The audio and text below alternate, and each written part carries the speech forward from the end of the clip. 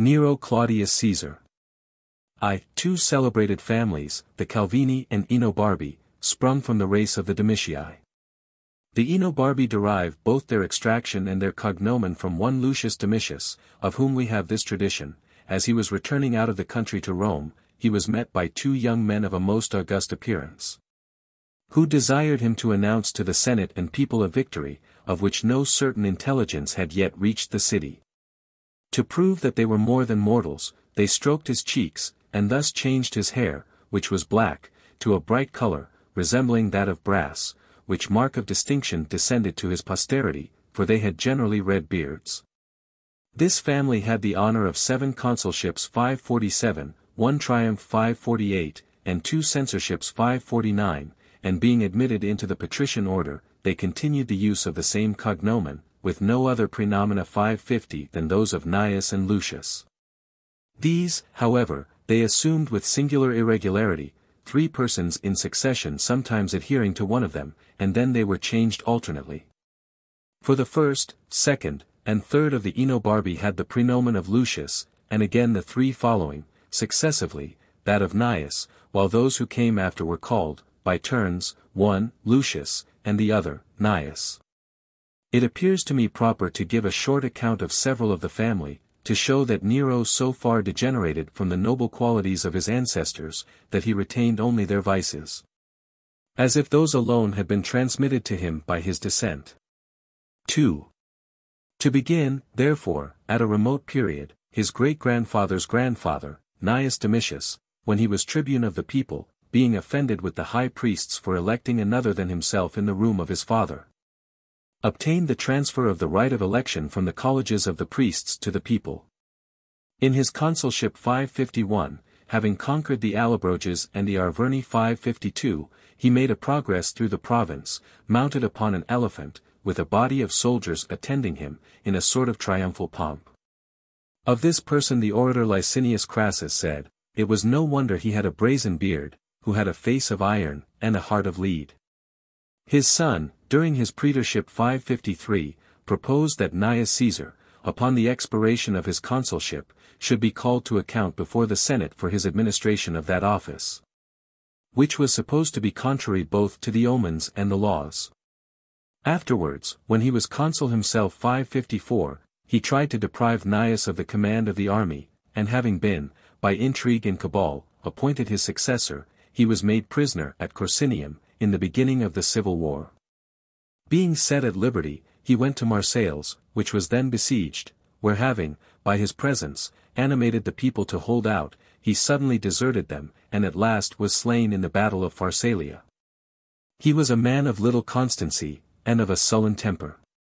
In despair of his fortunes, he had recourse to poison, but was so terrified at the thoughts of death, that, immediately repenting, he took a vomit to throw it up again, and gave freedom to his physician for having, with great prudence and wisdom. Given him only a gentle dose of the poison. When Gnaeus Pompey was consulting with his friends in what manner he should conduct himself towards those who were neuter and took no part in the contest, he was the only one who proposed that they should be treated as enemies. 3. He left a son, who was, without doubt, the best of the family. By the Pedian law, he was condemned, although innocent, amongst others who were concerned in the death of Caesar 555. Upon this, he went over to Brutus and Cassius, his near relations. And, after their death, not only kept together the fleet, the command of which had been given him some time before, but even increased it. At last, when the party had everywhere been defeated, he voluntarily surrendered it to Mark Antony. Considering it as a piece of service for which the latter owed him no small obligations. Of all those who were condemned by the law above mentioned, he was the only man who was restored to his country, and filled the highest offices. When the civil war again broke out, he was appointed lieutenant under the same Antony, and offered the chief command by those who were ashamed of Cleopatra. But not daring, on account of a sudden indisposition with which he was seized, either to accept or refuse it, he went over to Augustus 556, and died a few days after, not without an aspersion cast upon his memory. For Antony gave out, that he was induced to change sides by his impatience to be with his mistress, Servilia Nais. 557. 4. This Gnaeus had a son, named Domitius, who was afterwards well known as the nominal purchaser of the family property left by Augustus as will 558. And no less famous in his youth for his dexterity in chariot driving, than he was afterwards for the triumphal ornaments which he obtained in the German war. But he was a man of great arrogance, prodigality, and cruelty. When he was edile, he obliged Lucius Plancus, the censor, to give him the way, and in his praetorship, and consulship, he made Roman knights and married women act on the stage. He gave hunts of wild beasts, both in the circus and in all the wards of the city, as also a show of gladiators, but with such barbarity, that Augustus, after privately reprimanding him, to no purpose, was obliged to restrain him by a public edict. V. By the elder Antonia he had Nero's father, a man of execrable character in every part of his life. During his attendance upon Caius Caesar in the East, he killed a freedman of his own, for refusing to drink as much as he ordered him. Being dismissed for this from Caesar's society, he did not mend his habits, for, in a village upon the Appian road, he suddenly whipped his horses, and drove his chariot, on purpose, over a poor boy, crushing him to pieces. At Rome, he struck out the eye of a Roman knight in the forum, only for some free language in a dispute between them. He was likewise so fraudulent, that he not only cheated some silversmiths 559 of the price of goods he had bought of them, but, during his praetorship, defrauded the owners of chariots in the Circensian games of the prizes due to them for their victory. His sister, jeering him for the complaints made by the leaders of the several parties, he agreed to sanction a law, that, for the future, the prizes should be immediately paid. A little before the death of Tiberius, he was prosecuted for treason, adulteries, and incest with his sister Lepida, but escaped in a timely change of affairs, and died of a dropsy, at Pergae 560. Leaving behind him his son, Nero, whom he had by Agrippina, the daughter of Germanicus. 6. Nero was born at Antium, nine months after the death of Tiberius 561, upon the 18th of the calends of January, December 15, just as the sun rose, so that its beams touched him before they could well reach the earth. While many fearful conjectures, in respect to his future fortune, were formed by different persons, from the circumstances of his nativity, a saying of his father, Domitius, was regarded as an ill presage. Who told his friends who were congratulating him upon the occasion, that nothing but what was detestable, and pernicious to the public, could ever be produced of him and Agrippina. Another manifest prognostic of his future infelicity occurred upon his lustration day 562. For Caius Caesar being requested by his sister to give the child what name he thought proper, looking at his uncle, Claudius, who afterwards, when emperor, adopted Nero, he gave his, and this not seriously, but only in jest. Agrippina treating it with contempt, because Claudius at that time was a mere laughing-stock at the palace. He lost his father when he was three years old, being left heir to a third part of his estate. Of which he never got possession, the whole being seized by his co-heir, Caius. His mother being soon after banished, he lived with his aunt Lepida, in a very necessitous condition, under the care of two tutors, a dancing master and a barber. After Claudius came to the empire, he not only recovered his father's estate, but was enriched with the additional inheritance of that of his stepfather, Crispus Passienus. Upon his mother's recall from banishment, he was advanced to such favor, through Nero's powerful interest with the emperor, that it was reported, assassins were employed by Messalina, Claudius's wife, to strangle him, as Britannicus's rival. Whilst he was taking his noonday repose. In addition to the story, it was said that they were frightened by a serpent, which crept from under his cushion, and ran away.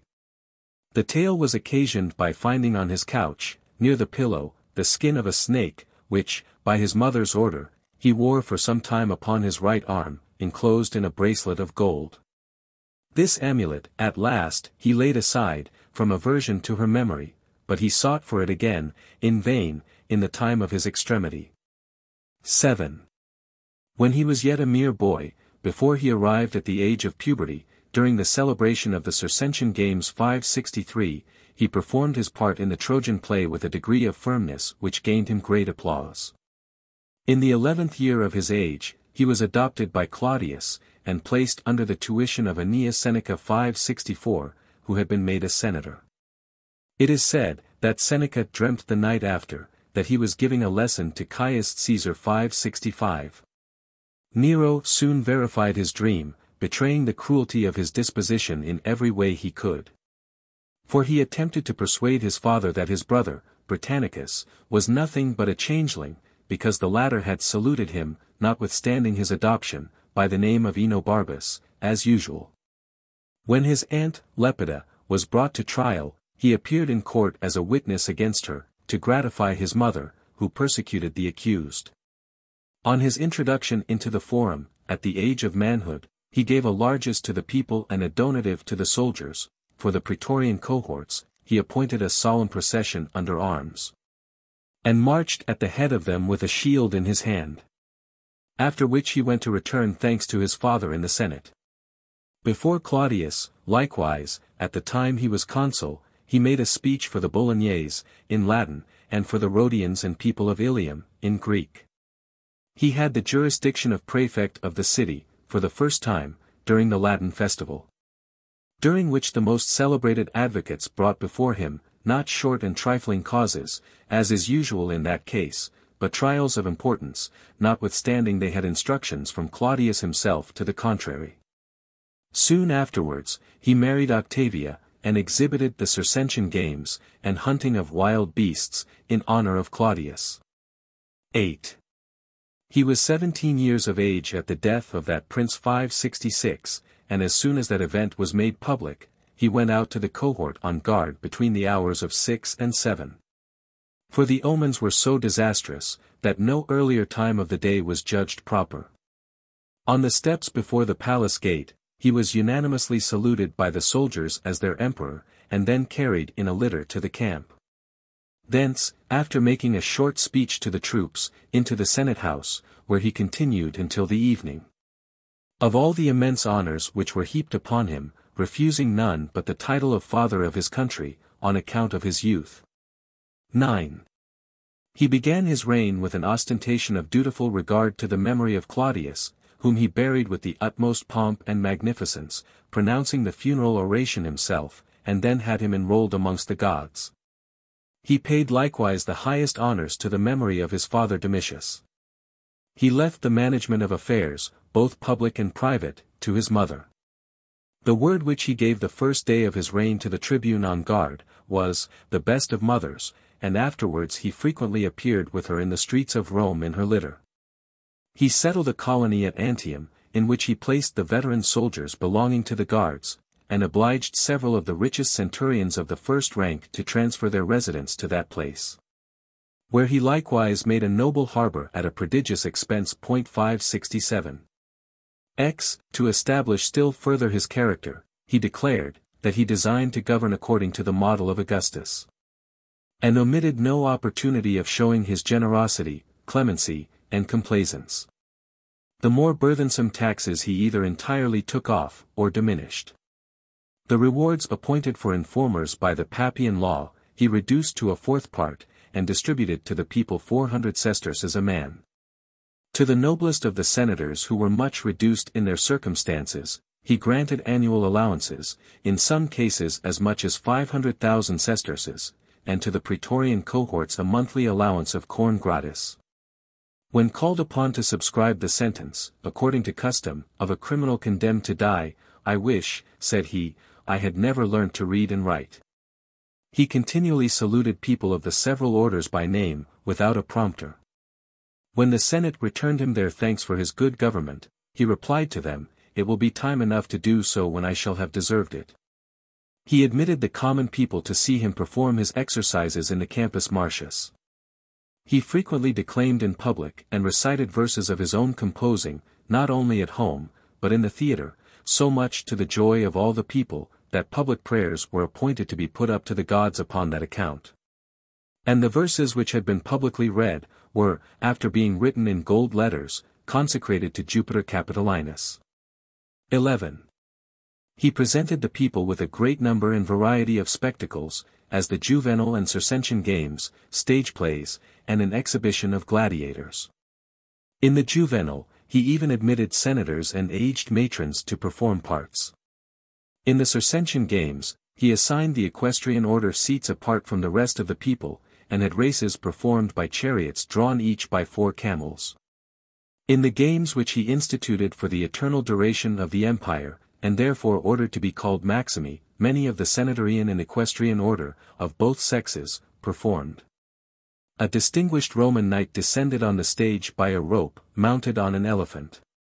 A Roman play, likewise, composed by Afranius, was brought upon the stage. It was entitled, The Fire. And in it the performers were allowed to carry off, and to keep to themselves, the furniture of the house, which, as the plot of the play required, was burnt down in the theatre. Every day during the solemnity, many thousand articles of all descriptions were thrown amongst the people to scramble for. Such as fowls of different kinds, tickets for corn, clothes, gold, silver, gems, pearls, pictures, slaves, beasts of burden, wild beasts that had been tamed, at last, ships, lots of houses, and lands, were offered as prizes in a lottery. 12. These games he beheld from the front of the proscenium. In the show of gladiators, which he exhibited in a wooden amphitheatre, built within a year in the district of the Campus Martius 568, he ordered that none should be slain, not even the condemned criminals employed in the combats. He secured 400 senators, and 600 Roman knights, amongst whom were some of unbroken fortunes and unblemished reputation, to act as gladiators. From the same orders, he engaged persons to encounter wild beasts, and for various other services in the theatre. He presented the public with the representation of a naval fight, upon sea water, with huge fishes swimming in it. As also with the Pyrrhic dance, performed by certain youths, to each of whom, after the performance was over, he granted the freedom of Rome. During this diversion, a bull covered Pasiphae, concealed within a wooden statue of a cow, as many of the spectators believed. Icarus, upon his first attempt to fly, fell on the stage close to the emperor's pavilion, and bespattered him with blood. For he very seldom presided in the games, but used to view them reclining on a couch, at first through some narrow apertures, but afterwards with the podium 569 quite open. He was the first who instituted 570, in imitation of the Greeks, a trial of skill in the three several exercises of music, wrestling, and horse racing, to be performed at Rome every five years, and which he called Neronia. Upon the dedication of his bath 571 and gymnasium, he furnished the Senate and the equestrian order with oil. He appointed as judges of the trial men of consular rank, chosen by lot, who sat with the praetors. At this time he went down into the orchestra amongst the senators, and received the crown for the best performance in Latin prose and verse, for which several persons of the greatest merit contended, but they unanimously yielded to him. The crown for the best performer on the harp, being likewise awarded to him by the judges, he devoutly saluted it, and ordered it to be carried to the statue of Augustus. In the gymnastic exercises, which he presented in the septa, while they were preparing the great sacrifice of an ox, he shaved his beard for the first time 572, and putting it up in a casket of gold studded with pearls of great price. Consecrated it to Jupiter Capitolinus. He invited the Vestal virgins to see the wrestlers perform, because, at Olympia, the priestesses of Ceres are allowed the privilege of witnessing that exhibition. 13. Amongst the spectacles presented by him, the solemn entrance of Tiridates 573 into the city deserves to be mentioned. This personage, who was king of Armenia, he invited to Rome by very liberal promises but being prevented by unfavorable weather from showing him to the people upon the day fixed by proclamation, he took the first opportunity which occurred. Several cohorts being drawn up under arms, about the temples in the forum, while he was seated on a curule chair on the rostra, in a triumphal dress, amidst the military standards and ensigns. Upon Tiridates advancing towards him, on a stage made shelving for the purpose, he permitted him to throw himself at his feet, but quickly raised him with his right hand, and kissed him. The emperor then, at the king's request, took the turban from his head, and replaced it by a crown, whilst a person of praetorian rank proclaimed in Latin the words in which the prince addressed the emperor as a suppliant. After this ceremony, the king was conducted to the theatre, where, after renewing his obeisance, Nero seated him on his right hand. Being then greeted by universal acclamation with the title of emperor, and sending his laurel crown to the Capitol, Nero shut the temple of the two-faced Janus, as though there now existed no war throughout the Roman Empire. 14. He filled the consulship four times 574, the first for two months, the second and last for six, and the third for four, the two intermediate ones he held successively, but the others after an interval of some years between them. 15. In the administration of justice, he scarcely ever gave his decision on the pleadings before the next day, and then in writing. His manner of hearing causes was not to allow any adjournment, but to dispatch them in order as they stood. When he withdrew to consult his assessors, he did not debate the matter openly with them. But silently and privately reading over their opinions, which they gave separately in writing, he pronounced sentence from the tribunal according to his own view of the case, as if it was the opinion of the majority. For a long time he would not admit the sons of freedmen into the Senate, and those who had been admitted by former princes, he excluded from all public offices. To supernumerary candidates he gave command in the legions, to comfort them under the delay of their hopes. The consulship he commonly conferred for six months. And one of the two consuls dying a little before the 1st of January, he substituted no one in his place, disliking what had been formerly done for Caninius Rebilus on such an occasion, who was consul for one day only. He allowed the triumphal honors only to those who were of quaestorian rank, and to some of the equestrian order, and bestowed them without regard to military service. And instead of the quaestors, whose office it properly was, he frequently ordered that the addresses, which he sent to the Senate on certain occasions, should be read by the consuls. 16. He devised a new style of building in the city, ordering piazzas to be erected before all houses, both in the streets and detached, to give facilities from their terraces, in case of fire, for preventing it from spreading. And these he built at his own expense. He likewise designed to extend the city walls as far as Ostia, and bring the sea from thence by a canal into the old city. Many severe regulations and new orders were made in his time. A sumptuary law was enacted. Public suppers were limited to the Sportuli 575, and victualling houses restrained from selling any dressed victuals, except pulse and herbs, whereas before they sold all kinds of meat. He likewise inflicted punishments on the Christians, a sort of people who held a new and impious 576 superstition. He forbade the revels of the charioteers, who had long assumed a license to stroll about, and established for themselves a kind of prescriptive right to cheat and thieve, making a jest of it. The partisans of the rival theatrical performers were banished, as well as the actors themselves. 17. To prevent forgery, a method was then first invented, of having writings bored, run through three times with a thread, and then sealed. It was likewise provided that in wills, the two first pages, with only the testator's name upon them, should be presented blank to those who were to sign them as witnesses. And that no one who wrote a will for another, should insert any legacy for himself. It was likewise ordained that clients should pay their advocates a certain reasonable fee, but nothing for the court, which was to be gratuitous, the charges for it being paid out of the public treasury. That causes, the cognizance of which before belonged to the judges of the exchequer, should be transferred to the forum, and the ordinary tribunals, and that all appeals from the judges should be made to the Senate. 18. He never entertained the least ambition or hope of augmenting and extending the frontiers of the empire. On the contrary, he had thoughts of withdrawing the troops from Britain, and was only restrained from so doing by the fear of appearing to detract from the glory of his father 577. All that he did was to reduce the kingdom of Pontus, which was ceded to him by Polemon, and also the Alps 578, upon the death of Claudius, into the form of a province. 19. Twice only he undertook any foreign expeditions, one to Alexandria, and the other to Achaia, but he abandoned the prosecution of the former on the very day fixed for his departure, by being deterred both by ill omens, and the hazard of the voyage. For while he was making the circuit of the temples, having seated himself in that of Vesta, when he attempted to rise, the skirt of his robe stuck fast.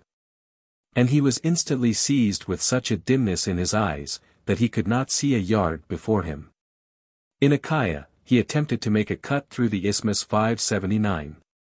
And, having made a speech encouraging his praetorians to set about the work, on a signal given by sound of trumpet, he first broke ground with a spade, and carried off a basket full of earth upon his shoulders. He made preparations for an expedition to the pass of the Caspian Mountains 580, forming a new legion out of his late levies in Italy, of men all six feet high, which he called the phalanx of Alexander the Great. These transactions, in part unexceptionable, and in part highly commendable, I have brought into one view, in order to separate them from the scandalous and criminal part of his conduct, of which I shall now give an account. XX. Among the other liberal arts which he was taught in his youth, he was instructed in music. And immediately after his advancement to the empire, he sent for Terpnus, a performer upon the harp 581, who flourished at that time with the highest reputation. Sitting with him for several days following, as he sang and played after supper, until late at night, he began by degrees to practice upon the instrument himself. Nor did he omit any of those expedients which artists in music adopt, for the preservation and improvement of their voices. He would lie upon his back with a sheet of lead upon his breast, clear his stomach and bowels by vomits and clysters, and forbear the eating of fruits, or food prejudicial to the voice. Encouraged by his proficiency, though his voice was naturally neither loud nor clear, he was desirous of appearing upon the stage. Frequently repeating amongst his friends a Greek proverb to this effect, that no one had any regard for music which they never heard. Accordingly, he made his first public appearance at Naples, and although the theatre quivered with the sudden shock of an earthquake, he did not desist, until he had finished the piece of music he had begun. He played and sung in the same place several times, and for several days together, taking only now and then a little respite to refresh his voice. Impatient of retirement, it was his custom to go from the bath to the theatre. And after dining in the orchestra, amidst a crowded assembly of the people, he promised them in Greek 582, that after he had drank a little, he would give them a tune which would make their ears tingle. Being highly pleased with the songs that were sung in his praise by some Alexandrians belonging to the fleet just arrived at Naples 583, he sent for more of the like singers from Alexandria. At the same time, he chose young men of the equestrian order, and above 5,000 robust young fellows from the common people, on purpose to learn various kinds of applause, called bombai, imbrices, and teste 584. Which they were to practice in his favor, whenever he performed. They were divided into several parties, and were remarkable for their fine heads of hair, and were extremely well dressed, with rings upon their left hands. The leaders of these bands had salaries of 40,000 sesterces allowed them. 21. At Rome also, being extremely proud of his singing, he ordered the games called Neronia to be celebrated before the time fixed for their return. All now becoming importunate to hear his heavenly voice, he informed them, that he would gratify those who desired it at the gardens. But the soldiers then on guard seconding the voice of the people, he promised to comply with their request immediately, and with all his heart. He instantly ordered his name to be entered upon the list of musicians who proposed to contend, and having thrown his lot into the urn among the rest, took his turn, and entered, attended by the prefects of the praetorian cohorts bearing his harp. And followed by the military tribunes, and several of his intimate friends. After he had taken his station, and made the usual prelude, he commanded Cluvius Rufus, a man of consular rank, to proclaim in the theatre, that he intended to sing the story of Niobe. This he accordingly did, and continued it until nearly ten o'clock, but deferred the disposal of the crown, and the remaining part of the solemnity, until the next year, that he might have more frequent opportunities of performing. But that being too long, he could not refrain from often appearing as a public performer during the interval. He made no scruple of exhibiting on the stage, even in the spectacles presented to the people by private persons, and was offered by one of the praetors, no less than a million of sesterces for his services. He likewise sang tragedies in a mask. The visors of the heroes and gods, as also of the heroines and goddesses, being formed into a resemblance of his own face, and that of any woman he was in love with. Amongst the rest, he sung, Canace in Labor, 585 Orestes the murderer of his mother, Oedipus blinded, and, Hercules mad. In the last tragedy, it is said that a young sentinel, posted at the entrance of the stage, seeing him in a prison dress and bound with fetters, as the fable of the play required, ran to his assistance. 22. He had from his childhood an extravagant passion for horses, and his constant talk was of the Circensian races, notwithstanding it was prohibited him. Lamenting once, among his fellow pupils, the case of a charioteer of the Green Party, who was dragged round the circus at the tail of his chariot, and being reprimanded by his tutor for it, he pretended that he was talking of Hector. In the beginning of his reign, he used to amuse himself daily with chariots drawn by four horses, made of ivory, upon a table. He attended at all the lesser exhibitions in the circus, at first privately, but at last openly. So that nobody ever doubted of his presence on any particular day. Nor did he conceal his desire to have the number of the prizes doubled, so that the races being increased accordingly, the diversion continued until a late hour. The leaders of parties refusing now to bring out their companies for any time less than the whole day. Upon this, he took a fancy for driving the chariot himself, and that even publicly. Having made his first experiment in the gardens, amidst crowds of slaves and other rabble, he at length performed in the view of all the people, in the Circus Maximus. Whilst one of his freedmen dropped the napkin in the place where the magistrates used to give the signal. Not satisfied with exhibiting various specimens of his skill in those arts at Rome, he went over to Achaia, as has been already said, principally for this purpose. The several cities, in which solemn trials of musical skill used to be publicly held, had resolved to send him the crowns belonging to those who bore away the prize. These he accepted so graciously, that he not only gave the deputies who brought them an immediate audience, but even invited them to his table. Being requested by some of them to sing at supper, and prodigiously applauded, he said, the Greeks were the only people who has an ear for music, and were the only good judges of him and his attainments. Without delay he commenced his journey, and on his arrival at Cassiope 586, exhibited his first musical performance before the altar of Jupiter Cassius. 23. He afterwards appeared at the celebration of all public games in Greece, for such as fell in different years, he brought within the compass of one, and some he ordered to be celebrated a second time in the same year. At Olympia, likewise, contrary to custom, he appointed a public performance in music, and that he might meet with no interruption in this employment, when he was informed by his freedman Helius, that affairs at Rome required his presence. He wrote to him in these words, Though now all your hopes and wishes are for my speedy return, yet you ought rather to advise and hope that I may come back with a character worthy of Nero. During the time of his musical performance, nobody was allowed to stir out of the theatre upon any account, however necessary, insomuch, that it is said some women with child were delivered there. Many of the spectators being quite wearied with hearing and applauding him, because the town gates were shut, slipped privately over the walls, or counterfeiting themselves dead, were carried out for their funeral. With what extreme anxiety he engaged in these contests, with what keen desire to bear away the prize, and with how much awe of the judges, is scarcely to be believed.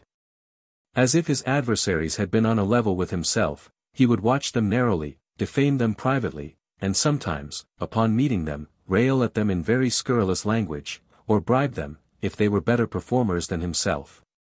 He always addressed the judges with the most profound reverence before he began, telling them, he had done all things that were necessary, by way of preparation, but that the issue of the approaching trial was in the hand of fortune. And that they, as wise and skilful men, ought to exclude from their judgment things merely accidental. Upon their encouraging him to have a good heart, he went off with more assurance, but not entirely free from anxiety. Interpreting the silence and modesty of some of them into sourness and ill nature, and saying that he was suspicious of them. 24. In these contests, he adhered so strictly to the rules, that he never durst spit, nor wipe the sweat from his forehead in any other way than with his sleeve. Having, in the performance of a tragedy, dropped his scepter, and not quickly recovering it, he was in a great fright, lest he should be set aside for the miscarriage, and could not regain his assurance. Until an actor who stood by swore he was certain it had not been observed in the midst of the acclamations and exultations of the people. When the prize was adjudged to him, he always proclaimed it himself, and even entered the lists with the heralds. That no memory or the least monument might remain of any other victor in the sacred Grecian games, he ordered all their statues and pictures to be pulled down, dragged away with hooks, and thrown into the common sewers. He drove the chariot with various numbers of horses, and at the Olympic Games with no fewer than ten, though, in a poem of his, he had reflected upon Mithridates for that innovation. Being thrown out of his chariot, he was again replaced, but could not retain his seat, and was obliged to give up, before he reached the goal, but was crowned notwithstanding. On his departure, he declared the whole province a free country, and conferred upon the judges in the several games the freedom of Rome, with large sums of money. All these favors he proclaimed himself with his own voice, from the middle of the stadium, during the solemnity of the Isthmian Games. 25. On his return from Greece, arriving at Naples, because he had commenced his career as a public performer in that city, he made his entrance in a chariot drawn by white horses through a breach in the city wall. According to the practice of those who were victorious in the sacred Grecian games. In the same manner he entered Antium, Alba, and Rome. He made his entry into the city riding in the same chariot in which Augustus had triumphed, in a purple tunic, and a cloak embroidered with golden stars, having on his head the crown won at Olympia. And in his right hand that which was given him at the Pythian games, the rest being carried in a procession before him, with inscriptions denoting the places where they had been won, from whom, and in what plays or musical performances. Whilst a train followed him with loud acclamations, crying out, that, they were the emperor's attendants, and the soldiers of his triumph. Having then caused an arch of the Circus Maximus 587 to be taken down, he passed through the breach, as also through the Velabrum 588 and the Forum, to the Palatine Hill and the Temple of Apollo. Everywhere as he marched along, victims were slain, whilst the streets were strewed with saffron, and birds, chaplets, and sweetmeats scattered abroad. He suspended the sacred crowns in his chamber, about his beds, and caused statues of himself to be erected in the attire of a harper, and had his likeness stamped upon the coin in the same dress. After this period, he was so far from abating anything of his application to music, that, for the preservation of his voice, he never addressed the soldiers but by messages, or with some person to deliver his speeches for him. When he thought fit to make his appearance amongst them. Nor did he ever do anything either in jest or earnest, without a voice master standing by him to caution him against overstraining his vocal organs, and to apply a handkerchief to his mouth when he did. He offered his friendship, or avowed open enmity to many, according as they were lavish or sparing in giving him their applause. 26. Petulancy, lewdness, luxury, avarice, and cruelty, he practiced at first with reserve and in private, as if prompted to them only by the folly of youth. But, even then, the world was of opinion that they were the faults of his nature, and not of his age. After it was dark, he used to enter the taverns disguised in a cap or a wig, and ramble about the streets in sport, which was not void of mischief. He used to beat those he met coming home from supper, and, if they made any resistance, would wound them, and throw them into the common sewer.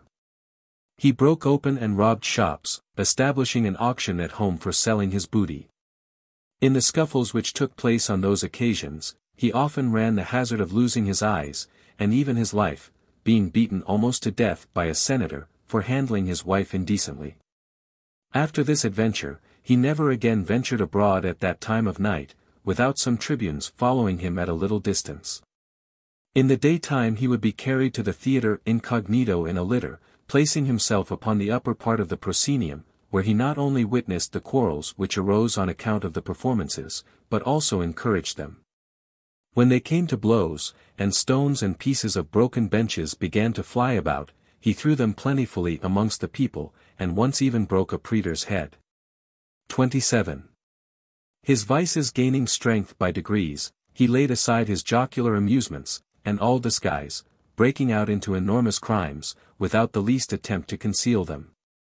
His revels were prolonged from midday to midnight, while he was frequently refreshed by warm baths, and, in the summer time, by such as were cooled with snow. He often supped in public, in the Naumachia, with the sluices shut, or in the Campus Martius, or the Circus Maximus, being waited upon at table by common prostitutes of the town, and Syrian strumpets and glee girls. As often as he went down the Tiber to Ostia, or coasted through the Gulf of Baiae, booths furnished as brothels and eating houses, were erected along the shore and river banks. Before which stood matrons, who, like bawds and hostesses, allured him to land. It was also his custom to invite himself to supper with his friends.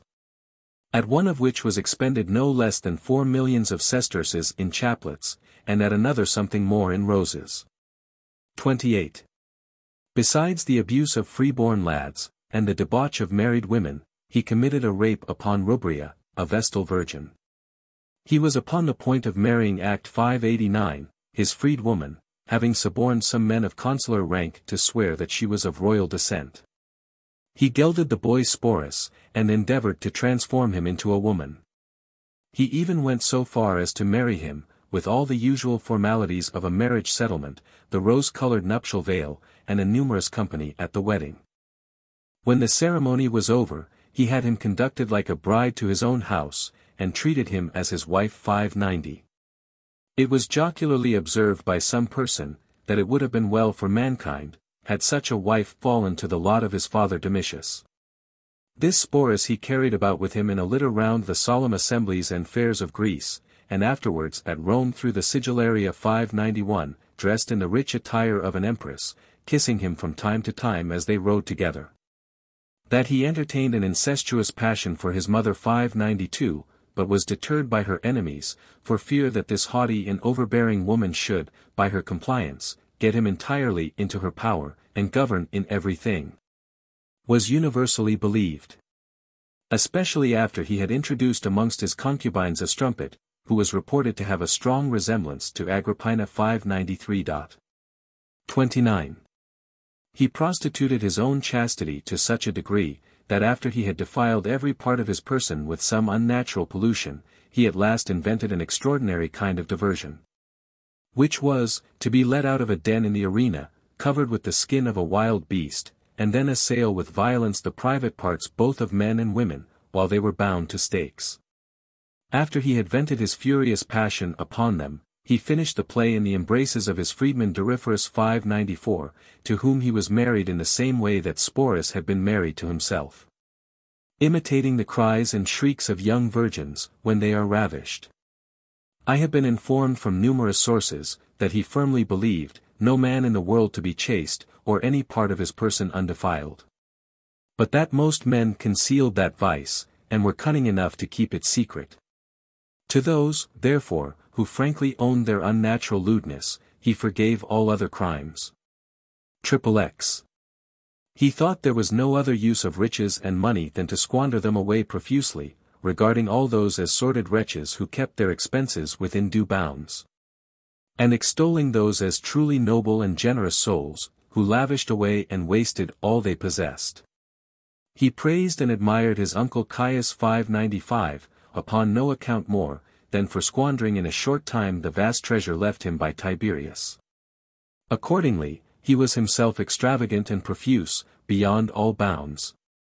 He spent upon Tiridates 800,000 sesterces a day, a sum almost incredible, and at his departure, presented him with upwards of a million five ninety-six. He likewise bestowed upon Menecrates the harper, and Spicillus a gladiator, the estates and houses of men who had received the honor of a triumph. He enriched the usurer Cercopithecus Panerotes with estates both in town and country. And gave him a funeral, in pomp and magnificence little inferior to that of princes. He never wore the same garment twice. He has been known to stake 400,000 sesterces on a throw of the dice. It was his custom to fish with a golden net, drawn by silken cords of purple and scarlet. It is said, that he never travelled with less than a thousand baggage carts. The mules being all shod with silver, and the drivers dressed in scarlet jackets of the finest Canusian cloth 597, with a numerous train of footmen, and troops of Mazacans 598, with bracelets on their arms. And mounted upon horses in splendid trappings. XXXI, in nothing was he more prodigal than in his buildings. He completed his palace by continuing it from the Palatine to the Esquiline Hill, calling the building at first only, the Passage, but, after it was burnt down and rebuilt, the Golden House. 599 of its dimensions and furniture, it may be sufficient to say thus much, the porch was so high that there stood in it a colossal statue of himself hundred and twenty feet in height. And the space included in it was so ample, that it had triple porticos a mile in length, and a lake like a sea, surrounded with buildings which had the appearance of a city. Within its area were corn fields, vineyards, pastures, and woods, containing a vast number of animals of various kinds, both wild and tame. In other parts it was entirely overlaid with gold, and adorned with jewels and mother of pearl. The supper rooms were vaulted, and compartments of the ceilings, inlaid with ivory, were made to revolve, and scatter flowers, while they contained pipes which shed unguents upon the guests.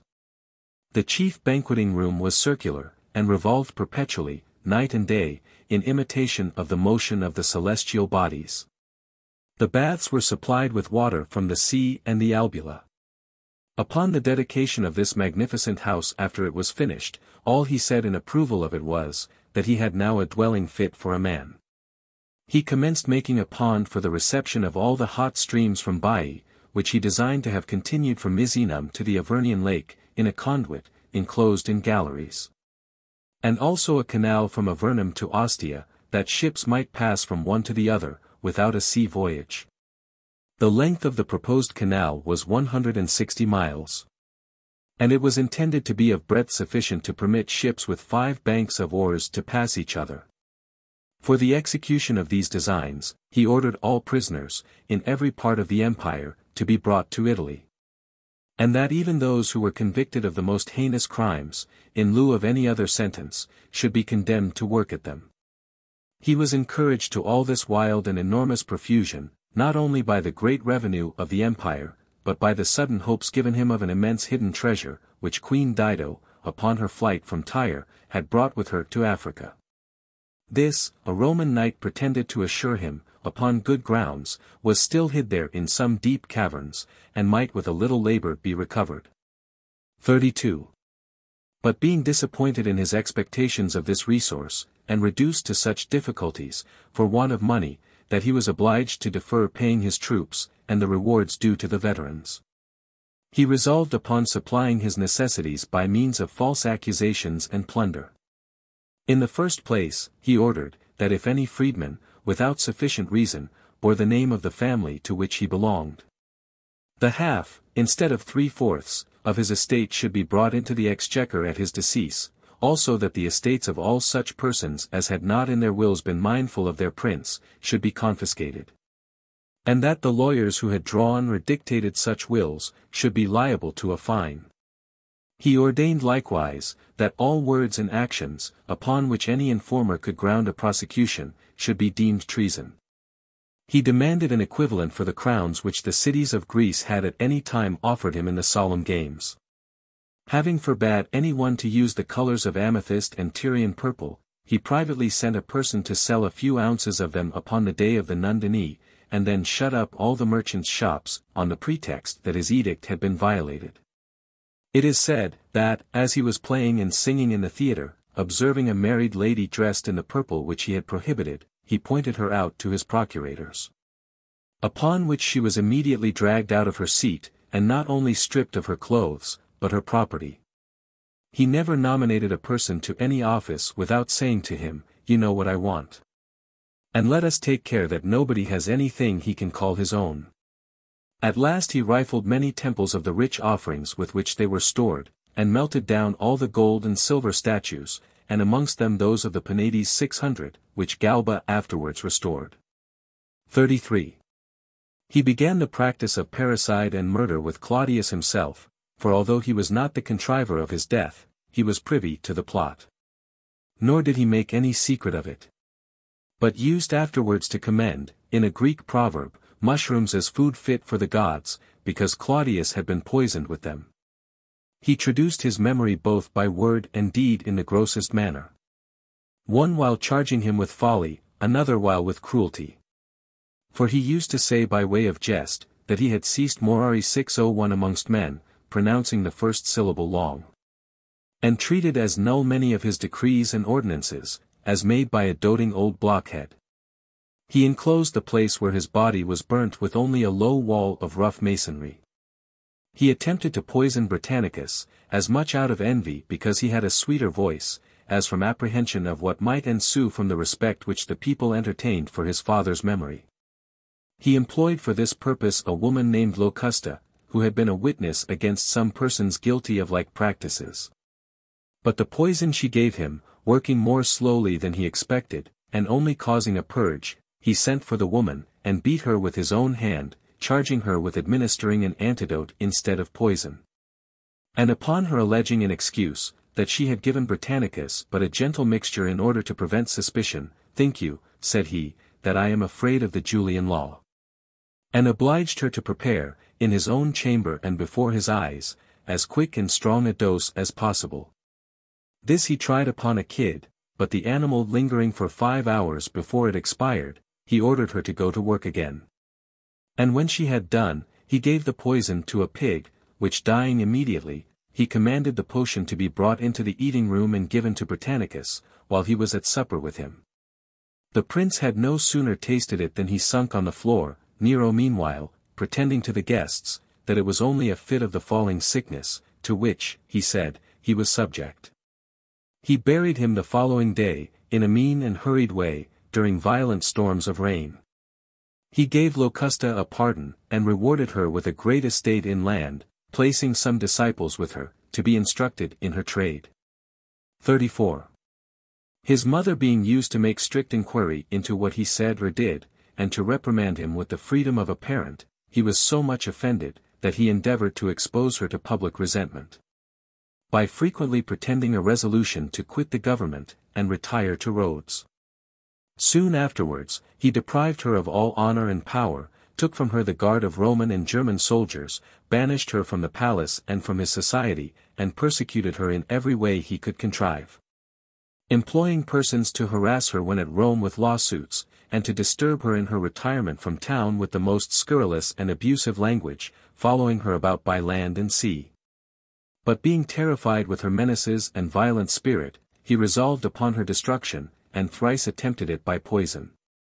Finding, however, that she had previously secured herself by antidotes, he contrived machinery, by which the floor over her bedchamber might be made to fall upon her while she was asleep in the night. This design miscarrying likewise, through the little caution used by those who were in the secret, his next stratagem was to construct a ship which could be easily shivered, in hopes of destroying her either by drowning or by the deck above her cabin crushing her in its fall. Accordingly, under color of a pretended reconciliation, he wrote her an extremely affectionate letter, inviting her to Baiae, to celebrate with him the festival of Minerva.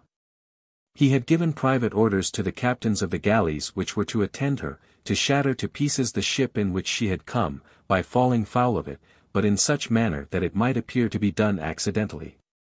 He prolonged the entertainment, for the more convenient opportunity of executing the plot in the night. And at her return for Bauli 602, instead of the old ship which had conveyed her to Baiae, he offered that which he had contrived for her destruction. He attended her to the vessel in a very cheerful mood, and, at parting with her, kissed her breasts. After which he sat up very late in the night, waiting with great anxiety to learn the issue of his project. But receiving information that everything had fallen out contrary to his wish, and that she had saved herself by swimming, not knowing what course to take, upon her freedman, Lucius Agerinus bringing word, with great joy. That she was safe and well, he privately dropped a poniard by him. He then commanded the freedman to be seized and put in chains, under pretence of his having been employed by his mother to assassinate him. At the same time ordering her to be put to death, and giving out, that, to avoid punishment for her intended crime, she had laid violent hands upon herself. Other circumstances, still more horrible, are related on good authority.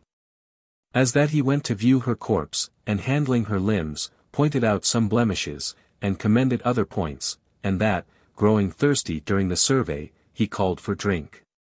Yet he was never afterwards able to bear the stings of his own conscience for this atrocious act, although encouraged by the congratulatory addresses of the army, the senate, and people. He frequently affirmed that he was haunted by his mother's ghost, and persecuted with the whips and burning torches of the Furies. Nay, he attempted by magical rites to bring up her ghost from below, and soften her rage against him. When he was in Greece, he durst not attend the celebration of the Eleusinian mysteries, at the initiation of which, impious and wicked persons are warned by the voice of the herald from approaching the rite 603. Besides the murder of his mother, he had been guilty of that of his aunt. For, being obliged to keep her bed in consequence of a complaint in her bowels, he paid her a visit, and she, being then advanced in years, stroking his downy chin, in the tenderness of affection, said to him, May I but live to see the day when this is shaved for the first time 604, and I shall then die contented. He turned, however, to those about him, made a jest of it, saying, that he would have his beard immediately taken off, and ordered the physicians to give her more violent purgatives. He seized upon her estate before she had expired. Suppressing her will, that he might enjoy the whole himself. 35. He had, besides Octavia, two other wives, Poppaea Sabina, whose father had borne the office of quaestor, and who had been married before to a Roman knight, and, after her, Statilia Messalina, great-granddaughter of Taurus 605 who was twice consul. And received the honor of a triumph.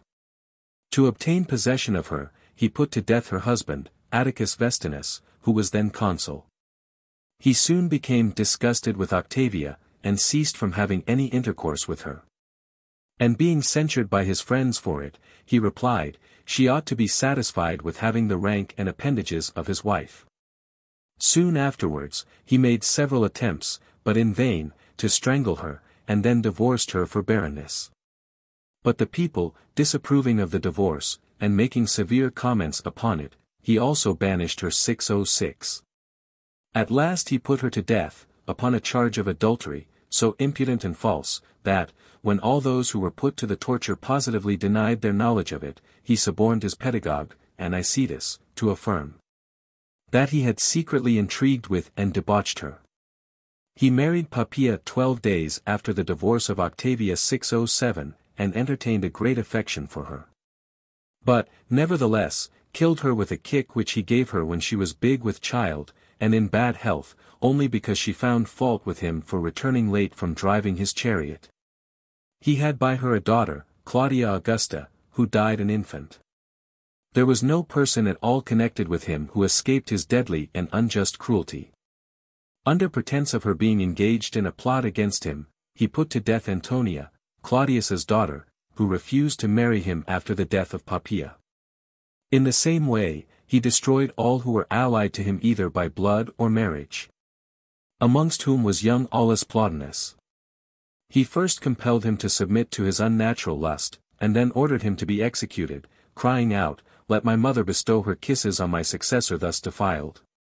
Pretending that he had been his mother's paramour, and by her encouraged to aspire to the empire. His stepson, Rufinus Crispinus, Poppaea's son, though a minor, he ordered to be drowned in the sea, while he was fishing, by his own slaves, because he was reported to act frequently amongst his playfellows the part of a general or an emperor. He banished Tuscus, his nurse's son, for presuming, when he was procurator of Egypt, to wash in the baths which had been constructed in expectation of his own coming. Seneca, his preceptor, he forced to kill himself 608, though, upon his desiring leave to retire, and offering to surrender his estate, he solemnly swore, that there was no foundation for his suspicions. And that he would perish himself sooner than hurt him. Having promised Burrhus, the praetorian prefect, a remedy for a swelling in his throat, he sent him poison. Some old rich freedmen of Claudius, who had formerly not only promoted his adoption, but were also instrumental to his advancement to the empire, and had been his governors, he took off by poison given them in their meat or drink. 36. Nor did he proceed with less cruelty against those who were not of his family. A blazing star, which is vulgarly supposed to portend destruction to kings and princes, appeared above the horizon several nights successively 609. He felt great anxiety on account of this phenomenon, and being informed by one Babylas, an astrologer, that princes were used to expiate such omens by the sacrifice of illustrious persons, and so avert the danger foreboded to their own persons. By bringing it on the heads of their chief men, he resolved on the destruction of the principal nobility in Rome. He was the more encouraged to this, because he had some plausible pretence for carrying it into execution, from the discovery of two conspiracies against him, the former and more dangerous of which was that formed by Piso 610, and discovered at Rome. The other was that of Vinicius 611, at Beneventum. The conspirators were brought to their trials loaded with triple fetters. Some ingenuously confessed the charge. Others avowed that they thought the design against his life an act of favor for which he was obliged to them, as it was impossible in any other way than by death to relieve a person rendered infamous by crimes of the greatest enormity. The children of those who had been condemned, were banished the city, and afterwards either poisoned or starved to death. It is asserted that some of them, with their tutors, and the slaves who carried their satchels, were all poisoned together at one dinner, and others are not suffered to seek their daily bread. 37. From this period he butchered, without distinction or quarter, all whom his caprice suggested as objects for his cruelty, and upon the most frivolous pretenses. To mention only a few, Salvidienus Orfitus was accused of letting out three taverns attached to his house in the Forum to some cities for the use of their deputies at Rome. The charge against Cassius Longinus, a lawyer who had lost his sight, was, that he kept amongst the busts of his ancestors that of Caius Cassius, who was concerned in the death of Julius Caesar. The only charge objected against Paetus Thrasea was, that he had a melancholy cast of features, and looked like a schoolmaster. He allowed but one hour to those whom he obliged to kill themselves.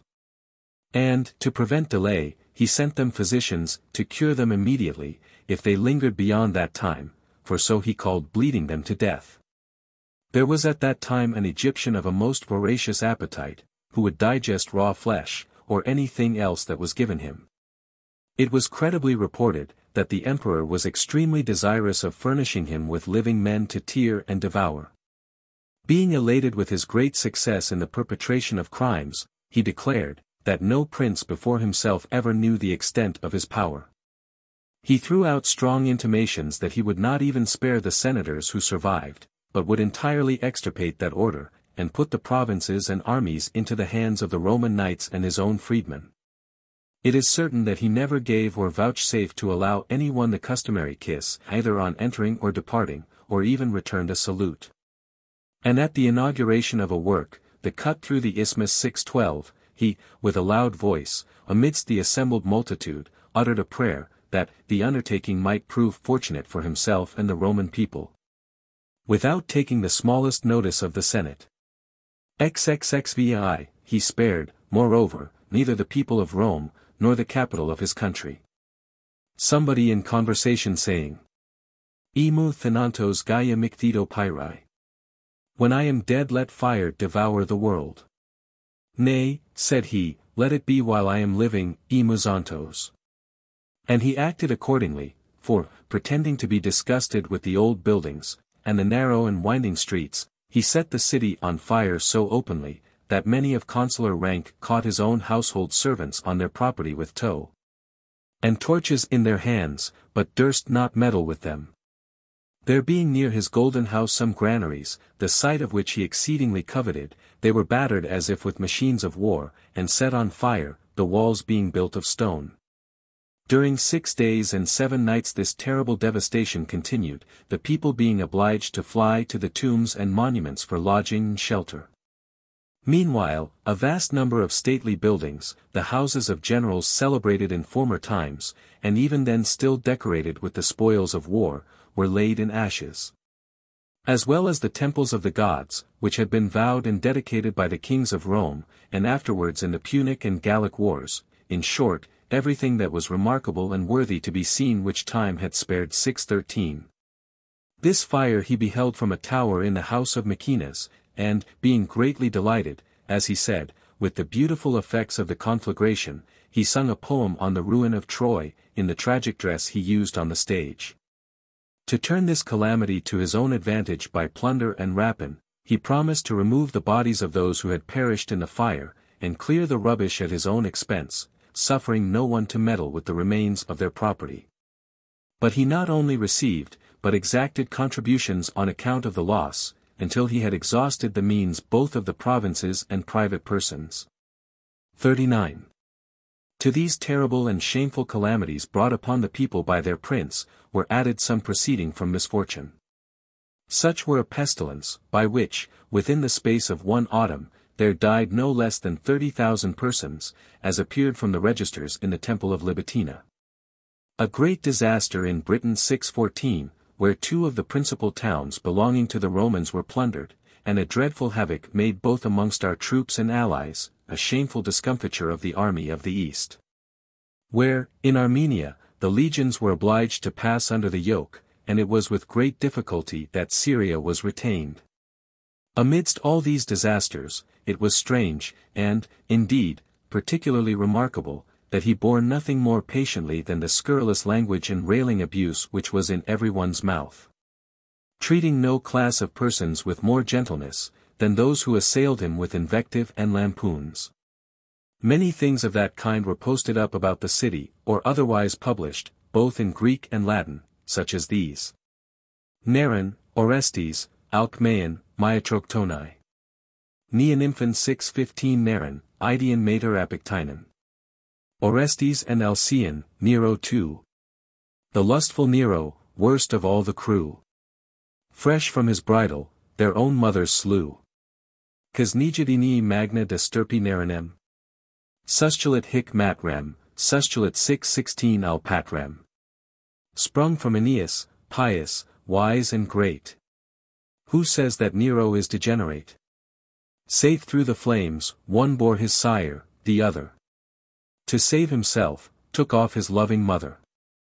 Dum tendit citharam noster, dum cornua parthus. Noster erit pian, alicatabelites. His lyre to harmony our Nero strings. His arrows o'er the plain the Parthian wings. Ours call the tuneful Paean, famed in war. The other Phoebus name, the god who shoots afar. Point 617. Roma domus fiat, vijos migrate, Carites. Si non edi vijos occupat ista domus. All Rome will be one house, to Veii fly. Should it not stretch to Veii, by and by. 618.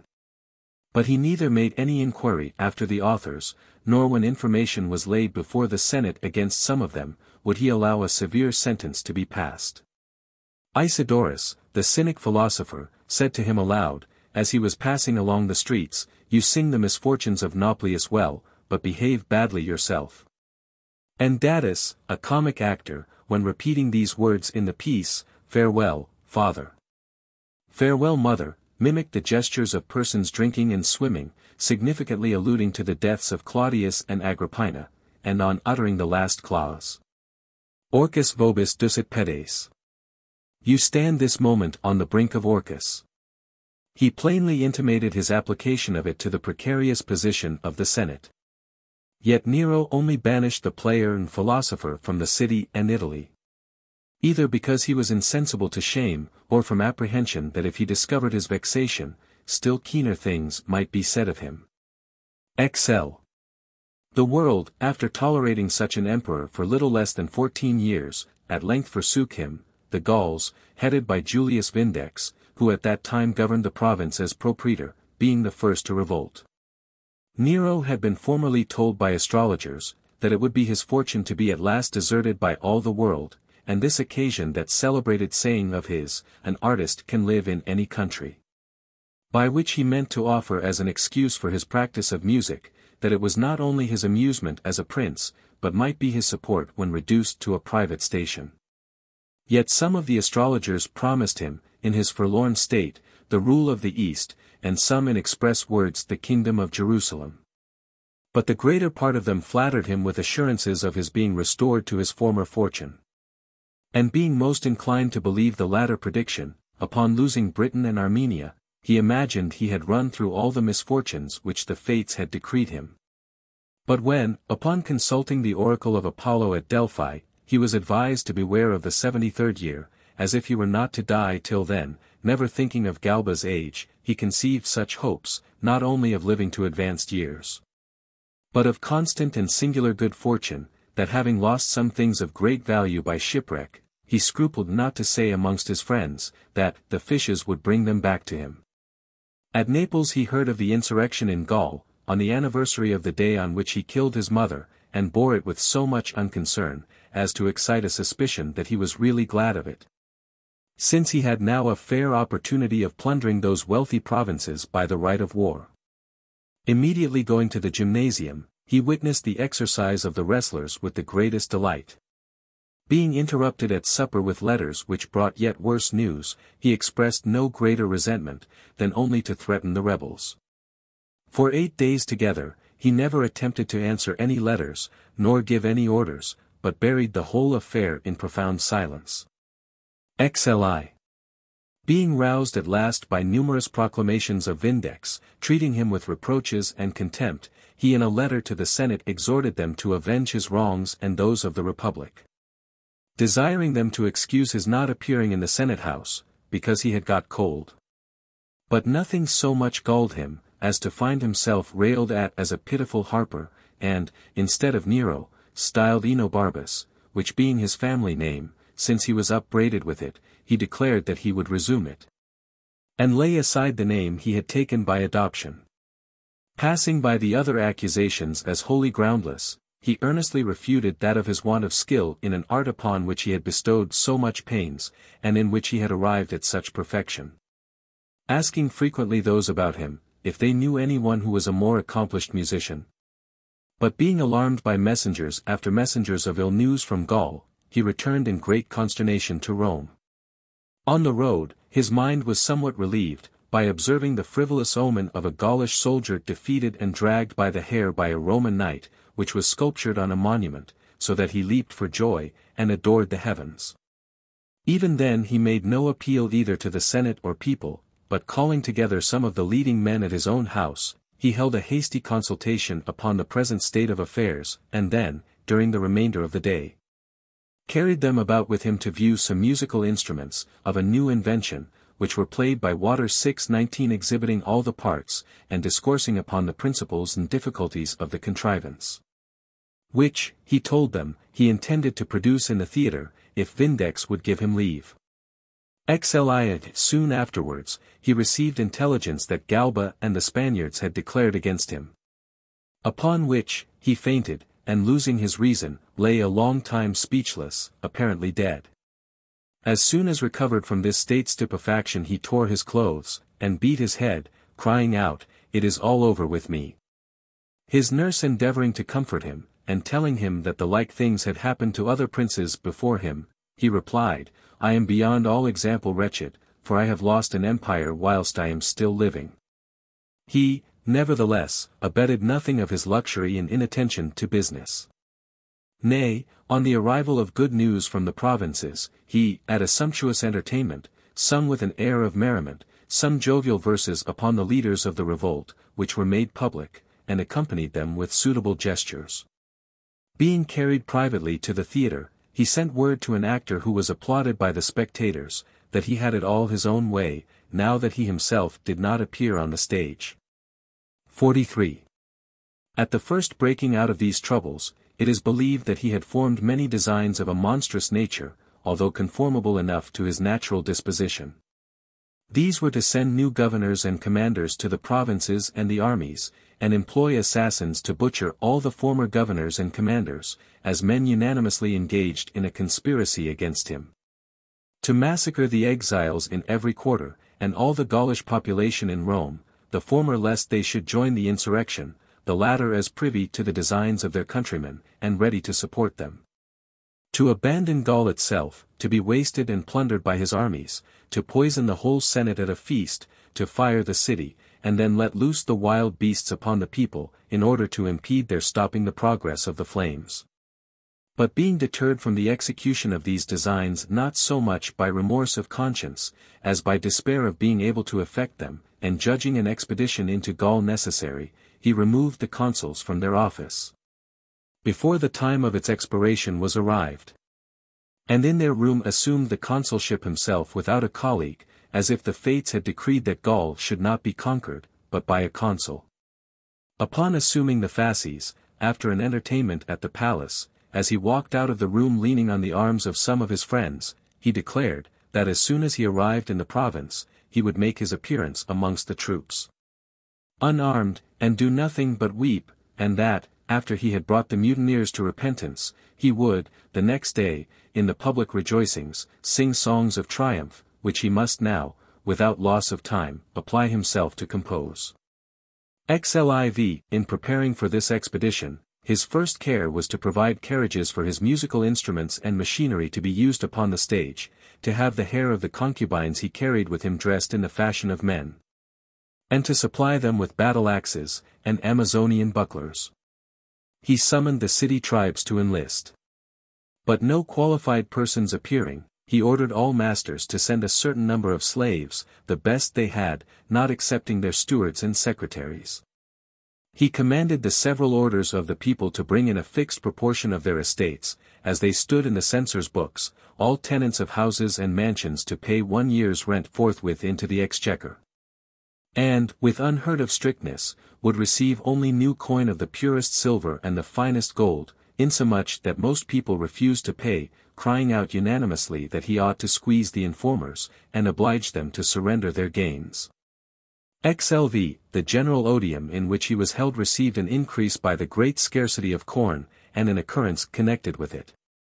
For, as it happened just at that time, there arrived from Alexandria a ship, which was said to be freighted with dust for the wrestlers belonging to the Emperor 620. This so much inflamed the public rage, that he was treated with the utmost abuse and scurrility. Upon the top of one of his statues was placed the figure of a chariot with a Greek inscription, that, now indeed he had a race to run, let him be gone. A little bag was tied about another, with a ticket containing these words, What could I do?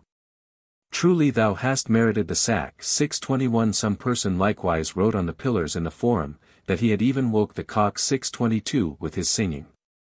And many, in the night time, pretending to find fault with their servants, frequently called for a vindex. 623. XLVI, he was also terrified with manifest warnings, both old and new, arising from dreams, auspices, and omens. He had never been used to dream before the murder of his mother. After that event, he fancied in his sleep that he was steering a ship, and that the rudder was forced from him, that he was dragged by his wife Octavia into a prodigiously dark place. And was at one time covered over with a vast swarm of winged ants, and at another, surrounded by the national images which were set up near Pompey's theatre, and hindered from advancing farther. That a Spanish jennet he was fond of, had his hinder parts so changed, as to resemble those of an ape, and having his head only left unaltered, neighed very harmoniously. The doors of the mausoleum of Augustus flying open of themselves, there issued from it a voice, calling on him by name. The lares being adorned with fresh garlands on the calends, the first, of January, fell down during the preparations for sacrificing to them. While he was taking the omens, Sporus presented him with a ring, the stone of which had carved upon it the rape of Proserpine.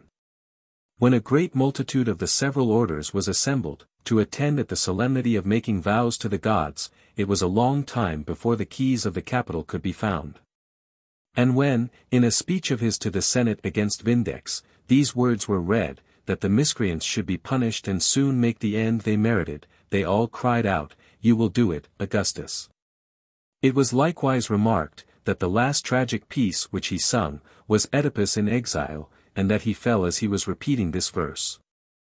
Thanian m. Anogi singamos, mater, patar. Wife, mother, father, force me to my end. 47. Meanwhile, on the arrival of the news, that the rest of the armies had declared against him, he tore to pieces the letters which were delivered to him at dinner, overthrew the table, and dashed with violence against the ground two favorite cups. Which he called Homer's, because some of that poet's verses were cut upon them. Then taking from Locusta a dose of poison, which he put up in a golden box, he went into the Servilian gardens, and thence dispatching a trusty freedman to Ostia, with orders to make ready a fleet. He endeavored to prevail with some tribunes and centurions of the Praetorian guards to attend him in his flight. But part of them showing no great inclination to comply, others absolutely refusing, and one of them crying out aloud. Usque ade one mori miserum est. Say, is it then so sad a thing to die? 624.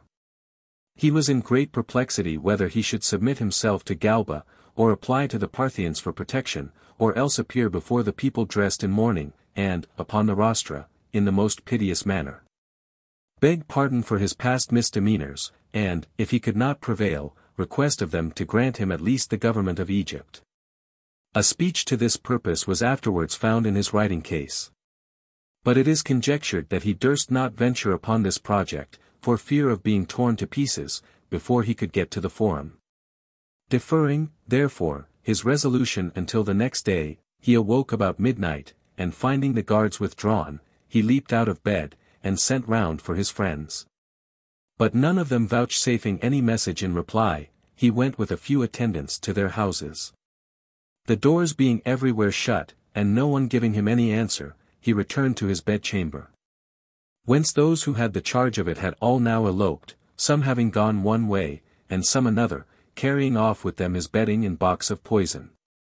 He then endeavored to find Spiculus, the gladiator, or some one to kill him. But not being able to procure any one, what, said he, have I then neither friend nor foe, and immediately ran out, as if he would throw himself into the Tiber. 48. But this furious impulse subsiding, he wished for some place of privacy, where he might collect his thoughts.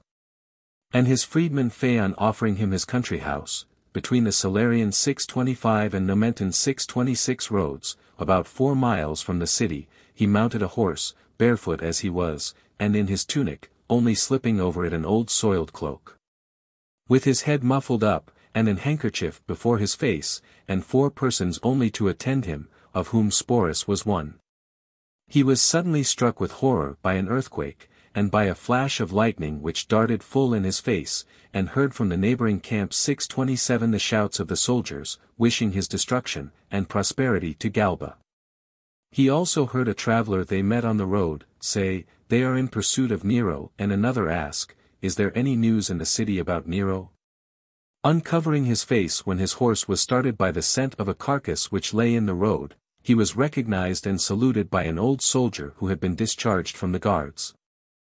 When they came to the lane which turned up to the house, they quitted their horses, and with much difficulty he wound among bushes, and briars, and along a track through a bed of rushes, over which they spread their cloaks for him to walk on. Having reached a wall at the back of the villa, Phaon advised him to hide himself a while in a sandpit, when he replied, I will not go underground alive. Staying there some little time, while preparations were made for bringing him privately into the villa, he took up some water out of a neighboring tank in his hand, to drink, saying, This is Nero's distilled water. 628 Then his cloak having been torn by the brambles, he pulled out the thorns which stuck in it. At last, being admitted, creeping upon his hands and knees, through a hole made for him in the wall, he lay down in the first closet he came to, upon a miserable pallet, with an old coverlet thrown over it. And being both hungry and thirsty, though he refused some coarse bread that was brought him, he drank a little warm water. 49. All who surrounded him now pressing him to save himself from the indignities which were ready to befall him, he ordered a pit to be sunk before his eyes, of the size of his body, and the bottom to be covered with pieces of marble put together. If any could be found about the house. And water and wood 629, to be got ready for immediate use about his corpse, weeping at everything that was done, and frequently saying, What an artist is now about to perish. Meanwhile, letters being brought in by a servant belonging to Phaon, he snatched them out of his hand, and there read, that he had been declared an enemy by the Senate, and that search was making for him that he might be punished according to the ancient custom of the Romans. He then inquired what kind of punishment that was. And being told, that the practice was to strip the criminal naked, and scourge him to death, while his neck was fastened within a forked stake, he was so terrified that he took up two daggers which he had brought with him. And after feeling the points of both, put them up again, saying, the fatal hour is not yet come. One while, he begged of Sporus to begin to wail and lament, another while, he entreated that one of them would set him an example by killing himself. And then again, he condemned his own want of resolution in these words, I yet live to my shame and disgrace, this is not becoming for Nero, it is not becoming. Thou oughtest in such circumstances to have a good heart, come, then, courage, man. 630 The horsemen who had received orders to bring him away alive, were now approaching the house. As soon as he heard them coming, he uttered with a trembling voice the following verse. Hippon m o Cupidon amphi tupos wata 631. The noise of swift-heeled steeds assails my ears. He drove a dagger into his throat, being assisted in the act by Epaphroditus, his secretary. A centurion bursting in just as he was half dead, and applying his cloak to the wound, pretending that he was come to his assistance, he made no other reply but this, tis too late, and, is this your loyalty? Immediately after pronouncing these words, he expired, with his eyes fixed and starting out of his head, to the terror of all who beheld him. He had requested of his attendants, as the most essential favor, that they would let no one have his head, but that by all means his body might be burnt entire. And this, Icelus, Galba's freedman, granted. He had but a little before been discharged from the prison into which he had been thrown, when the disturbances first broke out. L. The expenses of his funeral amounted to 200,000 sesterces. The bed upon which his body was carried to the pile and burnt, being covered with the white robes, interwoven with gold, which he had worn upon the calends of January preceding. His nurses, Ecloge and Alexandra, with his concubine Acte, deposited his remains in the tomb belonging to the family of the Domitii, which stands upon the top of the hill of the Gardens 632, and is to be seen from the Campus Martius. In that monument, a coffin of porphyry, with an altar of marble of Luna over it, is enclosed by a wall built of stone brought from Thassos. 633. Lee. In stature he was a little below the common height, his skin was foul and spotted. His hair inclined to yellow, his features were agreeable, rather than handsome, his eyes grey and dull, his neck was thick, his belly prominent, his legs very slender, his constitution sound. For, though excessively luxurious in his mode of living, he had, in the course of fourteen years, only three fits of sickness, which were so slight, that he neither forbore the use of wine, nor made any alteration in his usual diet. In his dress, and the care of his person, he was so careless, that he had his hair cut in rings, one above another, and when in Achaia, he let it grow long behind. And he generally appeared in public in the loose dress which he used at table, with a handkerchief about his neck, and without either a girdle or shoes. Ai, ai, he was instructed, when a boy, in the rudiments of almost all the liberal sciences. But his mother diverted him from the study of philosophy, as unsuited to one destined to be an emperor, and his preceptor, Seneca, discouraged him from reading the ancient orators, that he might longer secure his devotion to himself.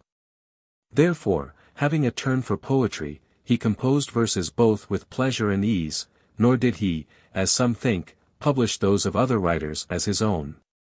Several little pocket-books and loose sheets have come into my possession, which contain some well-known verses in his own hand, and written in such a manner, that it was very evident, from the blotting and interlining, that they had not been transcribed from a copy, nor dictated by another, but were written by the composer of them. Lii, he had likewise great taste for drawing and painting, as well as for molding statues in plaster. But, above all things, he most eagerly coveted popularity, being the rival of every man who obtained the applause of the people for anything he did.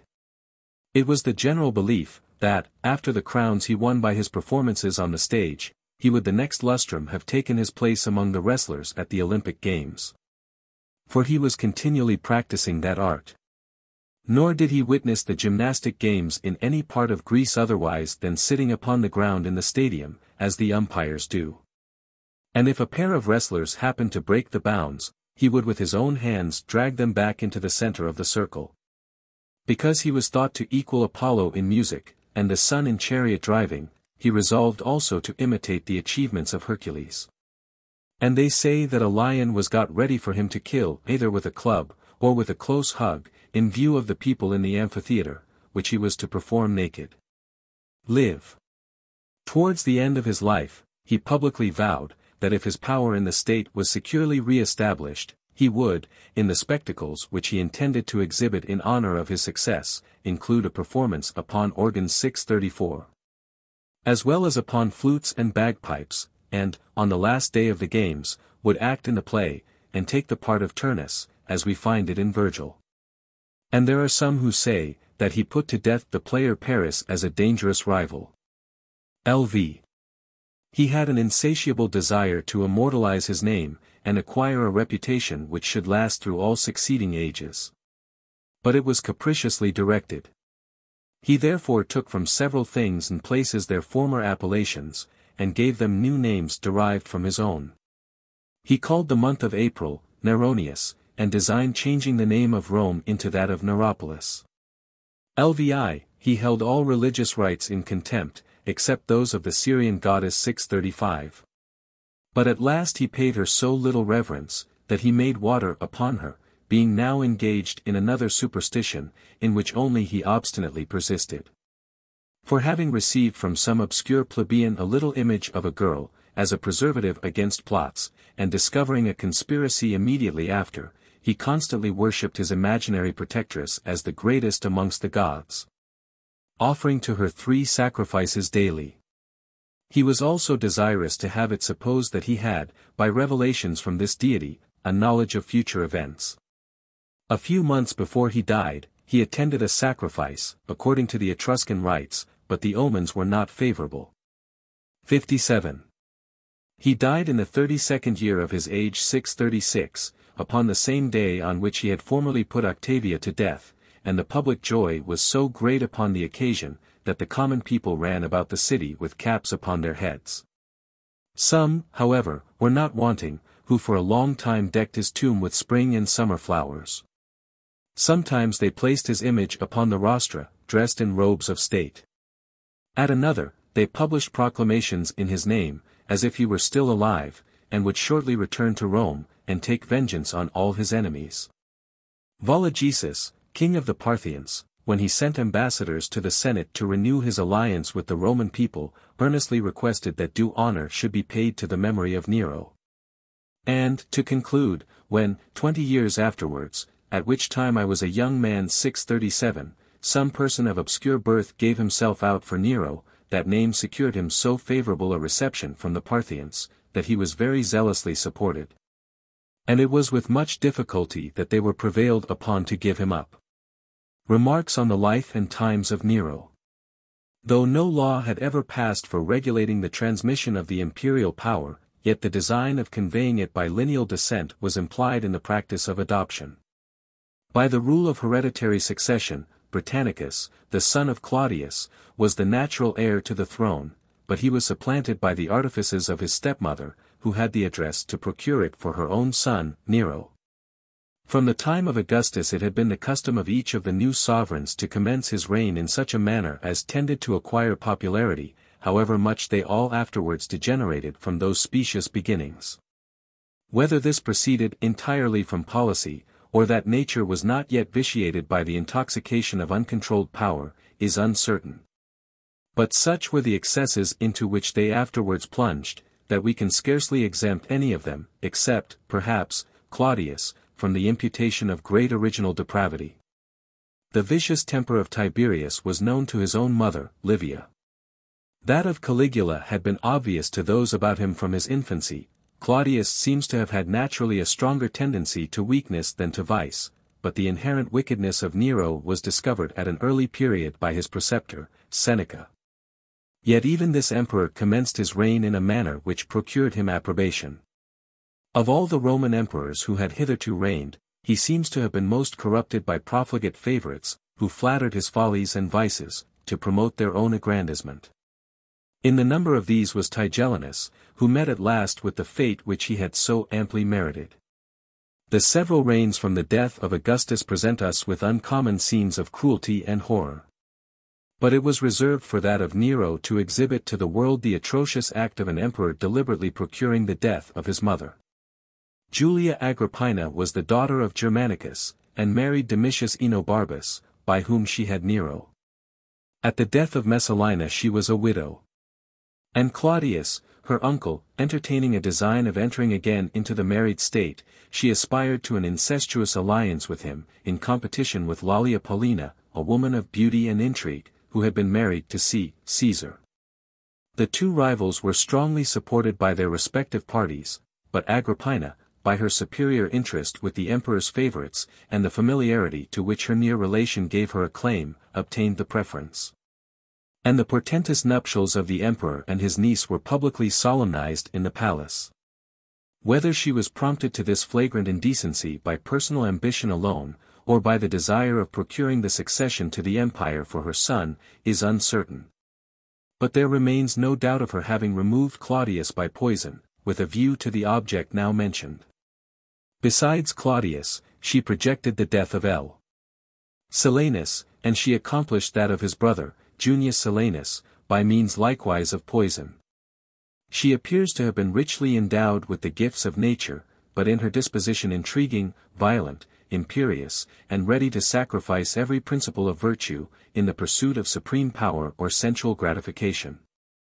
As she resembled Livia in the ambition of a mother, and the means by which she indulged it, so she more than equalled her in the ingratitude of an unnatural son and a parricide.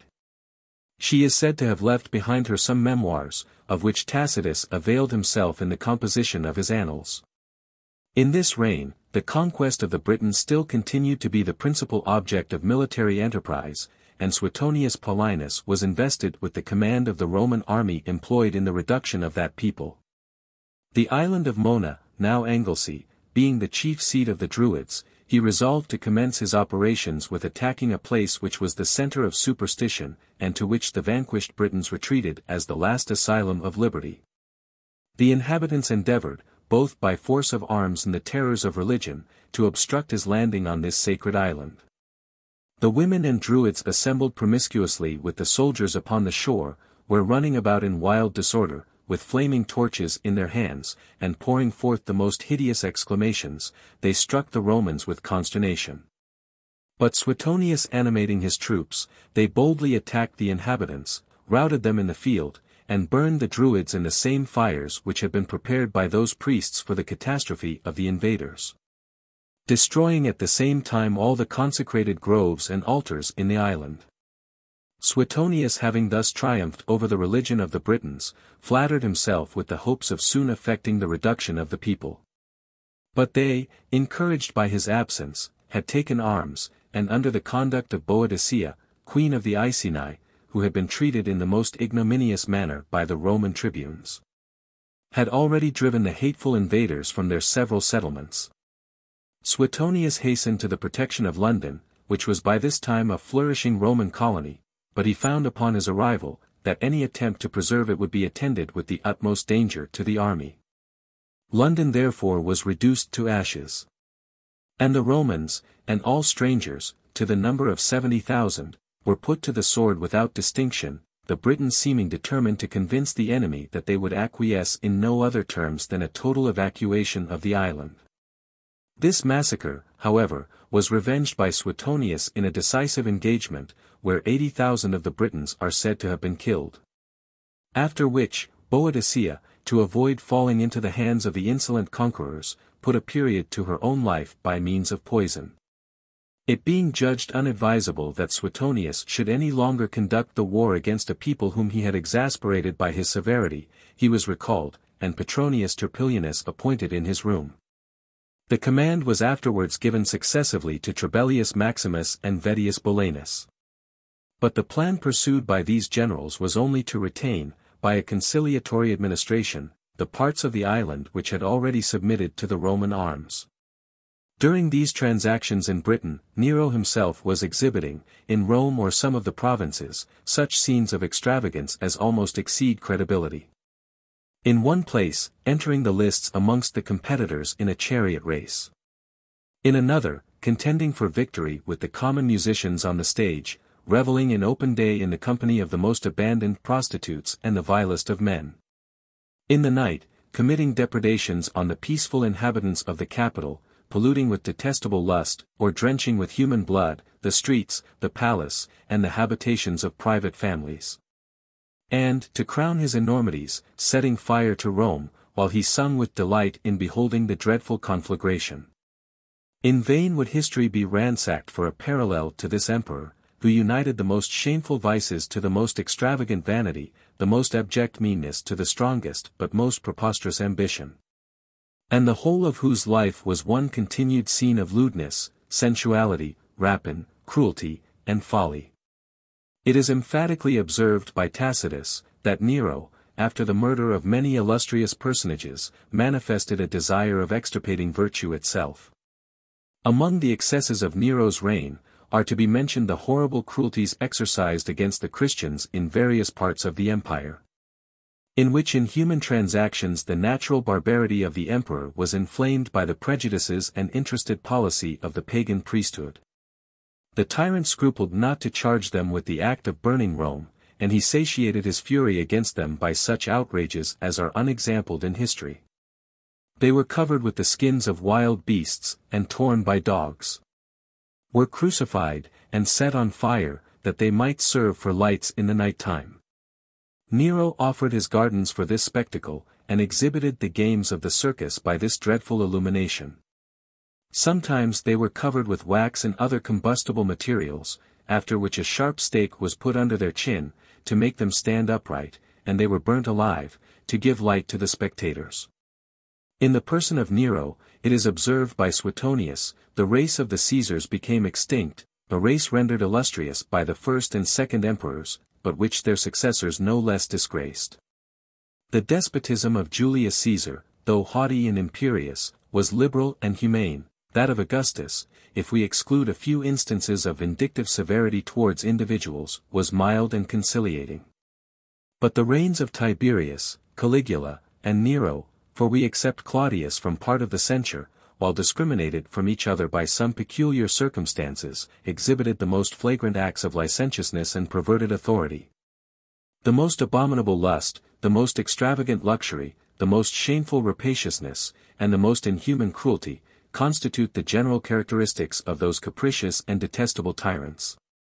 Repeated experience now clearly refuted the opinion of Augustus, that he had introduced amongst the Romans the best form of government, but while we make this observation, it is proper to remark, that, had he even restored the Republic, there is reason to believe that the nation would again have been soon distracted with internal divisions, and a perpetual succession of civil wars. The manners of the people were become too dissolute to be restrained by the authority of elective and temporary magistrates. And the Romans were hastening to that fatal period when general and great corruption, with its attendant debility, would render them an easy prey to any foreign invaders.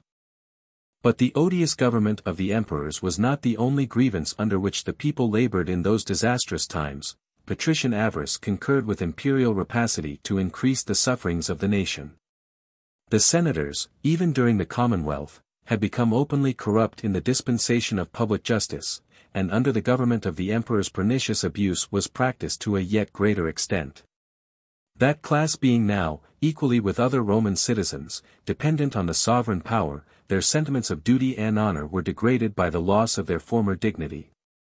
And being likewise deprived of the lucrative governments of provinces, to which they had annually succeeded by an elective rotation in the times of the Republic. They endeavored to compensate the reduction of their emoluments by an unbounded venality in the judicial decisions of the forum. Every source of national happiness and prosperity was by this means destroyed. The possession of property became precarious. Industry, in all its branches, was effectually discouraged, and the amor patriae, which had formerly been the animating principle of the nation, was almost universally extinguished. It is a circumstance corresponding to the general singularity of the present reign, that, of the few writers who flourished in it, and whose works have been transmitted to posterity, two ended their days by the order of the emperor, and the third, from indignation at his conduct. These unfortunate victims were Seneca, Petronius Arbiter, and Lucan. Seneca was born about six years before the Christian era, and gave early indication of uncommon talents. His father, who had come from Corduba to Rome, was a man of letters, particularly fond of declamation, in which he instructed his son, and placed him, for the acquisition of philosophy, under the most celebrated Stoics of that age. Young Seneca, imbibing the precepts of the Pythagorean doctrine, religiously abstained from eating the flesh of animals, until Tiberius having threatened to punish some Jews and Egyptians, who abstained from certain meats. He was persuaded by his father to renounce the Pythagorean practice. Seneca displayed the talents of an eloquent speaker, but dreading the jealousy of Caligula, who aspired to the same excellence, he thought proper to abandon that pursuit, and apply himself towards suing for the honors and offices of the state. He accordingly obtained the place of quaestor, in which office incurring the imputation of a scandalous amour with Julia Livia, he removed from Rome, and was banished by the Emperor Claudius to Corsica. Upon the marriage of Claudius with Agrippina, Seneca was recalled from his exile, in which he had remained near eight years, and was appointed to superintend the education of Nero, now destined to become the successor to the throne. In the character of preceptor he appears to have acquitted himself with ability and credit, though he has been charged by his enemies with having initiated his pupil in those detestable vices which disgraced the reign of Nero. Could he have indeed been guilty of such immoral conduct, it is probable that he would not so easily have forfeited the favor of that emperor. And it is more reasonable to suppose, that his disapprobation of Nero's conduct was the real cause of that odium which soon after proved fatal to him. By the enemies whom distinguished merit and virtue never fail to excite at a profligate court, Seneca was accused of having maintained a criminal correspondence with Agrippina in the lifetime of Claudius. But the chief author of this calumny was Suilius, who had been banished from Rome at the instance of Seneca. He was likewise charged with having amassed exorbitant riches, with having built magnificent houses, and formed beautiful gardens, during the four years in which he had acted as preceptor to Nero. This charge he considered as a prelude to his destruction. Which to avoid, if possible, he requested of the emperor to accept of the riches and possessions which he had acquired in his situation at court, and to permit him to withdraw himself into a life of studious retirement. Nero, dissembling his secret intentions, refused this request, and Seneca, that he might obviate all cause of suspicion or offense, kept himself at home for some time, under the pretext of indisposition. Upon the breaking out of the conspiracy of Piso, in which some of the principal senators were concerned, Natalis, the discoverer of the plot, mentioned Seneca's name, as an accessory. There is, however, no satisfactory evidence that Seneca had any knowledge of the plot. Piso, according to the declaration of Natalis, had complained that he never saw Seneca. And the latter had observed, in answer, that it was not conducive to their common interest to see each other often. Seneca likewise pleaded indisposition, and said that his own life depended upon the safety of Piso's person. Nero, however, glad of such an occasion of sacrificing the philosopher to his secret jealousy, sent him an order to destroy himself. When the messenger arrived with this mandate, Seneca was sitting at table, with his wife Paulina and two of his friends.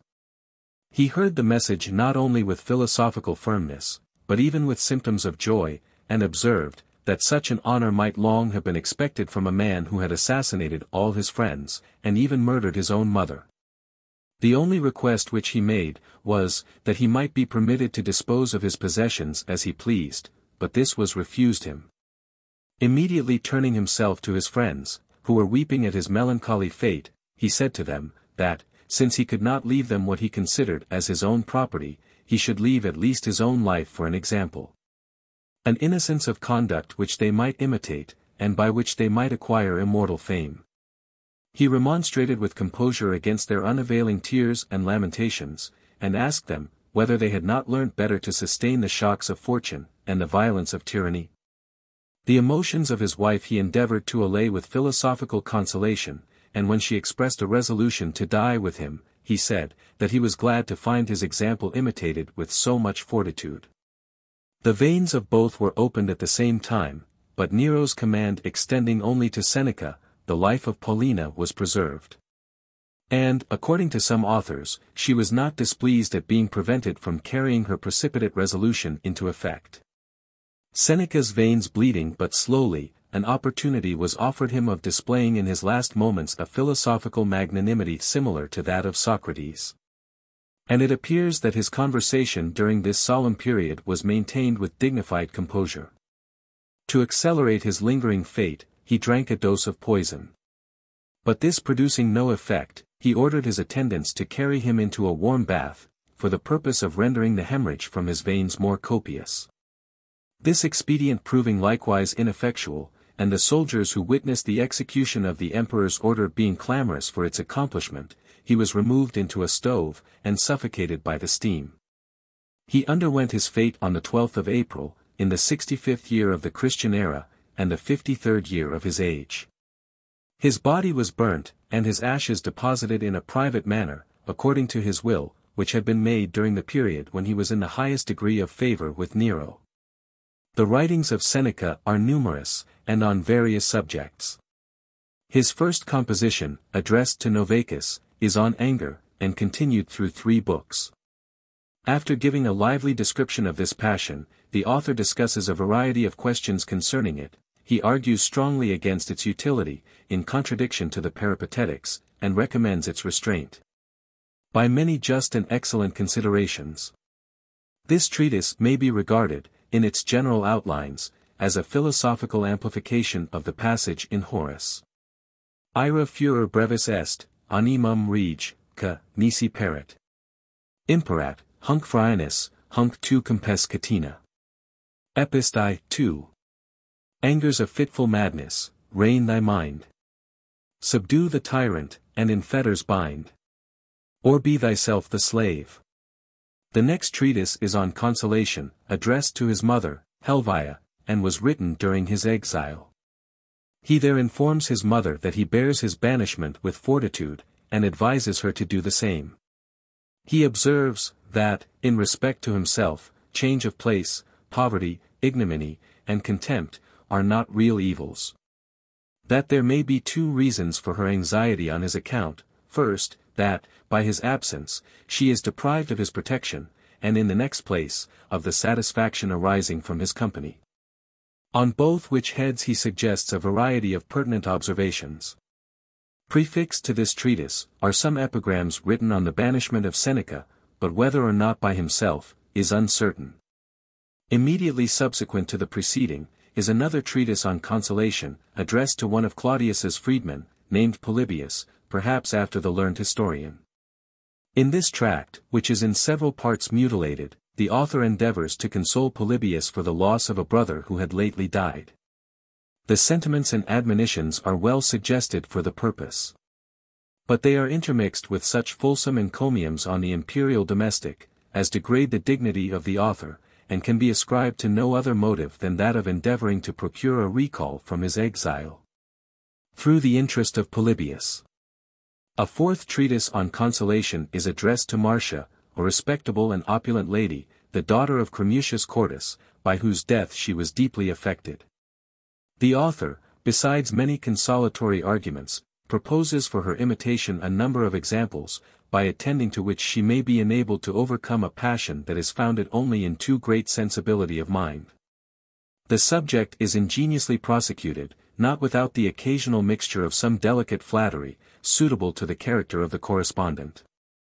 These consolatory addresses are followed by a treatise on Providence, which evinces the author to have entertained the most just and philosophical sentiments on that subject. He infers the necessary existence of a providence from the regularity and constancy observed in the government of the universe but his chief object is to show, why, upon the principle that a providence exists, good men should be liable to evils. The inquiry is conducted with a variety of just observations, and great force of argument. By which the author vindicates the goodness and wisdom of the Almighty, in a strain of sentiment corresponding to the most approved suggestions of natural religion. The next treatise, which is on tranquility of mind, appears to have been written soon after his return from exile. There is a confusion in the arrangement of this tract. But it contains a variety of just observations, and may be regarded as a valuable production. Then follows a discourse on the constancy of a wise man. This has by some been considered as a part of the preceding treatise. But they are evidently distinct. It is one of the author's best productions, in regard both of sentiment and composition, and contains a fund of moral observations, suited to fortify the mind under the oppression of accidental calamities. We next meet with a tract on clemency, in two books, addressed to Nero. This appears to have been written in the beginning of the reign of Nero, on whom the author bestows some high encomiums, which, at that time, seem not to have been destitute of foundation. The discourse abounds with just observation, applicable to all ranks of men. And, if properly attended to by that infatuated emperor, might have prevented the perpetration of those acts of cruelty, which, with his other extravagancies, have rendered his name odious to posterity. The discourse which succeeds is on the shortness of life, addressed to Paulinus. In this excellent treatise the author endeavors to show, that the complaint of the shortness of life is not founded in truth, that it is men who make life short either by passing it in indolence or otherwise improperly. He inveighs against indolence, luxury, and every unprofitable avocation, observing, that the best use of time is to apply it to the study of wisdom, by which life may be rendered sufficiently long. Next follows a discourse on a happy life, addressed to Gallio. Seneca seems to have intended this as a vindication of himself, against those who calumniated him on account of his riches and manner of living. He maintained that a life can only be rendered happy by its conformity to the dictates of virtue, but that such a life is perfectly compatible with the possession of riches, where they happen to accrue. The author pleads his own cause with great ability, as well as justness of argument. His vindication is in many parts highly beautiful, and accompanied with admirable sentiments respecting the moral obligations to a virtuous life. The conclusion of this discourse bears no similarity, in point of composition, to the preceding parts, and is evidently spurious. The preceding discourse is followed by one upon the retirement of a wise man. The beginning of this tract is wanting. But in the sequel the author discusses a question which was much agitated amongst the Stoics and Epicureans, viz., whether a wise man ought to concern himself with the affairs of the public. Both these sects of philosophers maintained that a life of retirement was most suitable to a wise man, but they differed with respect to the circumstances in which it might be proper to deviate from this conduct. One party considering the deviation as prudent, when there existed a just motive for such conduct, and the other, when there was no forcible reason against it.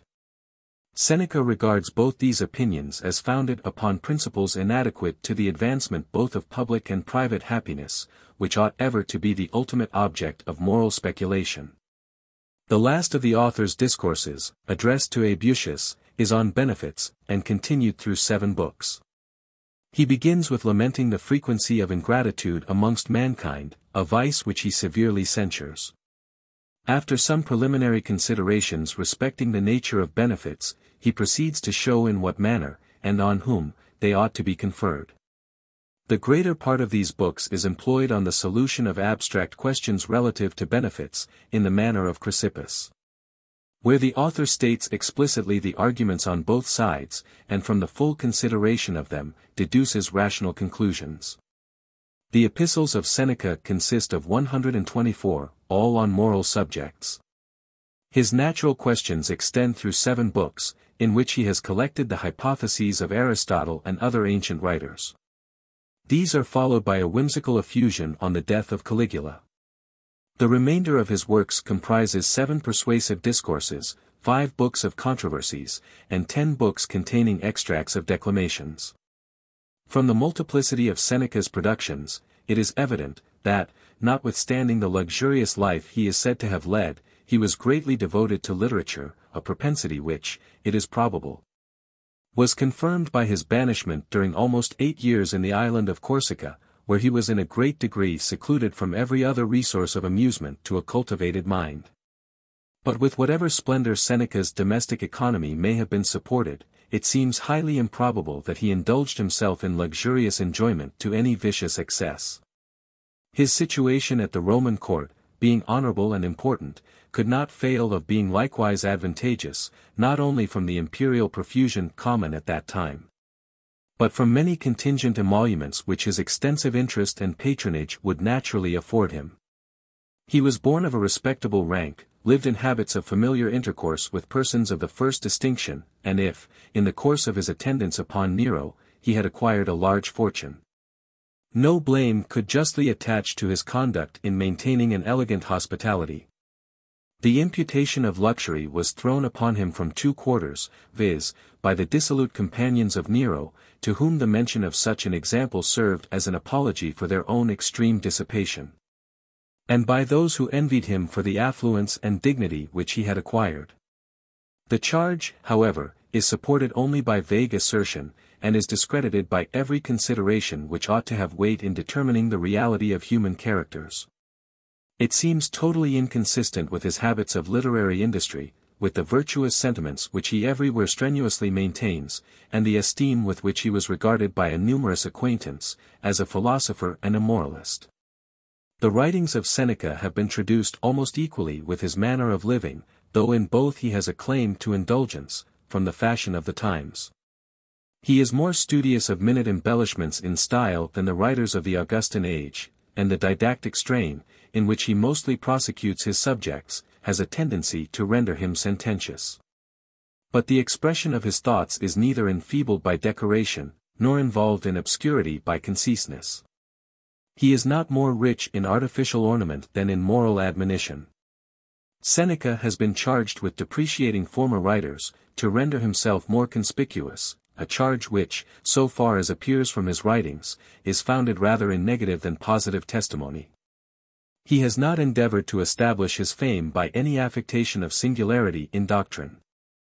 And while he passes over in silence the names of illustrious authors, he avails himself with judgment of the most valuable stores with which they had enriched philosophy. On the whole, he is an author whose principles may be adopted not only with safety, but great advantage, and his writings merit a degree of consideration, superior to what they have hitherto ever enjoyed in the literary world.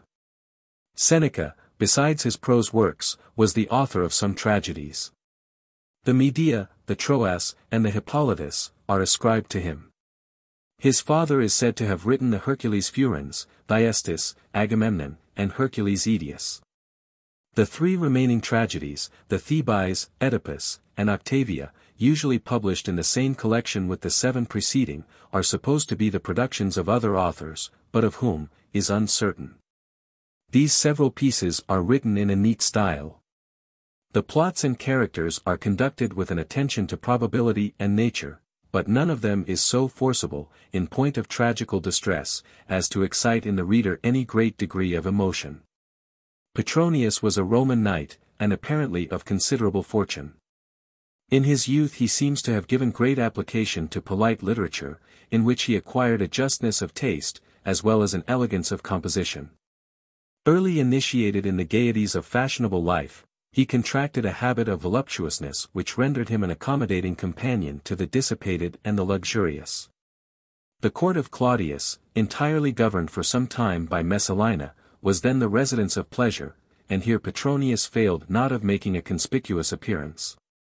More delicate, however, than sensual, he rather joined in the dissipation, than indulged in the vices of the palace. To interrupt a course of life too uniform to afford him perpetual satisfaction, he accepted of the proconsulship of Bithynia, and went to that province, where he discharged the duties of his office with great credit. Upon his return to Rome, Nero, who had succeeded Claudius, made him consul, in recompense of his services. This new dignity, by giving him frequent and easy access to the emperor, created an intimacy between them, which was increased to friendship and esteem on the side of Nero, by the elegant entertainments often given him by Petronius. In a short time, this gay voluptuary became so much a favorite at court, that nothing was agreeable but what was approved by Petronius and the authority which he acquired, by being umpire in whatever related to the economy of gay dissipation. Procured him the title of Arbiter Elegantiarum. Things continued in this state whilst the emperor kept within the bounds of moderation. And Petronius acted as intendant of his pleasures, ordering him shows, games, comedies, music, feats, and all that could contribute to make the hours of relaxation pass agreeably. Seasoning, at the same time, the innocent delights which he procured for the emperor with every possible charm, to prevent him from seeking after such as might prove pernicious both to morals and the republic. Nero, however, giving way to his own disposition, which was naturally vicious, at length changed his conduct, not only in regard to the government of the empire, but of himself and listening to other counsels than those of Petronius. Gave the entire reins to his passions, which afterwards plunged him in ruin. The emperor's new favorite was Tigellinus, a man of the most profligate morals, who omitted nothing that could gratify the inordinate appetites of his prince, at the expense of all decency and virtue. During this period, Petronius gave vent to his indignation, in the satire transmitted under his name by the title of Satyricon. But his total retirement from court did not secure him from the artifices of Tigellinus, who labored with all his power to destroy the man whom he had industriously supplanted in the emperor's favor. With this view he insinuated to Nero, that Petronius was too intimately connected with Sabinus not to be engaged in Piso's conspiracy. And, to support his calumny, caused the emperor to be present at the examination of one of Petronius's slaves, whom he had secretly suborned to swear against his master. After this transaction, to deprive Petronius of all means of justifying himself, they threw into prison the greatest part of his domestics. Nero embraced with joy the opportunity of removing a man, to whom he knew the present manners of the court were utterly obnoxious, and he soon after issued orders for arresting Petronius. As it required, however, some time to deliberate whether they should put a person of his consideration to death, without more evident proofs of the charges preferred against him. Such was his disgust at living in the power of so detestable and capricious a tyrant, that he resolved to die. For this purpose, making choice of the same expedient which had been adopted by Seneca, he caused his veins to be opened, but he closed them again, for a little time, that he might enjoy the conversation of his friends. Who came to see him in his last moments. He desired them, it is said, to entertain him, not with discourses on the immortality of the soul, or the consolation of philosophy, but with agreeable tales and poetic gallantries. Disdaining to imitate the servility of those who, dying by the orders of Nero, yet made him their heir, and filled their wills with encomiums on the tyrant and his favorites, he broke to pieces a goblet of precious stones. Out of which he had commonly drank, that Nero, who he knew would seize upon it after his death, might not have the pleasure of using it. As the only present suitable to such a prince, he sent him, under a sealed cover, his Satyricon, written purposely against him. And then broke his signet, that it might not, after his death, become the means of accusation against the person in whose custody it should be found. The Satyricon of Petronius is one of the most curious productions in the Latin language. Novel in its nature, and without any parallel in the works of antiquity, some have imagined it to be a spurious composition, fabricated about the time of the revival of learning in Europe. This conjecture, however, is not more destitute of support, than repugnant to the most circumstantial evidence in favor of its authenticity. Others, admitting the work to be a production of the age of Nero, have questioned the design with which it was written, and have consequently imputed to the author a most immoral intention. Some of the scenes, incidents, and characters, are of so extraordinary a nature, that the description of them, without a particular application, must have been regarded as extremely whimsical, and the work, notwithstanding its ingenuity, has been doomed to perpetual oblivion, but history justifies the belief, that in the court of Nero, the extravagancies mentioned by Petronius were realized to a degree which authenticates the representation given of them. The inimitable character of Trimalchio, which exhibits a person sunk in the most debauched effeminacy, was drawn for Nero, and we are assured, that there were formerly medals of that emperor, with these words, see, Nero August. Imp. And on the reverse, Trimalchio. The various characters are well discriminated, and supported with admirable propriety. Never was such licentiousness of description united to such delicacy of coloring. The force of the satire consists not in poignancy of sentiment, but in the ridicule which arises from the whimsical, but characteristic and faithful exhibition of the objects introduced. That Nero was struck with the justness of the representation, is evident from the displeasure which he showed, at finding Petronius so well acquainted with his infamous excesses. After leveling his suspicion on all who could possibly have betrayed him, he at last fixed on a senator's wife, named Silia, who bore a part in his revels, and was an intimate friend of Petronius upon which she was immediately sent into banishment. Amongst the miscellaneous materials in this work, are some pieces of poetry, written in an elegant taste. A poem on the civil war between Caesar and Pompey, is beautiful and animated. Though the Muses appear to have been mostly in a quiescent state from the time of Augustus, we find from Petronius Arbiter, who exhibits the manners of the capital during the reign of Nero. That poetry still continued to be a favorite pursuit amongst the Romans, and one to which, indeed, they seem to have had a national propensity. Ecce inter pocula quaerunt. Romulidi Saturi, quid dia poemata narrant. Persius, Saturday I, 30. Nay, more. Our nobles, gorged, and swillied with wine. Call o'er the banquet for a lay divine, Gifford. It was cultivated as a kind of fashionable exercise, in short and desultory attempts, in which the chief ambition was to produce verses extempore. They were publicly recited by their authors with great ostentation. And a favorable verdict from an audience, however partial, and frequently obtained either by intrigue or bribery, was construed by those frivolous pretenders into a real adjudication of poetical fame.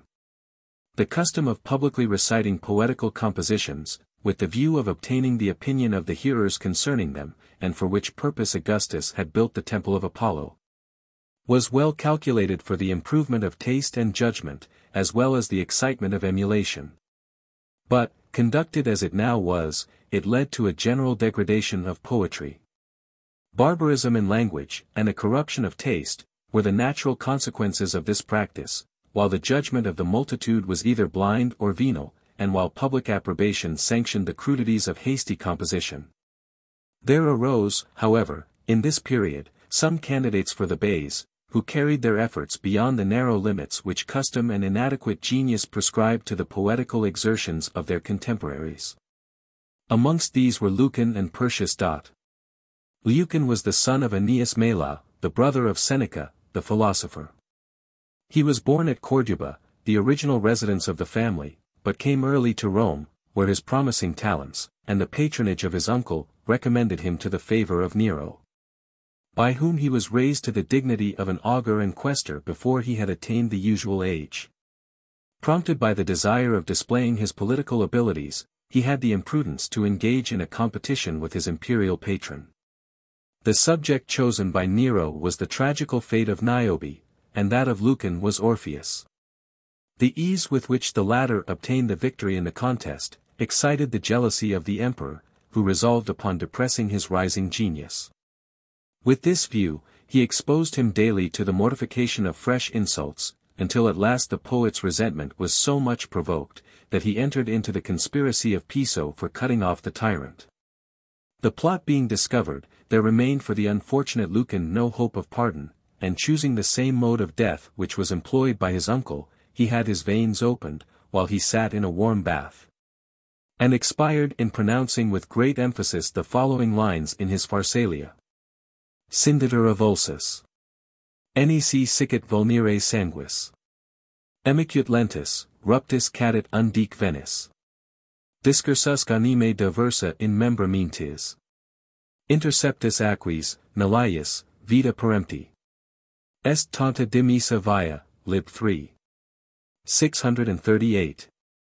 Asunder flies the man. No single wound the gaping rupture seems. Where trickling crimson flows in tender streams.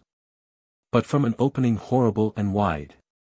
A thousand vessels pour the bursting tide. At once the winding channel's course was broke. Where wandering life her mazy journey took. Dot, Rowe. Some authors have said that he betrayed pusillanimity at the hour of death.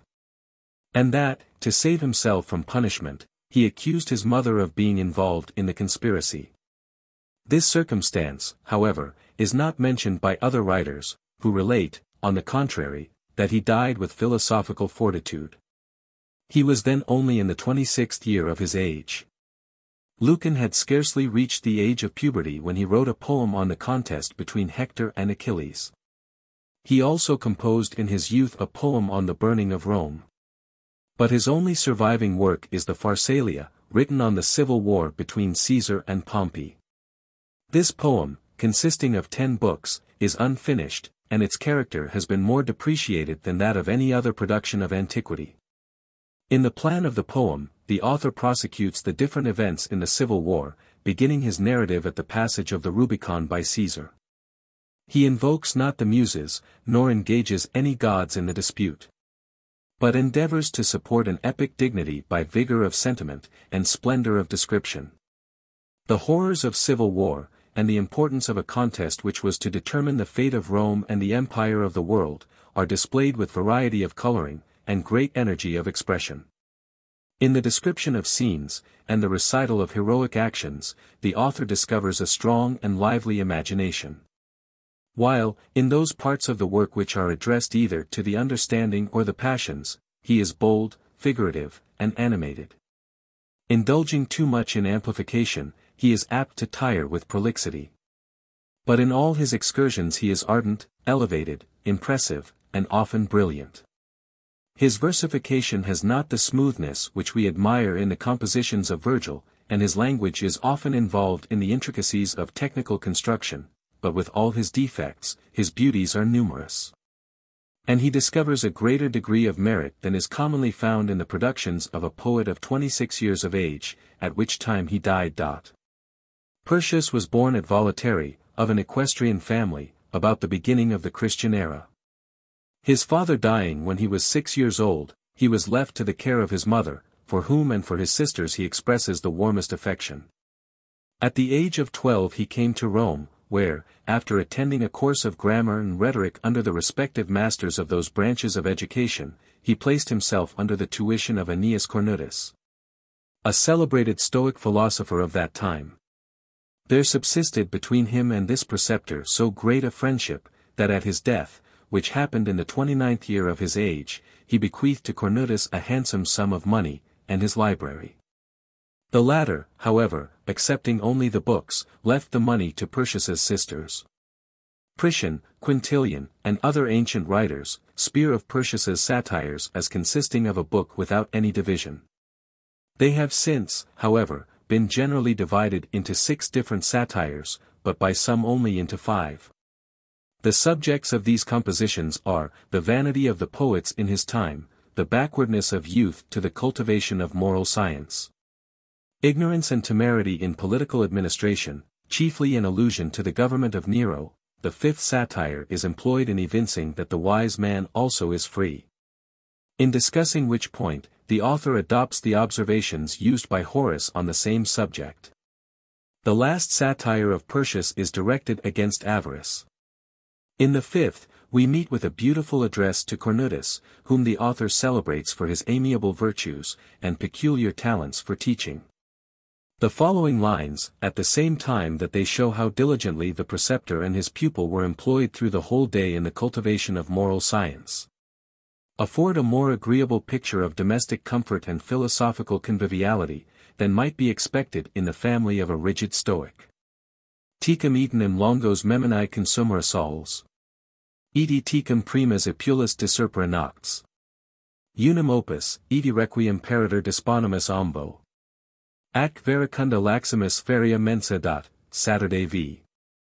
Can I forget how many a summer's day? Spent in your converse, stole, unmarked, away.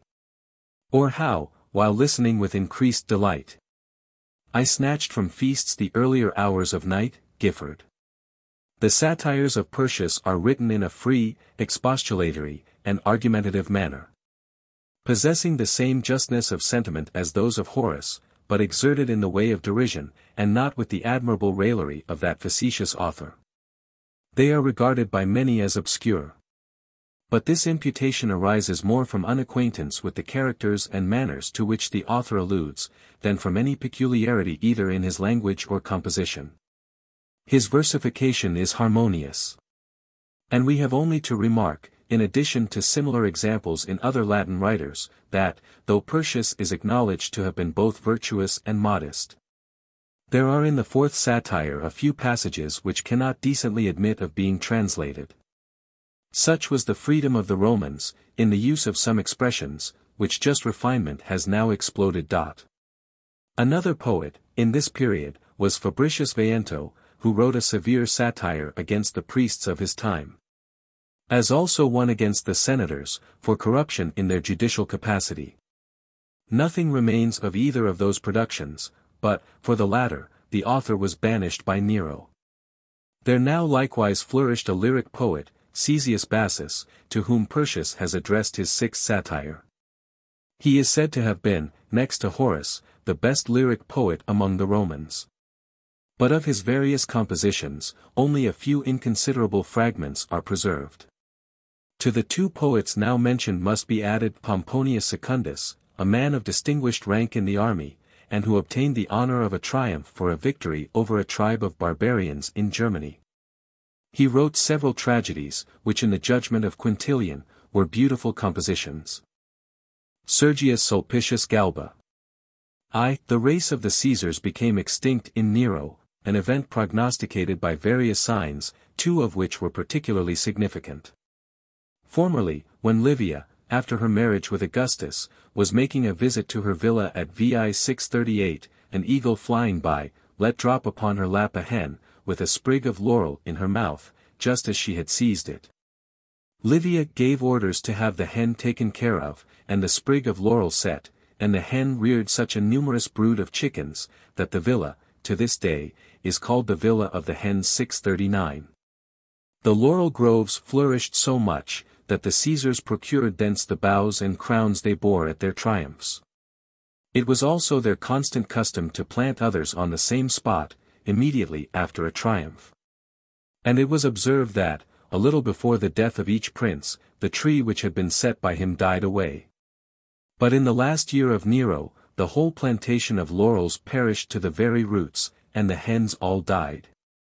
About the same time, the temple of the Caesars 640 being struck with lightning, the heads of all the statues in it fell off at once, and Augustus's scepter was dashed from his hands. 2. Nero was succeeded by Galba 641, who was not in the remotest degree allied to the family of the Caesars, but, without doubt, of very noble extraction, being descended from a great and ancient family. For he always used to put amongst his other titles, upon the basis of his statues, his being great-grandson to Q. Catulus Capitolinus. And when he came to be emperor, he set up the images of his ancestors in the hall 642 of the palace. According to the inscriptions on which, he carried up his pedigree on the father's side to Jupiter, and by the mother's to Pasiphae, the wife of Minos. 3. To give even a short account of the whole family, would be tedious. I shall, therefore, only slightly notice that branch of it from which he was descended. Why, or whence, the first of the Sulpicii who had the cognomen of Galba, was so called, is uncertain. Some are of opinion, that it was because he set fire to a city in Spain, after he had a long time attacked it to no purpose, with torches dipped in a gum called galbanum, others said he was so named, because, in a lingering disease. He made use of it as a remedy, wrapped up in wool, others, on account of his being prodigiously corpulent, such a one being called, in the language of the Gauls, Galba. Or, on the contrary, because he was of a slender habit of body, like those insects which breed in a sort of oak, and are called galbae.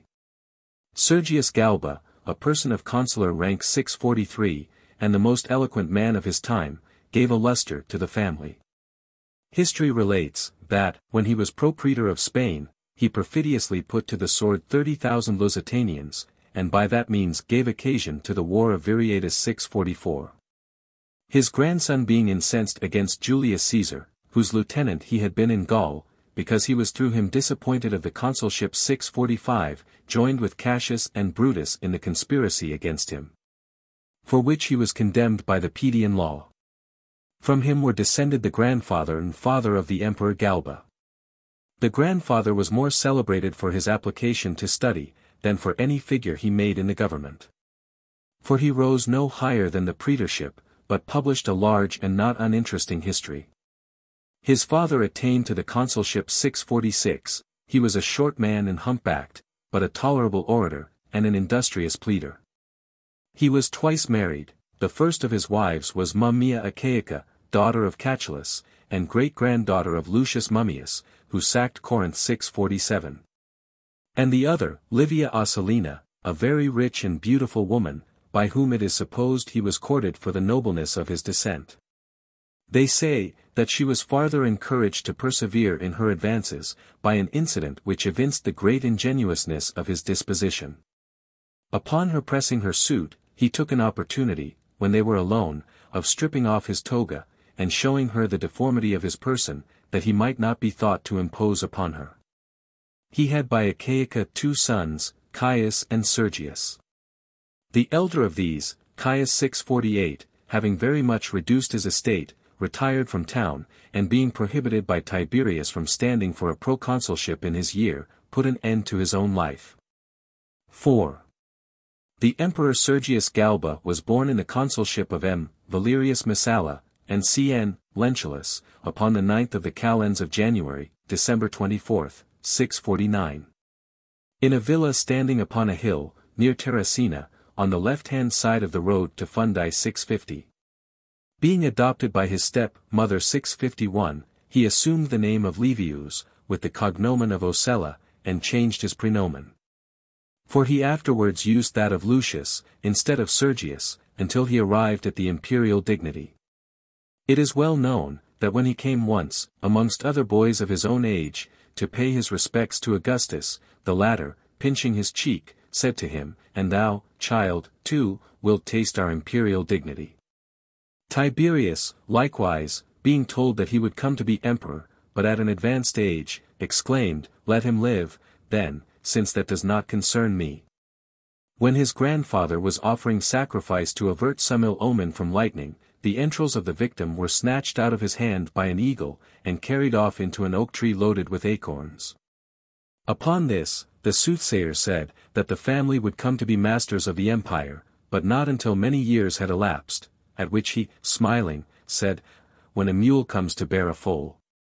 When Galba first declared against Nero, nothing gave him so much confidence of success, as a mule's happening at that time to have a foal. And whilst all others were shocked at the occurrence, as a most inauspicious prodigy, he alone regarded it as a most fortunate omen, calling to mind the sacrifice and saying of his grandfather. When he took upon him the manly habit, he dreamt that the goddess Fortune said to him, I stand before your door weary, and unless I am speedily admitted, I shall fall into the hands of the first who comes to seize me. On his awaking, when the door of the house was opened, he found a brazen statue of the goddess, above a cubit long, close to the threshold, which he carried with Slim to Tusculum, where he used to pass the summer season. And having consecrated it in an apartment of his house, he ever after worshipped it with a monthly sacrifice, and an anniversary vigil. Though but a very young man, he kept up an ancient but obsolete custom, and now nowhere observed, except in his own family, which was, to have his freedmen and slaves appear in a body before him twice a day, morning and evening. To offer him their salutations. V. Amongst other liberal studies, he applied himself to the law. He married Lepida 652, by whom he had two sons, but the mother and children all dying, he continued a widower. Nor could he be prevailed upon to marry again, not even Agrippina herself, at that time left a widow by the death of Domitius, who had employed all her blandishments to allure him to her embraces, while he was a married man. Insomuch that Lepida's mother, when in company with several married women, rebuked her for it, and even went so far as to cuff her. Most of all, he courted the Empress Livia 653, by whose favor, while she was living, he made a considerable figure, and narrowly missed being enriched by the will which she left at her death. In which she distinguished him from the rest of the legatees, by a legacy of fifty millions of sesterces. But because the sum was expressed in figures, and not in words at length, it was reduced by her heir, Tiberius, to five hundred thousand, and even this he never received. 654. 6. Filling the great offices before the age required for it by law, during his praetorship, at the celebration of games in honor of the goddess Flora, he presented the new spectacle of elephants walking upon ropes. He was then governor of the province of Aquitania for near a year, and soon afterwards took the consulship in the usual course, and held it for six months 655. It so happened that he succeeded L. Domitius, the father of Nero, and was succeeded by Salvius Otho, father to the emperor of that name, so that his holding it between the sons of these two men, looked like a presage of his future advancement to the empire. Being appointed by Caius Caesar 656 to supersede Gaetulicus in his command, the day after his joining the legions, he put a stop to their plaudits in a public spectacle, by issuing an order, that they should keep their hands under their cloaks. Immediately upon which, the following verse became very common in the camp. Dis, miles, militaire, galba est, non Gaetulicus. Learn, soldier, now in arms to use your hands. Tis Galba, not Gaetulicus, commands. With equal strictness, he would allow of no petitions for leave of absence from the camp. He hardened the soldiers, both old and young, by constant exercise. And having quickly reduced within their own limits the barbarians who had made inroads into Gaul, upon Caius's coming into Germany, he so far recommended himself and his army to that emperor's approbation, that amongst the innumerable troops drawn from all the provinces of the empire, none met with higher commendation, or greater rewards from him. He likewise distinguished himself by heading an escort, with a shield in his hand 657, and running at the side of the emperor's chariot twenty miles together. 7. Upon the news of Caius's death, though many earnestly pressed him to lay hold of that opportunity of seizing the empire, he chose rather to be quiet. On this account, he was in great favor with Claudius, and being received into the number of his friends, stood so high in his good opinion, that the expedition to Britain 658 was for some time suspended. Because he was suddenly seized with a slight indisposition. He governed Africa, as proconsul, for two years, being chosen out of the regular course to restore order in the province, which was in great disorder from civil dissensions, and the alarms of the barbarians. His administration was distinguished by great strictness and equity, even in matters of small importance. A soldier upon some expedition being charged with selling, in a great scarcity of corn, a bushel of wheat, which was all he had left, for a hundred denarii, he forbade him to be relieved by any body, when he came to be in want himself. And accordingly he died of famine. When sitting in judgment, a cause being brought before him about some beast of burden, the ownership of which was claimed by two persons. The evidence being slight on both sides, and it being difficult to come at the truth, he ordered the beast to be led to a pond at which he had used to be watered, with his head muffled up, and the covering being there removed. That he should be the property of the person whom he followed of his own accord, after drinking. 8. For his achievements, both at this time in Africa, and formerly in Germany, he received the triumphal ornaments, and three sacerdotal appointments, one among the fifteen, another in the college of Titius, and a third amongst the Augustals. And from that time to the middle of Nero's reign, he lived for the most part in retirement. He never went abroad so much as to take the air, without a carriage attending him, in which there was a million of sesterces in gold, ready at hand. Until at last, at the time he was living in the town of Fundi, the province of Hispania Tarraconensis was offered him. After his arrival in the province, whilst he was sacrificing in a temple, a boy who attended with a censer, became all on a sudden grey-headed. This incident was regarded by some as a token of an approaching revolution in the government, and that an old man would succeed a young one, that is, that he would succeed Nero. And not long after, a thunderbolt falling into a lake in Cantabria 659, twelve axes were found in it, a manifest sign of the supreme power. 9. He governed the province during eight years, his administration being of an uncertain and capricious character. At first he was active, vigorous, and indeed excessively severe, in the punishment of offenders. For, a money dealer having committed some fraud in the way of his business, he cut off his hands, and nailed them to his counter. Another, who had poisoned an orphan, to whom he was guardian, and next heir to the estate, he crucified. On this delinquent imploring the protection of the law, and crying out that he was a Roman citizen, he affected to afford him some alleviation, and to mitigate his punishment, by a mark of honor, ordered a cross, higher than usual. And painted white, to be erected for him. But by degrees he gave himself up to a life of indolence and inactivity, from the fear of giving Nero any occasion of jealousy, and because, as he used to say, nobody was obliged to render an account of their leisure hours. He was holding a court of justice on the circuit at New Carthage 660, when he received intelligence of the insurrection in Gaul 661. And while the lieutenant of Aquitania was soliciting his assistance, letters were brought from Vindex, requesting him to assert the rights of mankind, and put himself at their head to relieve them from the tyranny of Nero. Without any long demur, he accepted the invitation, from a mixture of fear and hope. For he had discovered that private orders had been sent by Nero to his procurators in the province to get him dispatched. And he was encouraged to the enterprise, as well by several auspices and omens, as by the prophecy of a young woman of good family.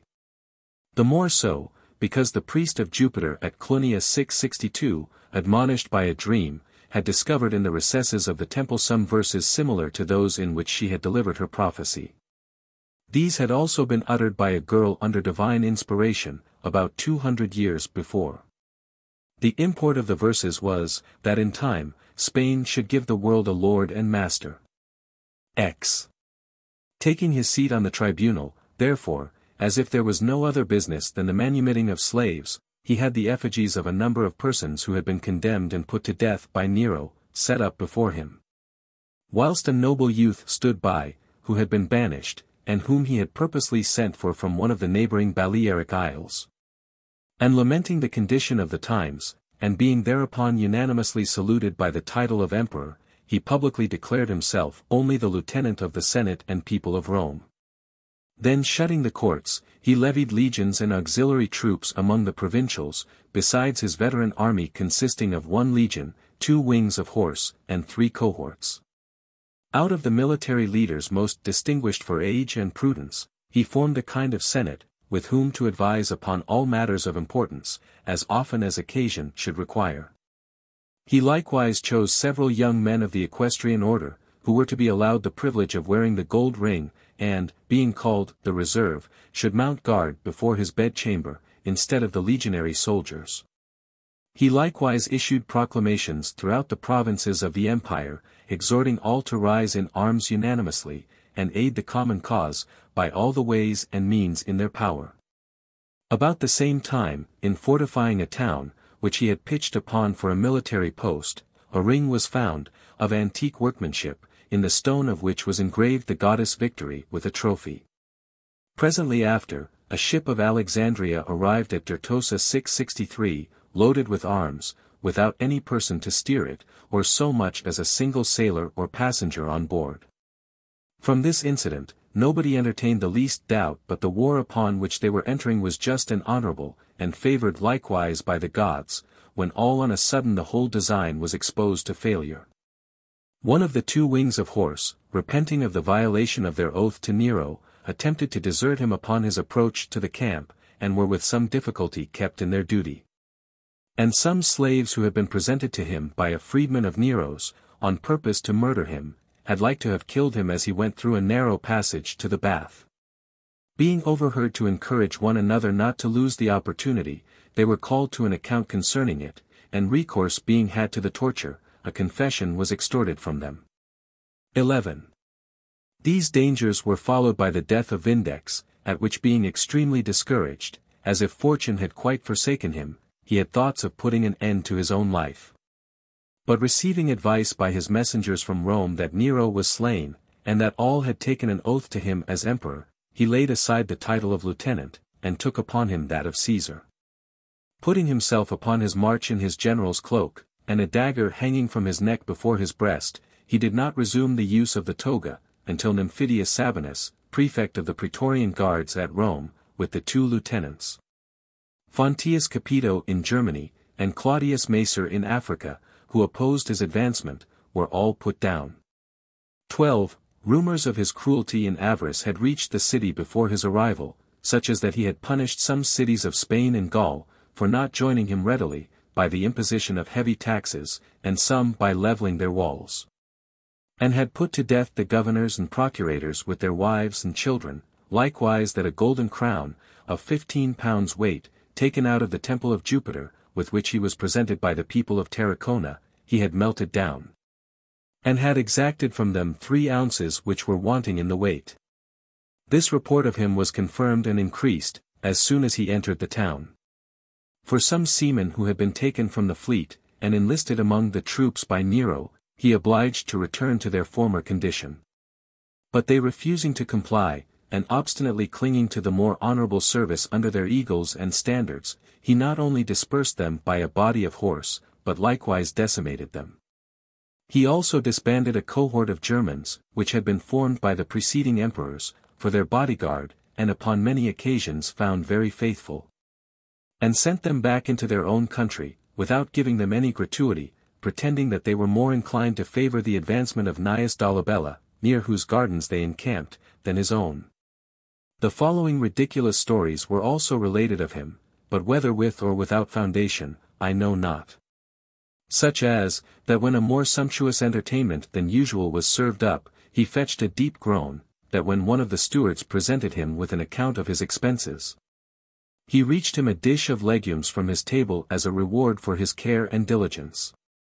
And when Canus, the piper, had played much to his satisfaction, he presented him, with his own hand, five denarii taken out of his pocket. 13. His arrival, therefore, in town was not very agreeable to the people. And this appeared at the next public spectacle. For when the actors in a farce began a well-known song. Venit, Io, Simus 664 a villa. Lo! Clodpate from his village comes. All the spectators, with one voice, went on with the rest, repeating and acting the first verse several times over. 14. He possessed himself of the imperial power with more favor and authority than he administered it, although he gave many proofs of his being an excellent prince, but these were not so grateful to the people, as his misconduct was offensive.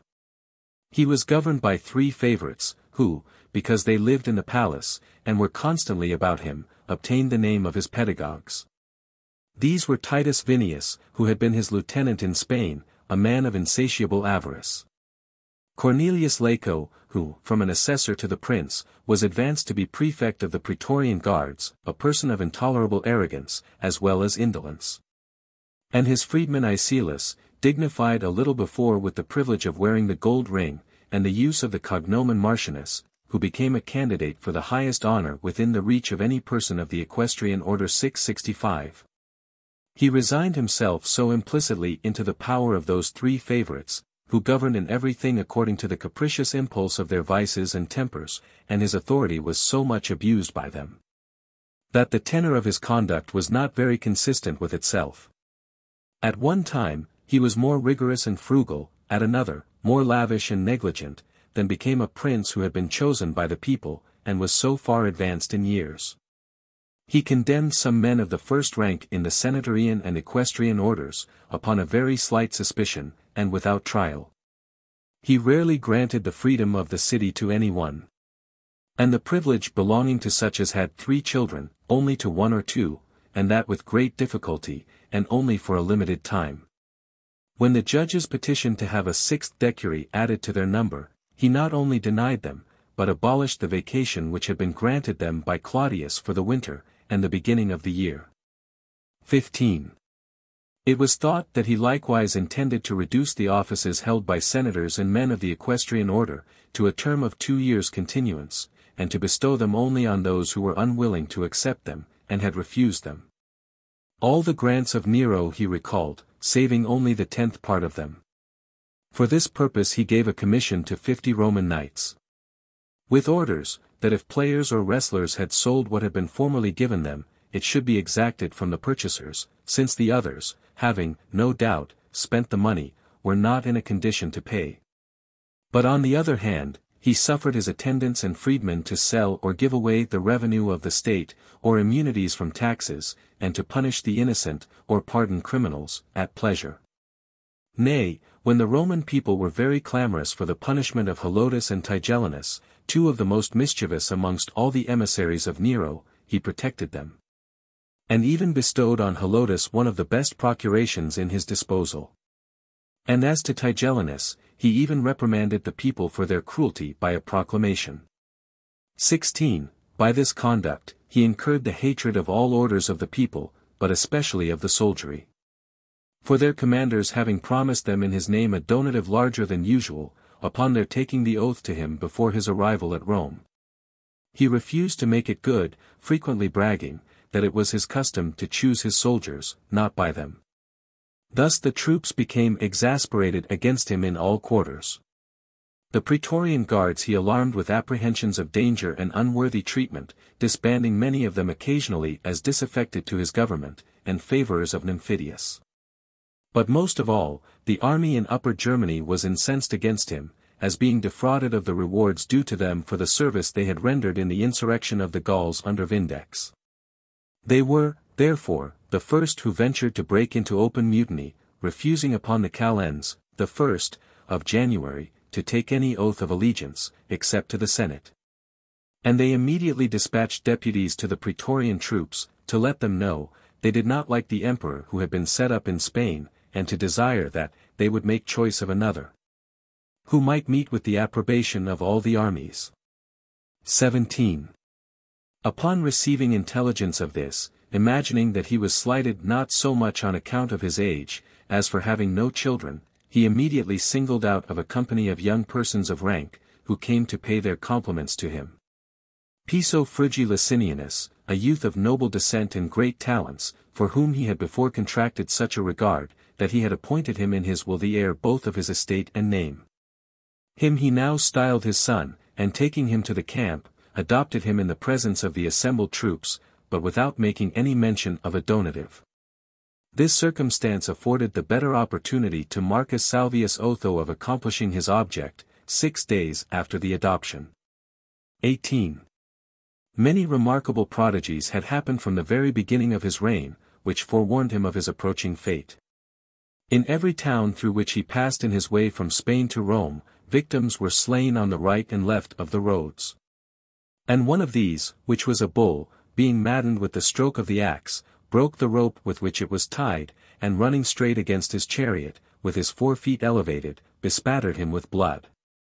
Likewise, as he was alighting, one of the guard, being pushed forward by the crowd, had very nearly wounded him with his lance. And upon his entering the city and, afterwards, the palace, he was welcomed with an earthquake, and a noise like the bellowing of cattle. These signs of ill fortune were followed by some that were still more apparently such. Out of all his treasures he had selected a necklace of pearls and jewels, to adorn his statue of fortune at Tusculum. But it suddenly occurring to him that it deserved a more august place, he consecrated it to the Capitoline Venus. And next night, he dreamt that fortune appeared to him, complaining that she had been defrauded of the present intended her, and threatening to resume what she had given him. Terrified at this denunciation, at break of day he sent forward some persons to Tusculum, to make preparations for a sacrifice which might avert the displeasure of the goddess. And when he himself arrived at the place, he found nothing but some hot embers upon the altar, and an old man in black standing by, holding a little incense in a glass, and some wine in an earthen pot.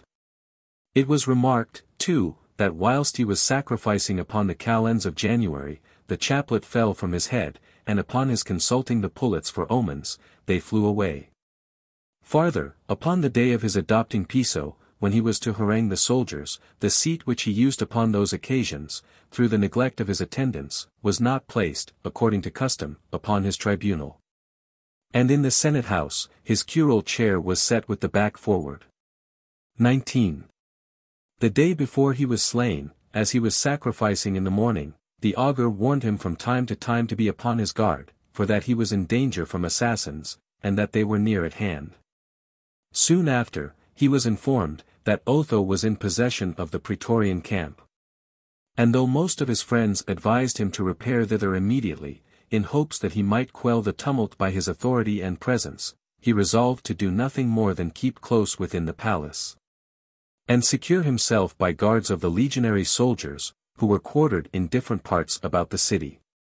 He put on a linen coat of mail, however, remarking at the same time, that it would avail him little against the points of so many swords. But being tempted out by false reports, which the conspirators had purposely spread to induce him to venture abroad, some few of those about him too hastily assuring him that the tumult had ceased, the mutineers were apprehended. And the rest coming to congratulate him, resolved to continue firm in their obedience, he went forward to meet them with so much confidence, that upon a soldier's boasting that he had killed Otho, he asked him, by what authority? And proceeded as far as the forum. There the knights, appointed to dispatch him, making their way through the crowd of citizens, upon seeing him at a distance, halted a while. After which, galloping up to him, now abandoned by all his attendants, they put him to death. XX, some authors relate, that upon their first approach he cried out, What do you mean, fellow soldiers? I am yours, and you are mine, and promised them a donative, but the generality of writers relate, that he offered his throat to them, saying, Do your work, and strike, since you are resolved upon it. It is remarkable, that not one of those who were at hand, ever made any attempt to assist the emperor, and all who were sent for, disregarded the summons, except a troop of Germans.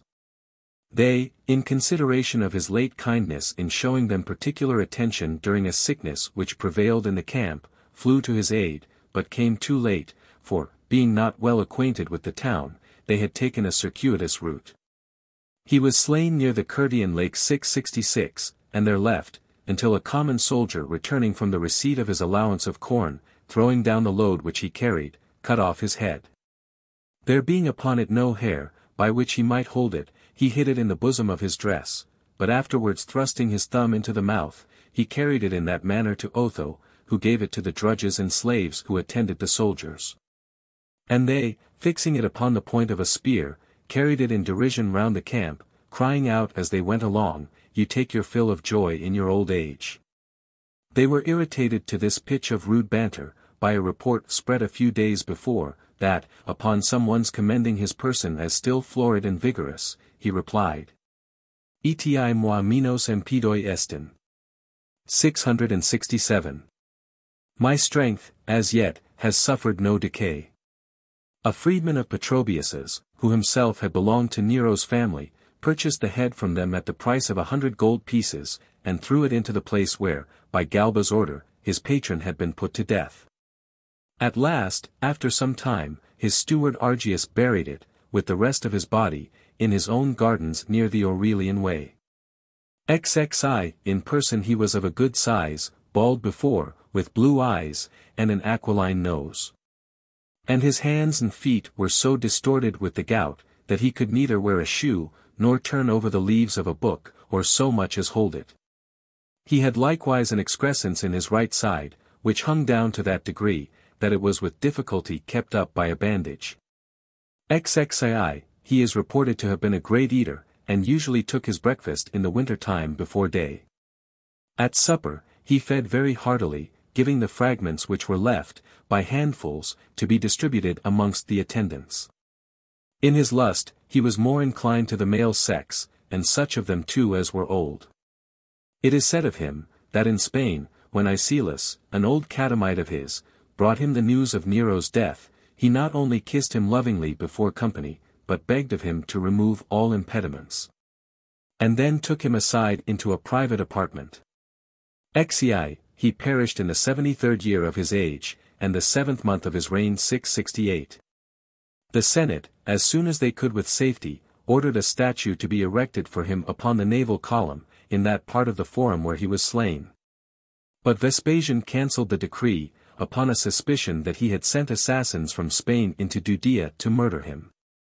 Galba was, for a private man, the most wealthy of any who had ever aspired to the imperial dignity. He valued himself upon his being descended from the family of the Servii, but still more upon his relation to Quintus Catulus Capitolinus, celebrated for integrity in virtue. He was likewise distantly related to Livia, the wife of Augustus.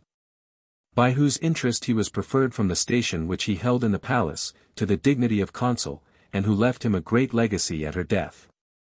His parsimonious way of living, and his aversion to all superfluity or excess, were construed into avarice as soon as he became emperor, whence Plutarch observes, that the pride which he took in his temperance and economy was unseasonable. While he endeavored to reform the profusion in the public expenditure, which prevailed in the reign of Nero, he ran into the opposite extreme. And it is objected to him by some historians, that he maintained not the imperial dignity in a degree consistent even with decency. He was not sufficiently attentive either to his own security or the tranquility of the state, when he refused to pay the soldiers the donative which he had promised them. This breach of faith seems to be the only act in his life that affects his integrity, and it contributed more to his ruin than even the odium which he incurred by the open venality and rapaciousness of his favorites, particularly Vinius. A. Salvius Otho I. The ancestors of Otho were originally of the town of Ferentum, of an ancient and honorable family, and, indeed, one of the most considerable in Etruria. His grandfather, M. Salvius Otho, whose father was a Roman knight, but his mother of mean extraction, for it is not certain whether she was freeborn, by the favor of Livia Augusta, in whose house he had his education, was made a senator. But never rose higher than the praetorship. His father, Lucius Otho, was by the mother's side nobly descended, allied to several great families, and so dearly beloved by Tiberius, and so much resembled him in his features, that most people believed Tiberius was his father. He behaved with great strictness and severity, not only in the city offices, but in the proconsulship of Africa, and some extraordinary commands in the army. He had the courage to punish with death some soldiers in Illyricum, who, in the disturbance attempted by Camillus, upon changing their minds, had put their generals to the sword, as promoters of that insurrection against Claudius. He ordered the execution to take place in the front of the camp 669, and under his own eyes, though he knew they had been advanced to higher ranks in the army by Claudius, on that very account. By this action he acquired fame, but lessened his favor at court, which, however, he soon recovered, by discovering to Claudius a design upon his life, carried on by a Roman knight 670, and which he had learnt from some of his slaves. For the Senate ordered a statue of him to be erected in the palace, an honor which had been conferred but upon very few before him. And Claudius advanced him to the dignity of a patrician, commending him, at the same time, in the highest terms, and concluding with these words, a man, than whom I don't so much as wish to have children that should be better. He had two sons by a very noble woman, Albia Terentia, namely, Lucius Titianus, and a younger called Marcus, who had the same cognomen as himself. He had also a daughter, whom he contracted to Drusus, Germanicus's son, before she was of marriageable age. 2. The Emperor Otho was born upon the 4th of the calends of May, April 28, in the consulship of Camillus Aruntius and Domitius Enobarbus 671. He was from his earliest youth so riotous and wild, that he was often severely scourged by his father. He was said to run about in the night time, and seize upon anyone he met, who was either drunk or too feeble to make resistance, and toss him in a blanket 672. After his father's death, to make his court the more effectually to a freedwoman about the palace, who was in great favor, he pretended to be in love with her, though she was old, and almost decrepit. Having by her means got into Nero's good graces, he soon became one of the principal favorites, by the congeniality of his disposition to that of the emperor or, as some say, by the reciprocal practice of mutual pollution. He had so great a sway at court, that when a man of consular rank was condemned for bribery, having tampered with him for a large sum of money, to procure his pardon. Before he had quite effected it, he scrupled not to introduce him into the Senate, to return his thanks. 3. Having, by means of this woman, insinuated himself into all the emperor's secrets, he, upon the day designed for the murder of his mother, entertained them both at a very splendid feast, to prevent suspicion. Poppaea Sabina, for whom Nero entertained such a violent passion that he had taken her from her husband 673 and entrusted her to him, he received, and went through the form of marrying her. And not satisfied with obtaining her favors, he loved her so extravagantly, that he could not with patience bear Nero for his rival. It is certainly believed that he not only refused admittance to those who were sent by Nero to fetch her, but that, on one occasion, he shut him out, and kept him standing before the door, mixing prayers and menaces in vain. And demanding back again what was entrusted to his keeping. His pretended marriage, therefore, being dissolved, he was sent lieutenant into Lusitania. This treatment of him was thought sufficiently severe, because harsher proceedings might have brought the whole farce to light, which, notwithstanding, at last came out. And was published to the world in the following distich. Cur otho mentitus sit, quiritis, exol honore. Uxoris mochus caperat esse sui. You ask why Otho's banished. No, the cause comes not within the verge of vulgar laws. Against all rules of fashionable life. The rogue had dared to sleep with his own wife. He governed the province in quality of quaestor for ten years, with singular moderation and justice. 4. As soon as an opportunity of revenge offered, he readily joined in Galba's enterprises, and at the same time conceived hopes of obtaining the imperial dignity for himself. To this he was much encouraged by the state of the times, but still more by the assurances given him by Seleucus, the astrologer, who, having formerly told him that he would certainly outlive Nero, came to him at that juncture unexpectedly. Promising him again that he should succeed to the empire, and that in a very short time. He, therefore, let slip no opportunity of making his court to every one about him by all manner of civilities. As often as he entertained Galba at supper, he distributed to every man of the cohort which attended the emperor on guard, a gold piece. Endeavoring likewise to oblige the rest of the soldiers in one way or another. Being chosen an arbitrator by one who had a dispute with his neighbor about a piece of land, he bought it, and gave it him. So that now almost every body thought and said, that he was the only man worthy of succeeding to the empire. V. He entertained hopes of being adopted by Galba, and expected it every day. But finding himself disappointed, by Piso's being preferred before him, he turned his thoughts to obtaining his purpose by the use of violence. And to this he was instigated, as well by the greatness of his debts, as by resentment at Galba's conduct towards him. For he did not conceal his conviction, that he could not stand his ground unless he became emperor, and that it signified nothing whether he fell by the hands of his enemies in the field, or of his creditors in the forum. He had a few days before squeezed out of one of the emperor's slaves a million of sesterces for procuring him a stewardship, and this was the whole fund he had for carrying on so great an enterprise. At first the design was entrusted to only five of the guard, but afterwards to ten others, each of the five naming two. They had every one ten thousand sesterces paid down, and were promised fifty thousand more. By these, others were drawn in, but not many, from a confident assurance, that when the matter came to the crisis, they should have enough to join them. 6. His first intention was, immediately after the departure of Piso, to seize the camp, and fall upon Galba, whilst he was at supper in the palace. But he was restrained by a regard for the cohort at that time on duty, lest he should bring too great an odium upon it, because it happened that the same cohort was on guard before, both when Caius was slain, and Nero deserted. For some time afterwards, he was restrained also by scruples about the omens, and by the advice of Seleucus. Upon the day fixed at last for the enterprise, having given his accomplices notice to wait for him in the forum near the temple of Saturn, at the Gilded Mile, stone 674, he went in the morning to pay his respects to Galba. And being received with a kiss as usual, he attended him at sacrifice, and heard the predictions of the augur 675. A freedman of his, then bringing him word that the architects were come, which was the signal agreed upon, he withdrew, as if it were with a design to view a house upon sale, and went out by a back door of the palace to the place appointed. Some say he pretended to be seized with an ague fit, and ordered those about him to make that excuse for him, if he was inquired after. Being then quickly concealed in a woman's litter, he made the best of his way for the camp. But the bearers growing tired, he got out, and began to run.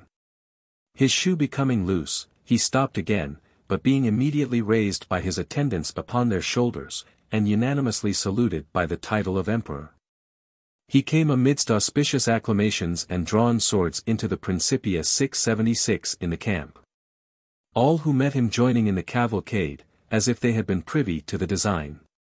Upon this, sending some soldiers to dispatch Galba and Piso, he said nothing else in his address to the soldiery, to secure their affections, than these few words, I shall be content with whatever ye think fit to leave me.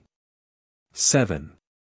Towards the close of the day, he entered the Senate, and after he had made a short speech to them, pretending that he had been seized in the streets, and compelled by violence to assume the imperial authority. Which he designed to exercise in conjunction with them, he retired to the palace. Besides other compliments which he received from those who flocked about him to congratulate and flatter him, he was called Nero by the mob, and manifested no intention of declining that cognomen. Nay, some authors relate, that he used it in his official acts, and the first letters he sent to the governors of provinces. He suffered all his images and statues to be replaced, and restored his procurators and freedmen to their former posts. And the first writing which he signed as emperor, was a promise of fifty millions of sesterces to finish the Golden House 677. He is said to have been greatly frightened that night in his sleep, and to have groaned heavily.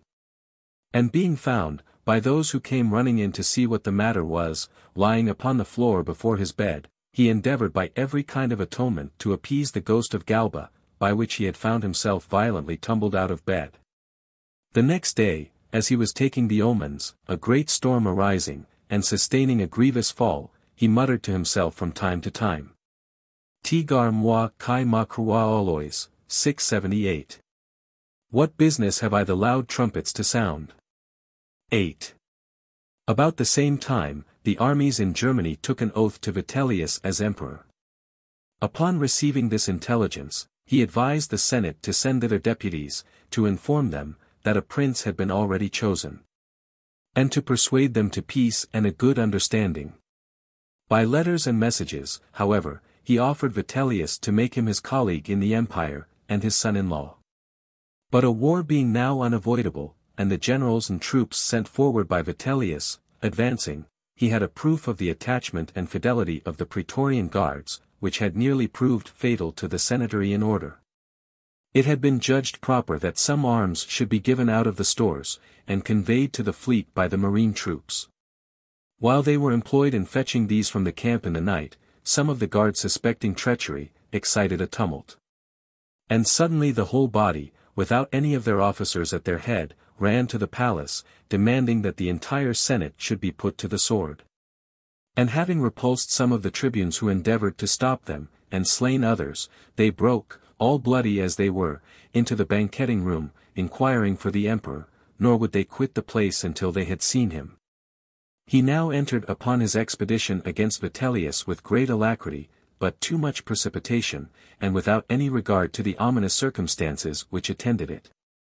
For the Ancilia 679 had been taken out of the Temple of Mars, for the usual procession, but were not yet replaced, during which interval it had of old been looked upon as very unfortunate to engage in any enterprise. He likewise set forward upon the day when the worshippers of the Mother of the God 680 begin their lamentations and wailing. Besides these, other unlucky omens attended him. For, in a victim offered to Father Dis 681, he found the signs such as upon all other occasions are regarded as favorable, whereas, in that sacrifice, the contrary intimations are judged the most propitious. At his first setting forward, he was stopped by inundations of the Tiber, and at twenty miles distance from the city, found the road blocked up by the fall of houses. 9. Though it was the general opinion that it would be proper to protract the war, as the enemy were distressed by famine and the straitness of their quarters, yet he resolved with equal rashness to force them to an engagement as soon as possible.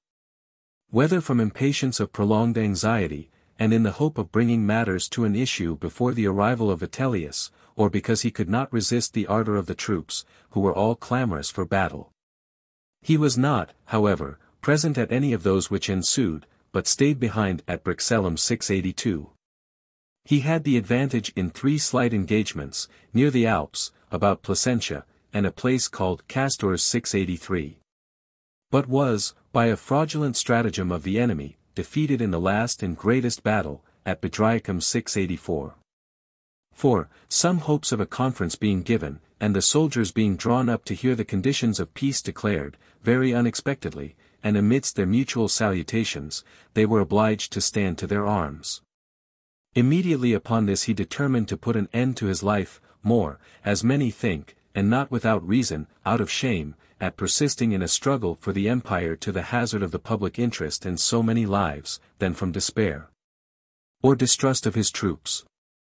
For he had still in reserve, and in full force, those whom he had kept about him for a second trial of his fortune, and others were coming up from Dalmatia, Pannonia, and Moesia.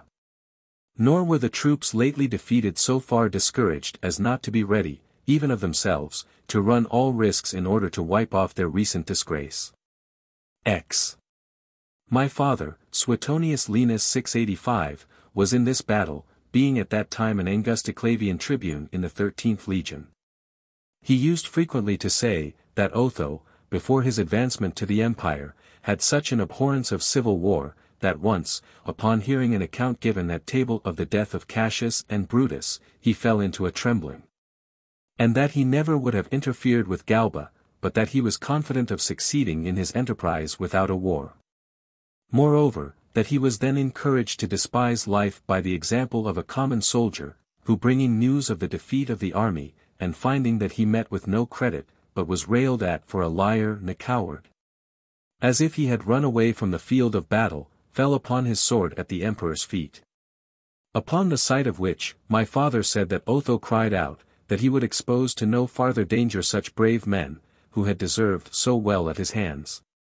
Advising therefore his brother, his brother's son, and the rest of his friends, to provide for their security in the best manner they could, after he had embraced and kissed them, he sent them away. And then withdrawing into a private room by himself, he wrote a letter of consolation to his sister, containing two sheets. He likewise sent another to Messalina, Nero's widow, whom he had intended to marry, committing to her the care of his relics in memory. He then burnt all the letters which he had by him, to prevent the danger and mischief that might otherwise befall the writers from the conqueror. What ready money he had, he distributed among his domestics. 11. And now being prepared, and just upon the point of dispatching himself, he was induced to suspend the execution of his purpose by a great tumult which had broken out in the camp. Finding that some of the soldiers who were making off had been seized and detained as deserters, let us add, said he, this night to our life. These were his very words. He then gave orders that no violence should be offered to any one. And keeping his chamber door open until late at night, he allowed all who pleased the liberty to come and see him. At last, after quenching his thirst with a draught of cold water, he took up two poniards, and having examined the points of both, put one of them under his pillow, and shutting his chamber door, slept very soundly, until, awaking about break of day, he stabbed himself under the left pap. Some persons bursting into the room upon his first groan, he at one time covered, and at another exposed his wound to the view of the bystanders, and thus life soon ebbed away. His funeral was hastily performed, according to his own order, in the thirty-eighth year of his age, and ninety-fifth day of his reign. 686. 12. The person and appearance of Otho no way corresponded to the great spirit he displayed on this occasion, for he is said to have been of low stature, splay-footed, and bandy-legged. He was, however, effeminately nice in the care of his person, the hair on his body he plucked out by the roots, and because he was somewhat bald, he wore a kind of peruke, so exactly fitted to his head, that nobody could have known it for such. He used to shave every day, and rub his face with soaked bread, the use of which he began when the down first appeared upon his chin, to prevent his having any beard. It is said likewise that he celebrated publicly the sacred rites of Isis 687, clad in a linen garment, such as is used by the worshippers of that goddess. These circumstances, I imagine, caused the world to wonder the more that his death was so little in character with his life.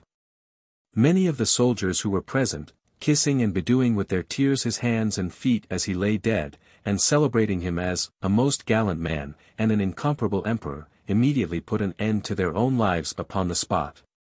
Not far from his funeral pile.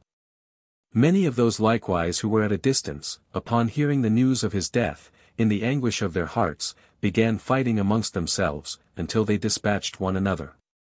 To conclude, the generality of mankind, though they hated him whilst living, yet highly extolled him after his death. Insomuch that it was the common talk and opinion, that Galba had been driven to destruction by his rival, not so much for the sake of reigning himself, as of restoring Rome to its ancient liberty. It is remarkable, in the fortune of this emperor, that he owed both his elevation and catastrophe to the inextricable embarrassments in which he was involved, first, in respect of pecuniary circumstances, and next, of political. He was not, so far as we can learn, a follower of any of the sects of philosophers which justified, and even recommended suicide, in particular cases, yet he perpetrated that act with extraordinary coolness and resolution. And, what is no less remarkable, from the motive, as he avowed, of public expediency only. It was observed of him, for many years after his death, that none ever died like Otho. Aulus Vitellius. I. Very different accounts are given of the origin of the Vitellian family. Some describe it as ancient and noble, others as recent and obscure, nay, extremely mean. I am inclined to think, that these several representations have been made by the flatterers and detractors of Vitellius, after he became emperor, unless the fortunes of the family varied before. There is extant a memoir addressed by Quintus Elogius to Quintus Vitellius, quaestor to the divine Augustus, in which it is said, that the Vitellii were descended from Faunus, king of the Aborigines, and Vitellia 688. Who was worshipped in many places as a goddess, and that they reigned formerly over the whole of Latium, that all who were left of the family removed out of the country of the Sabines to Rome. And were enrolled among the patricians, that some monuments of the family continued a long time.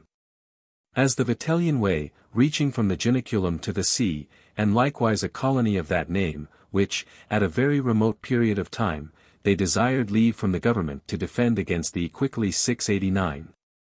With a force raised by their own family only, also that, in the time of the war with the Samnites, some of the Vitellii who went with the troops levied for the security of Apulia, settled at Nuceria 690, and their descendants, a long time afterwards, returned again to Rome, and were admitted into the patrician order. On the other hand, the generality of writers say that the founder of the family was a freedman.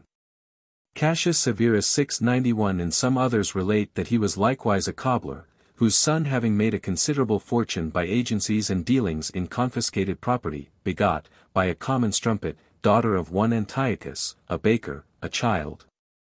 Who afterwards became a Roman knight. Of these different accounts the reader is left to take his choice. 2. It is certain, however, that Publius Vitellius, of Nuceria, whether of an ancient family, or of low extraction, was a Roman knight and a procurator to Augustus. He left behind him four sons, all men of very high station, who had the same cognomen, but the different praenomina of Aulus, Quintus, Publius, and Lucius. Aulus died in the enjoyment of the consulship 692, which office he bore jointly with Domitius, the father of Nero Caesar. He was elegant to excess in his manner of living, and notorious for the vast expense of his entertainments. Quintus was deprived of his rank of senator, when, upon a motion made by Tiberius, a resolution passed to purge the Senate of those who were in any respect not duly qualified for that honor. Publius, an intimate friend and companion of Germanicus, prosecuted his enemy and murderer, Gnaeus Piso, and procured sentence against him. After he had been made proctor, being arrested among the accomplices of Sejanus, and delivered into the hands of his brother to be confined in his house, he opened a vein with a penknife, intending to bleed himself to death. He suffered, however, the wound to be bound up and cured, not so much from repenting the resolution he had formed, as to comply with the importunity of his relations. He died afterwards a natural death during his confinement. Lucius, after his consulship 693, was made governor of Syria 694, and by his politic management not only brought Artabanus, king of the Parthians, to give him an interview, but to worship the standards of the Roman legions. He afterwards filled two ordinary consulships 695, and also the censorship 696 jointly with the Emperor Claudius. Whilst that prince was absent upon his expedition into Britain 697, the care of the empire was committed to him, being a man of great integrity and industry. But he lessened his character not a little, by his passionate fondness for an abandoned freed woman, with whose spittle, mixed with honey, he used to anoint his throat and jaws, by way of remedy for some complaint, not privately nor seldom. But daily and publicly. Being extravagantly prone to flattery, it was he who gave rise to the worship of Caius Caesar as a god, when, upon his return from Syria, he would not presume to accost him any otherwise than with his head covered, turning himself round. And then prostrating himself upon the earth. And to leave no artifice untried to secure the favor of Claudius, who was entirely governed by his wives and freedmen, he requested as the greatest favor from Messalina, that she would be pleased to let him take off her shoes. Which, when he had done, he took her right shoe, and wore it constantly betwixt his toga and his tunic, and from time to time covered it with kisses. He likewise worshipped golden images of Narcissus and Pallas among his household gods. It was he, too, who, when Claudius exhibited the secular games, in his compliments to him upon that occasion, used this expression, may you often do the same. 3.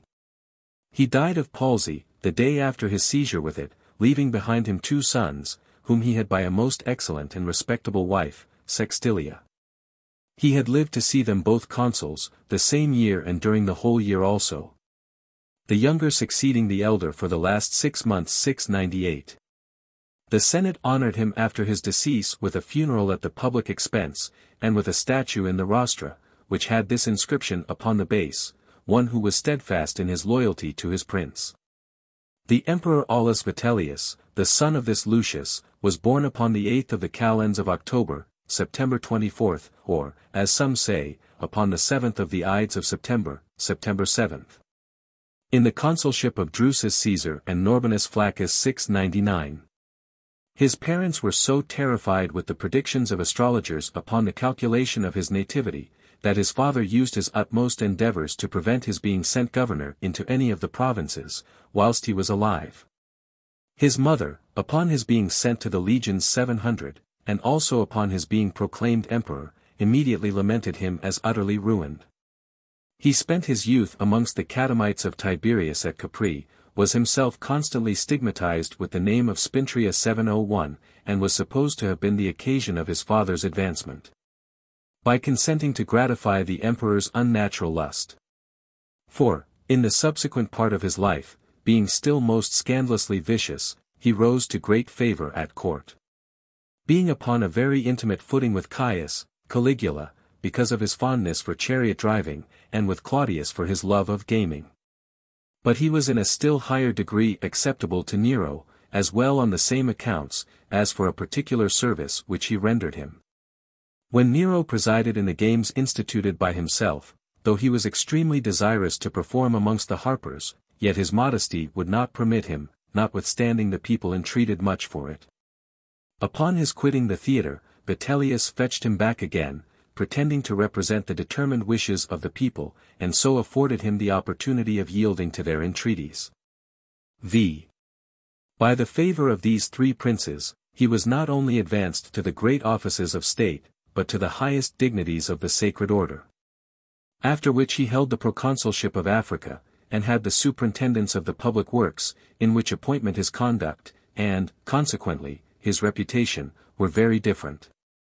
For he governed the province with singular integrity during two years, in the latter of which he acted as deputy to his brother, who succeeded him. But in his office in the city, he was said to pillage the temples of their gifts and ornaments, and to have exchanged brass and tin for gold and silver. 702. 6. He took to wife Petronia, the daughter of a man of consular rank, and had by her a son named Petronius, who was blind of an eye. The mother being willing to appoint this youth her heir, upon condition that he should be released from his father's authority, the latter discharged him accordingly. But shortly after, as was believed, murdered him, charging him with a design upon his life, and pretending that he had, from consciousness of his guilt, drank the poison he had prepared for his father. Soon afterwards, he married Galeria Fundana, the daughter of a man of Praetorian rank, and had by her both sons and daughters. Among the former was one who had such a stammering in his speech, that he was little better than if he had been dumb. 7. He was sent by Galba into Lower Germany 703, contrary to his expectation. It is supposed that he was assisted in procuring this appointment by the interest of Titus Junius, a man of great influence at that time. Whose friendship he had long before gained by favoring the same set of charioteers with him in the Circensian games. But Galba openly declared that none were less to be feared than those who only cared for their bellies, and that even his enormous appetite must be satisfied with the plenty of that province. So that it is evident he was selected for that government more out of contempt than kindness. It is certain, that when he was to set out, he had not money for the expenses of his journey. He being at that time so much straitened in his circumstances, that he was obliged to put his wife and children, whom he left at Rome, into a poor lodging which he hired for them. In order that he might let his own house for the remainder of the year. And he pawned a pearl taken from his mother's earring, to defray his expenses on the road. A crowd of creditors who were waiting to stop him, and amongst them the people of Sinuessa and Formia, whose taxes he had converted to his own use, he eluded, by alarming them with the apprehension of false accusation. He had, however, sued a certain freedman, who was clamorous in demanding a debt of him, under pretence that he had kicked him, which action he would not withdraw, until he had wrung from the freedman fifty thousand sesterces. Upon his arrival in the province, the army, which was disaffected to Galba, and ripe for insurrection, received him with open arms, as if he had been sent them from heaven. It was no small recommendation to their favor, that he was the son of a man who had been thrice consul, was in the prime of life, and of an easy, prodigal disposition. This opinion, which had been long entertained of him, Vitellius confirmed by some late practices. Having kissed all the common soldiers whom he met with upon the road, and been excessively complaisant in the inns and stables to the muleteers and travellers. Asking them in a morning, if they had got their breakfasts, and letting them see, by belching, that he had eaten his. 8. After he had reached the camp, he denied no man anything he asked for, and pardoned all who lay under sentence for disgraceful conduct or disorderly habits. Before a month, therefore, had passed, without regard to the day or season, he was hurried by the soldiers out of his bedchamber, although it was evening, and he in an undress, and unanimously saluted by the title of Emperor 704. He was then carried round the most considerable towns in the neighborhood, with the sword of the divine Julius in his hand, which had been taken by some person out of the temple of Mars, and presented to him when he was first saluted. Nor did he return to the praetorium, until his dining room was in flames from the chimneys taking fire. Upon this accident, all being in consternation, and considering it as an unlucky omen, he cried out, Courage, boys! It shines brightly upon us. And this was all he said to the soldiers. The army of the upper province likewise, which had before declared against Galba for the Senate, joining in the proceedings, he very eagerly accepted the cognomen of Germanicus, offered him by the unanimous consent of both armies. But deferred assuming that of Augustus, and refused forever that of Caesar. 9. Intelligence of Galba's death arriving soon after, when he had settled his affairs in Germany he divided his troops into two bodies, intending to send one of them before him against Otho, and to follow with the other himself. The army he sent forward had a lucky omen, for, suddenly, an eagle cams flying up to them on the right, and having hovered round the standards, flew gently before them on their road. But, on the other hand, when he began his own march, all the equestrian statues, which were erected for him in several places, fell suddenly down with their legs broken. And the laurel crown, which he had put on as emblematical of auspicious fortune, fell off his head into a river. Soon afterwards, at Vienne 705, as he was upon the tribunal administering justice, a cock perched upon his shoulder, and afterwards upon his head. The issue corresponded to these omens. For he was not able to keep the empire which had been secured for him by his lieutenants. X. He heard of the victory at Bedriacum 706, and the death of Otho, whilst he was yet in Gaul, and without the least hesitation, by a single proclamation, disbanded all the Praetorian cohorts, as having, by their repeated treasons, set a dangerous example to the rest of the army, commanding them to deliver up their arms to his tribunes. A hundred and twenty of them, under whose hands he had found petitions presented to Otho, for rewards of their service in the murder of Galba, he besides ordered to be sought out and punished. So far his conduct deserved approbation, and was such as to afford hope of his becoming an excellent prince, had he not managed his other affairs in a way more corresponding with his own disposition, and his former manner of life. than to the imperial dignity. For, having begun his march, he rode through every city in his route in a triumphal procession. And sailed down the rivers in ships, fitted out with the greatest elegance, and decorated with various kinds of crowns, amidst the most extravagant entertainments. Such was the want of discipline, and the licentiousness both in his family and army, that, not satisfied with the provision everywhere made for them at the public expense, they committed every kind of robbery and insult upon the inhabitants. Setting slaves at liberty as they pleased. And if any dared to make resistance, they dealt blows and abuse, frequently wounds, and sometimes slaughter amongst them. When he reached the plains on which the battles were fought 707, some of those around him being offended at the smell of the carcasses which lay rotting upon the ground, he had the audacity to encourage them by a most detestable remark. That a dead enemy smelt not amiss, especially if he were a fellow citizen. To qualify, however, the offensiveness of the stench, he quaffed in public a goblet of wine, and with equal vanity and insolence distributed a large quantity of it among his troops.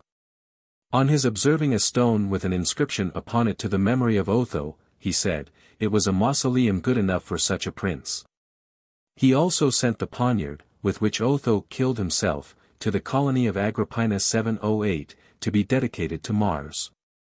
Upon the Apennine hills he celebrated a bacchanalian feast. 11.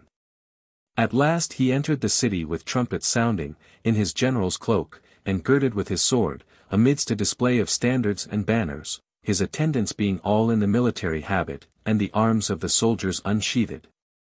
Acting more and more in open violation of all laws, both divine and human, he assumed the office of Pontifex Maximus, upon the day of the defeat at the Allia 709, ordered the magistrates to be elected for ten years of office. And made himself consul for life. To put it out of all doubt what model he intended to follow in his government of the empire, he made his offerings to the shade of Nero in the midst of the Campus Martius, and with a full assembly of the public priests attending him. And at a solemn entertainment, he desired a harper who pleased the company much, to sing something in praise of Domitius. And upon his beginning some songs of Nero's, he started up in presence of the whole assembly, and could not refrain from applauding him, by clapping his hands. 12.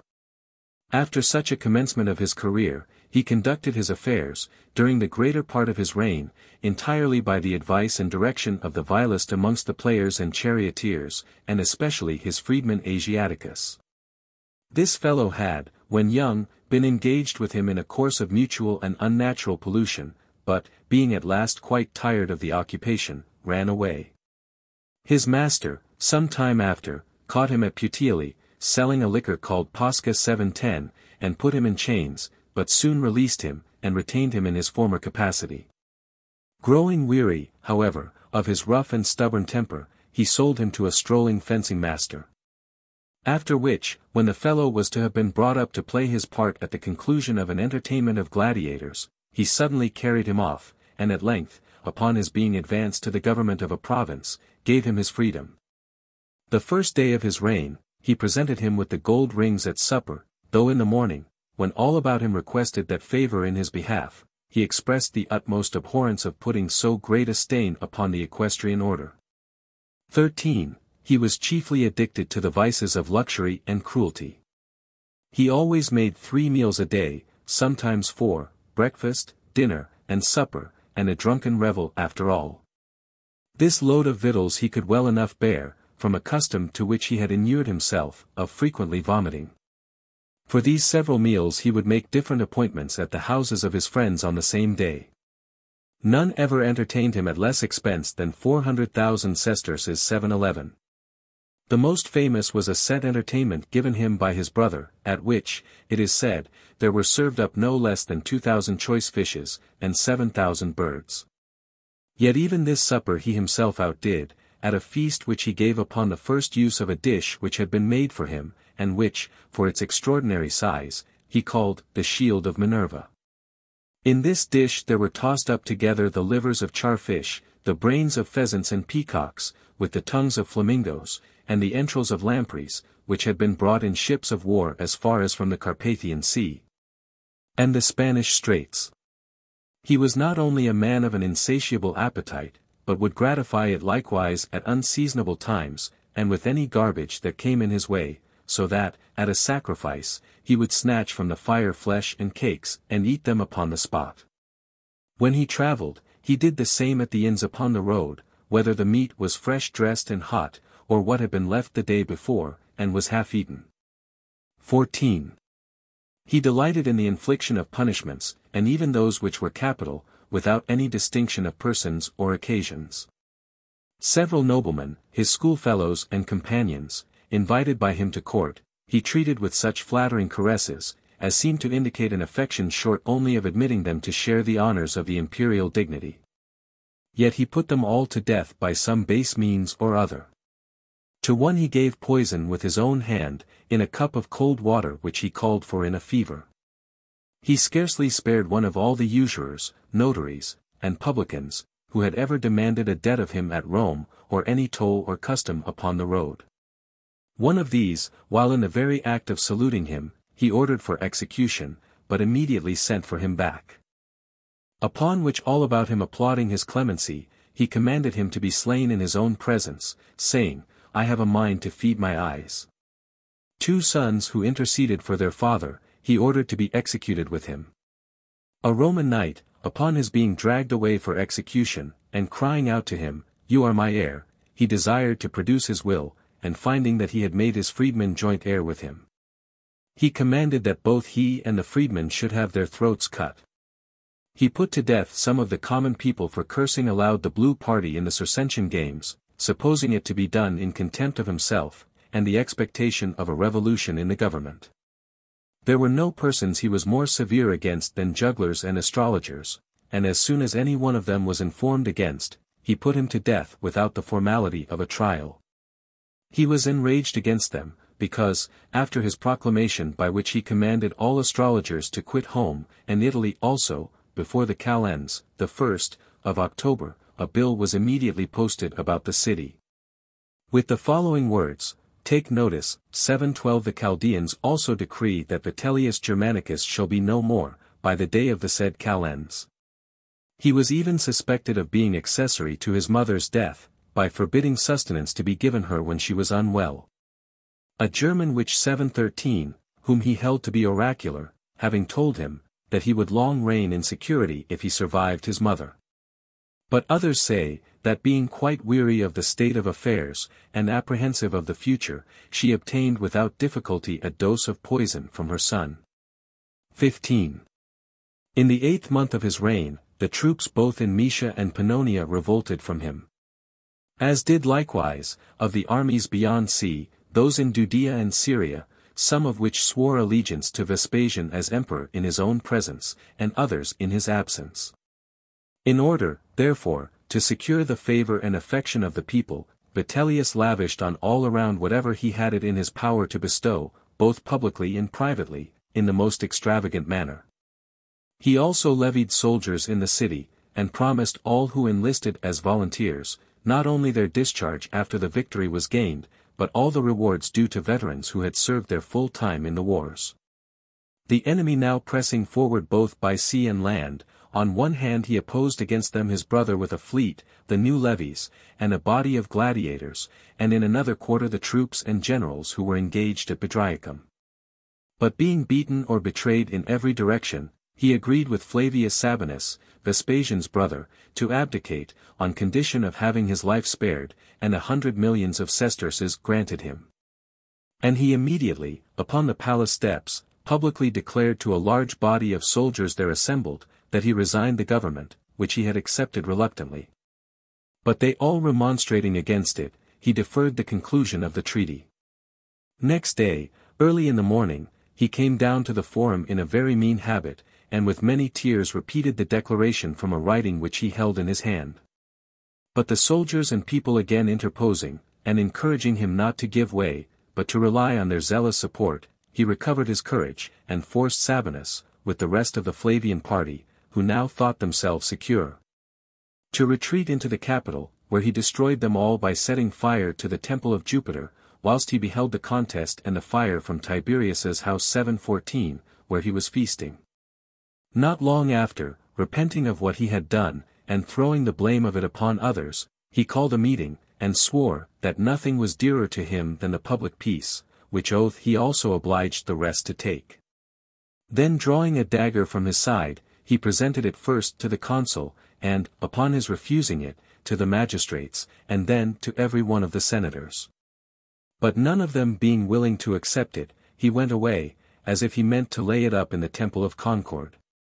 But some crying out to him, You are Concord, he came back again, and said that he would not only keep his weapon, but for the future use the cognomen of Concord. 16. He advised the Senate to send deputies, accompanied by the Vestal Virgins, to desire peace, or, at least, time for consultation. The day after, while he was waiting for an answer, he received intelligence by a scout, that the enemy was advancing. Immediately, therefore, throwing himself into a small litter, borne by hand, with only two attendants, a baker and a cook, he privately withdrew to his father's house, on the Aventine Hill, intending to escape thence into Campania. But a groundless report being circulated, that the enemy was willing to come to terms, he suffered himself to be carried back to the palace. Finding, however, nobody there, and those who were with him stealing away, he girded round his waist a belt full of gold pieces, and then ran into the porter's lodge, tying the dog before the door, and piling up against it the bed and bedding.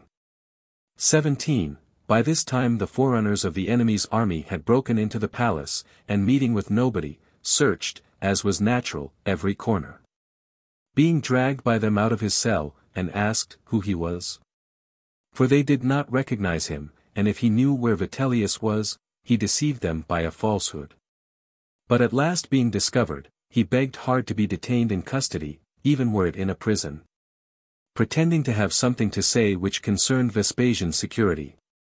Nevertheless, he was dragged half-naked into the forum, with his hands tied behind him, a rope about his neck, and his clothes torn, amidst the most contemptuous abuse, both by word and deed, along the Via Sacra.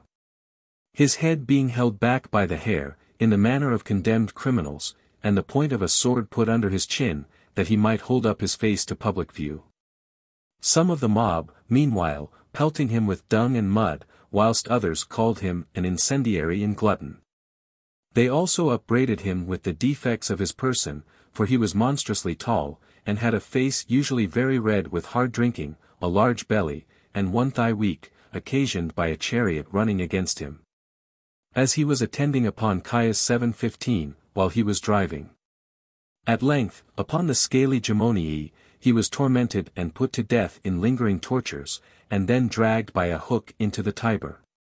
18. He perished with his brother and son 716, in the 57th year of his age 717, and verified the prediction of those who, from the omen which happened to him at Vienne, as before related 718, foretold that he would be made prisoner by some man of Gaul. For he was seized by Antonius Primus, a general of the adverse party, who was born at Toulouse, and, when a boy, had the cognomen of Becco 719, which signifies a cock's beak.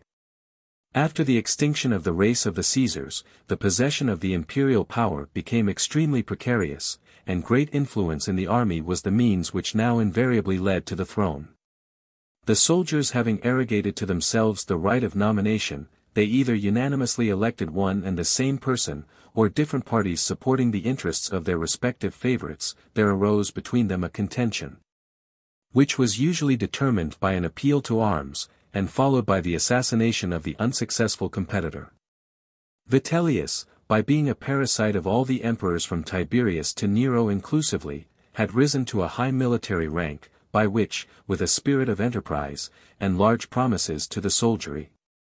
It was not difficult to snatch the reins of government, while they were yet fluctuating in the hands of Otho.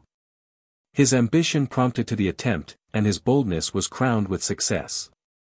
In the service of the four preceding emperors, Vitellius had imbibed the principal vices of them all, but what chiefly distinguished him was extreme voraciousness, which, though he usually pampered it with enormous luxury, could yet be gratified by the vilest and most offensive garbage. The pusillanimity discovered by this emperor at his death, forms a striking contrast to the heroic behavior of Otho. T. Flavius Vespasianus Augustus. I. The empire, which had been long thrown into a disturbed and unset state, by the rebellion and violent death of its three last rulers, was at length restored to peace and security by the Flavian family, whose descent was indeed obscure. And which boasted no ancestral honors. But the public had no cause to regret its elevation, though it is acknowledged that Domitian met with the just reward of his avarice and cruelty. Titus Flavius Petro, a townsman of Reate 720, whether a centurion or an evocatus 721 of Pompey's party in the civil war, is uncertain, fled out of the battle of Pharsalia and went home. Where, having at last obtained his pardon and discharge, he became a collector of the money raised by public sales in the way of auction. His son, surnamed Sabinus, was never engaged in the military service, though some say he was a centurion of the first order, and others, that whilst he held that rank, he was discharged on account of his bad state of health, this Sabinus, I say, was a publican, and received the tax of the fortieth penny in Asia. And there were remaining, at the time of the advancement of the family, several statues, which had been erected to him by the cities of that province, with this inscription, to the honest tax farmer. 722 He afterwards turned usurer amongst the Helvetii, and there died, leaving behind him his wife, Vespasia Polla, and two sons by her, the elder of whom, Sabinus, came to be prefect of the city, and the younger, Vespasian, to be emperor. Polla, descended of a good family, at Nursia 723, had for her father Vespasius Pollio, thrice appointed military tribune, and at last prefect of the camp, and her brother was a senator of praetorian dignity. There is to this day, about six miles from Nursia, on the road to Spoletum, a place on the summit of a hill, called Vespasii, where are several monuments of the Vespasii, a sufficient proof of the splendor and antiquity of the family.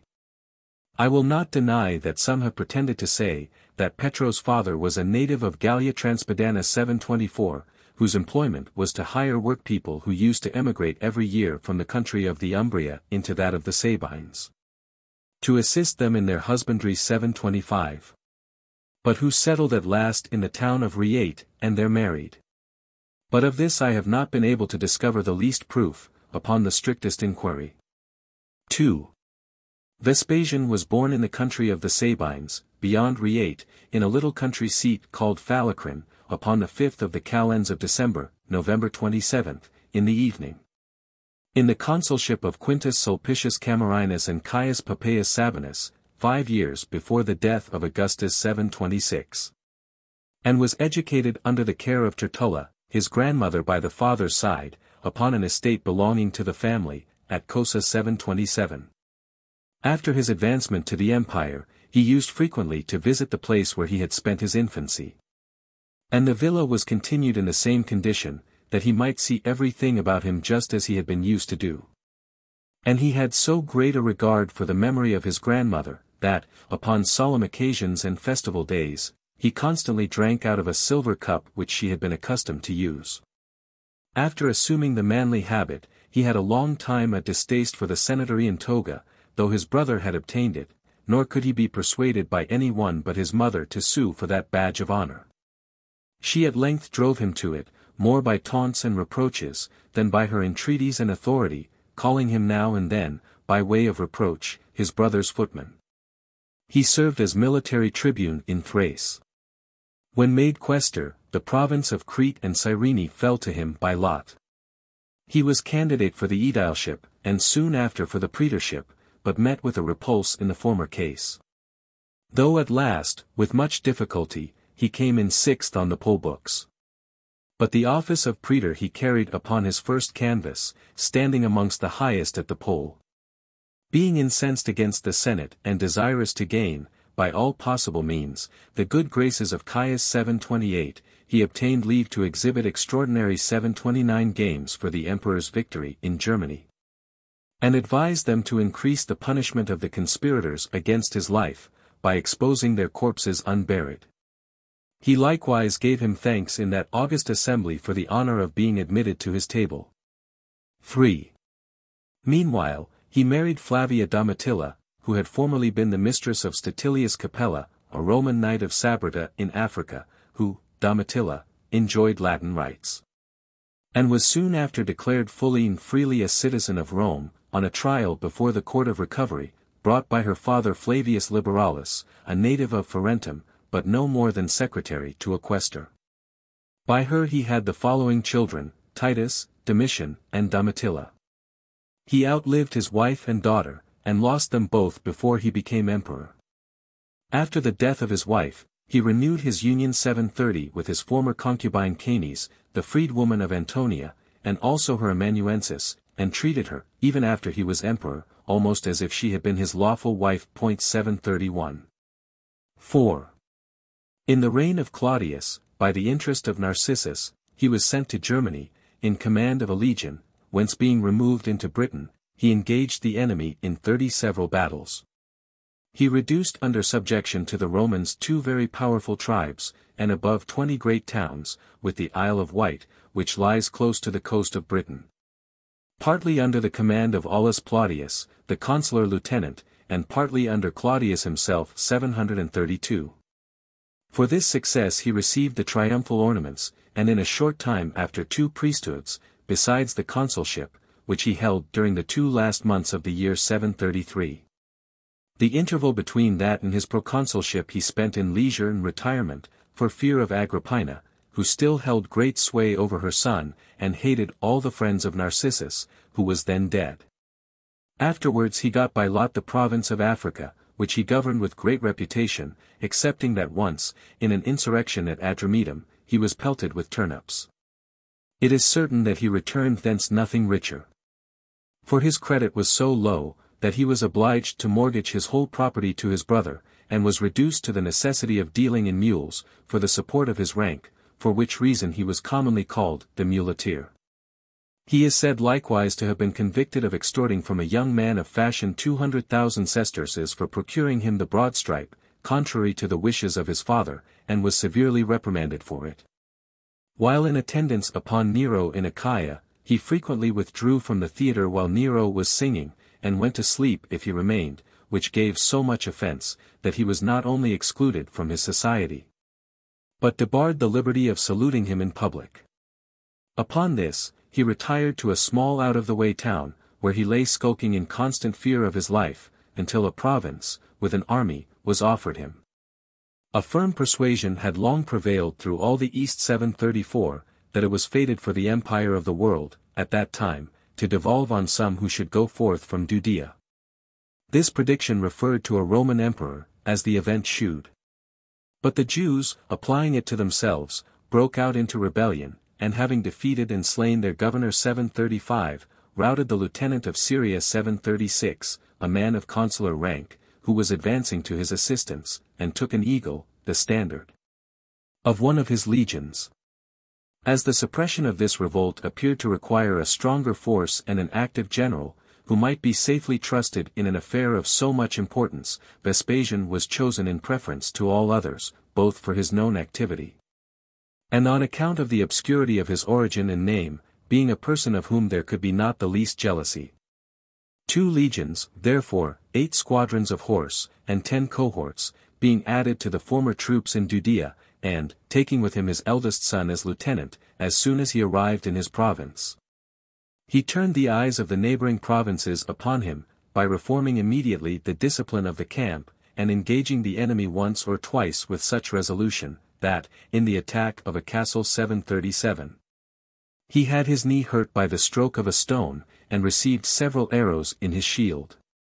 V. After the deaths of Nero and Galba, whilst Otho and Vitellius were contending for the sovereignty, he entertained hopes of obtaining the empire, with the prospect of which he had long before flattered himself, from the following omens. Upon an estate belonging to the Flavian family, in the neighborhood of Rome, there was an old oak, sacred to Mars, which, at the three several deliveries of Vespasia, put out each time a new branch. Evident intimations of the future fortune of each child. The first was but a slender one, which quickly withered away, and accordingly, the girl that was born did not live long. The second became vigorous, which portended great good fortune. But the third grew like a tree.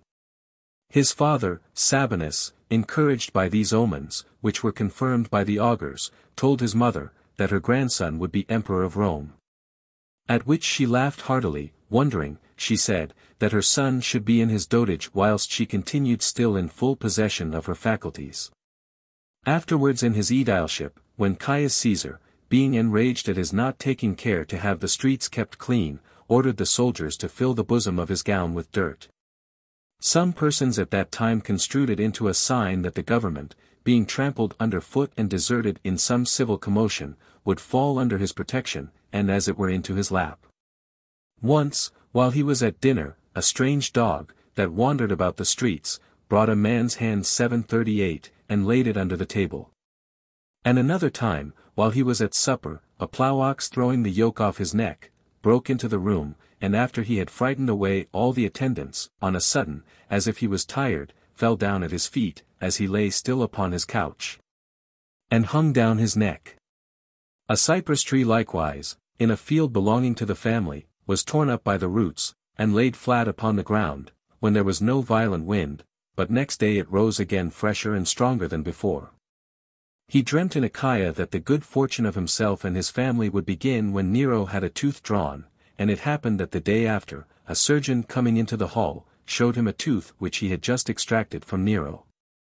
In Judea, upon his consulting the oracle of the divinity at Carmel 739, the answer was so encouraging as to assure him of success in anything he projected, however great or important it might be.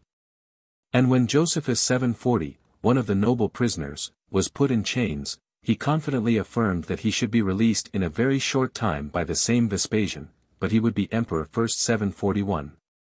Some omens were likewise mentioned in the news from Rome, and among others, that Nero, towards the close of his days, was commanded in a dream to carry Jupiter's sacred chariot out of the sanctuary where it stood, to Vespasian's house. And conduct it thence into the circus. Also not long afterwards, as Galba was going to the election, in which he was created consul for the second time, a statue of the divine Julius 742 turned towards the east. And in the field of Bedriacum 743, before the battle began, two eagles engaged in the sight of the army, and one of them being beaten, a third came from the east, and drove away the conqueror. 6. He made, however, no attempt upon the sovereignty, though his friends were very ready to support him, and even pressed him to the enterprise, until he was encouraged to it by the fortuitous aid of persons unknown to him and at a distance. Two thousand men, drawn out of three legions in the Moesian army, had been sent to the assistance of Otho. While they were upon their march, news came that he had been defeated, and had put an end to his life. Notwithstanding which they continued their march as far as Aquileia, pretending that they gave no credit to the report. There, tempted by the opportunity which the disorder of the times afforded them, they ravaged and plundered the country at discretion. Until at length, fearing to be called to an account on their return, and punished for it, they resolved upon choosing and creating an emperor.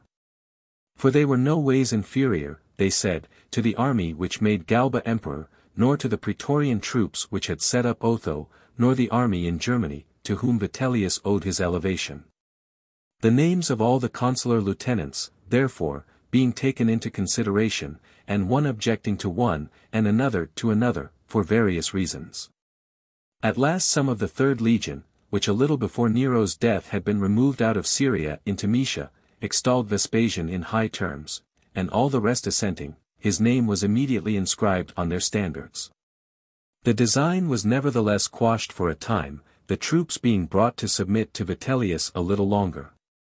However, the fact becoming known, Tiberius Alexander, governor of Egypt, first obliged the legions under his command to swear obedience to Vespasian as their emperor, on the calends, the first, of July. Which was observed ever after as the day of his accession to the empire. And upon the fifth of the Ides of the same month, the July 28th, the army in Judea, where he then was, also swore allegiance to him. What contributed greatly to forward the affair, was a copy of a letter, whether real or counterfeit, which was circulated, and said to have been written by Otho before his decease to Vespasian.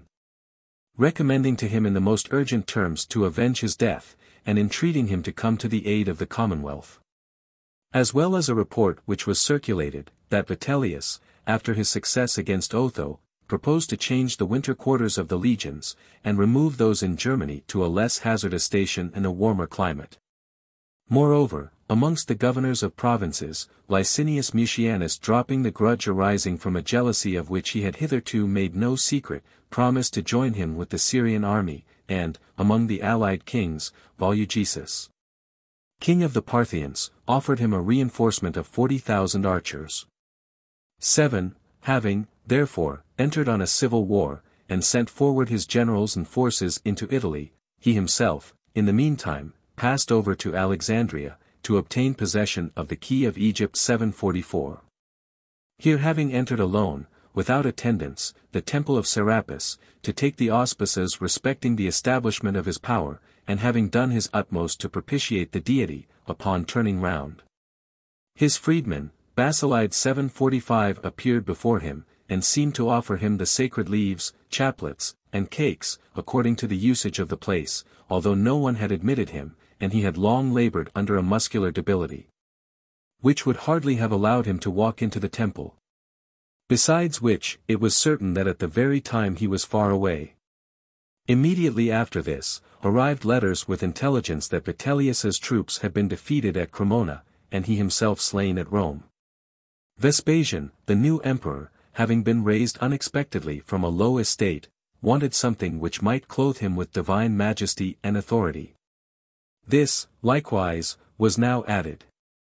A poor man who was blind, and another who was lame, came both together before him, when he was seated on the tribunal, imploring him to heal them 746, and saying that they were admonished in a dream by the god Serapis to seek his aid who assured them that he would restore sight to the one by anointing his eyes with his spittle, and give strength to the leg of the other, if he vouchsafed but to touch it with his heel. At first he could scarcely believe that the thing would anyhow succeed, and therefore hesitated to venture on making the experiment. At length, however, by the advice of his friends, he made the attempt publicly, in the presence of the assembled multitudes, and it was crowned with success in both cases 747.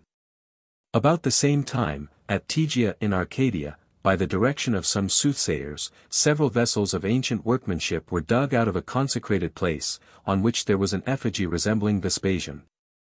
8.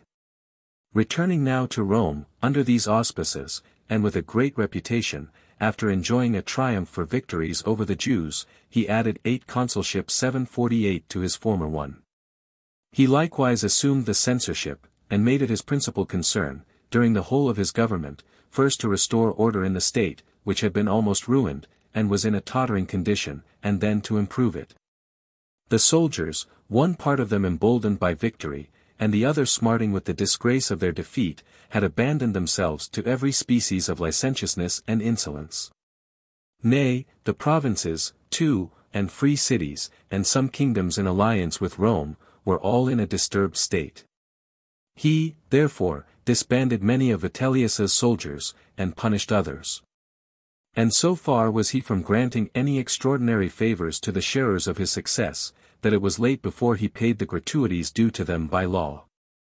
That he might let slip no opportunity of reforming the discipline of the army, upon a young man's coming much perfumed to return him thanks for having appointed him to command a squadron of horse, he turned away his head in disgust, and, giving him this sharp reprimand, I had rather you had smelt of garlic, revoked his commission. When the men belonging to the fleet, who travelled by turns from Ostia and Puteoli to Rome, petitioned for an addition to their pay, under the name of shoe money, thinking that it would answer little purpose to send them away without a reply. He ordered them for the future to run barefooted. And so they have done ever since. He deprived of their liberties, Achaia, Lycia, Rhodes, Byzantium, and Samos, and reduced them into the form of provinces. Thrace, also, and Cilicia, as well as Commagene, which until that time had been under the government of kings. He stationed some legions in Cappadocia on account of the frequent inroads of the barbarians, and, instead of a Roman knight, appointed as governor of it a man of consular rank. The ruins of houses which had been burnt down long before, being a great desight to the city, he gave leave to any one who would, to take possession of the void ground and build upon it. If the proprietors should hesitate to perform the work themselves. He resolved upon rebuilding the Capitol, and was the foremost to put his hand to clearing the ground of the rubbish, and removed some of it upon his own shoulder. And he undertook, likewise, to restore the three thousand tables of brass which had been destroyed in the fire which consumed the Capitol. Searching in all quarters for copies of those curious and ancient records, in which were contained the decrees of the Senate, almost from the building of the city, as well as the acts of the people, relative to alliances, treaties, and privileges granted to any person. 9. He likewise erected several new public buildings, namely, the Temple of Peace 749 near the Forum, that of Claudius on the Coelian Mount, which had been begun by Agrippina, but almost entirely demolished by Nero 750. And an amphitheatre 751 in the middle of the city, upon finding that Augustus had projected such a work. He purified the senatorian and equestrian orders, which had been much reduced by the havoc made amongst them at several times, and was fallen into disrepute by neglect. Having expelled the most unworthy, he chose in their room the most honorable persons in Italy and the provinces. And to let it be known that those two orders differed not so much in privileges as in dignity, he declared publicly, when some altercation passed between a senator and a Roman knight, that senators ought not to be treated with scurrilous language. Unless they were the aggressors, and then it was fair and lawful to return it. X. The business of the courts had prodigiously accumulated, partly from old lawsuits which, on account of the interruption that had been given to the course of justice, still remained undecided. And partly from the accession of new suits arising out of the disorder of the times. He, therefore, chose commissioners by lot to provide for the restitution of what had been seized by violence during the war, and others with extraordinary jurisdiction to decide causes belonging to the centumviri. And reduce them to as small a number as possible, for the dispatch of which, otherwise, the lives of the litigants could scarcely allow sufficient time. 11. Lust and luxury, from the license which had long prevailed, had also grown to an enormous height. He, therefore, obtained a decree of the Senate, that a woman who formed an union with the slave of another person, should be considered a bondwoman herself. And that usurers should not be allowed to take proceedings at law for the recovery of money lent to young men whilst they lived in their father's family, not even after their fathers were dead. 12. In other affairs, from the beginning to the end of his government, he conducted himself with great moderation and clemency. He was so far from dissembling the obscurity of his extraction, that he frequently made mention of it himself. When some affected to trace his pedigree to the founders of Reate, and a companion of Hercules 752, whose monument is still to be seen on the Salarian road, he laughed at them for it. And he was so little fond of external and adventitious ornaments, that, on the day of his triumph 753, being quite tired of the length and tediousness of the procession, he could not forbear saying, he was rightly served. For having in his old age been so silly as to desire a triumph. As if it was either due to his ancestors, or had ever been expected by himself. Nor would he for a long time accept of the tribunician authority, or the title of father of his country. And in regard to the custom of searching those who came to salute him, he dropped it even in the time of the Civil War. 13. He bore with great mildness the freedom used by his friends, the satirical allusions of advocates, and the petulance of philosophers. Licinius Mucianus, who had been guilty of notorious acts of lewdness, but, presuming upon his great services, treated him very rudely, he reproved only in private. And when complaining of his conduct to a common friend of theirs, he concluded with these words, however, I am a man. Salvius Liberalis, in pleading the cause of a rich man under prosecution, presuming to say, What is it to Caesar, if Hipparchus possesses a hundred millions of sesterces, he commended him for it. Demetrius, the Cynic philosopher 754, who had been sentenced to banishment, meeting him on the road, and refusing to rise up or salute him, nay, snarling at him in scurrilous language, he only called him a cur. 14. He was little disposed to keep up the memory of affronts or quarrels, nor did he harbor any resentment on account of them. He made a very splendid marriage for the daughter of his enemy Vitellius, and gave her, besides, a suitable fortune and equipage. Being in a great consternation after he was forbidden the court in the time of Nero, and asking those about him, what he should do. Or, whither he should go. One of those whose office it was to introduce people to the emperor, thrusting him out, bid him go to Morbonia 755. But when this same person came afterwards to beg his pardon, he only vented his resentment in nearly the same words. He was so far from being influenced by suspicion or fear to seek the destruction of any one, that, when his friends advised him to beware of Mettius Pomposianus, because it was commonly believed, on his nativity being cast, that he was destined by fate to the empire, he made him consul, promising for him, that he would not forget the benefit conferred. 15. It will scarcely be found, that so much as one innocent person suffered in his reign, unless in his absence, and without his knowledge, or, at least, contrary to his inclination, and when he was imposed upon.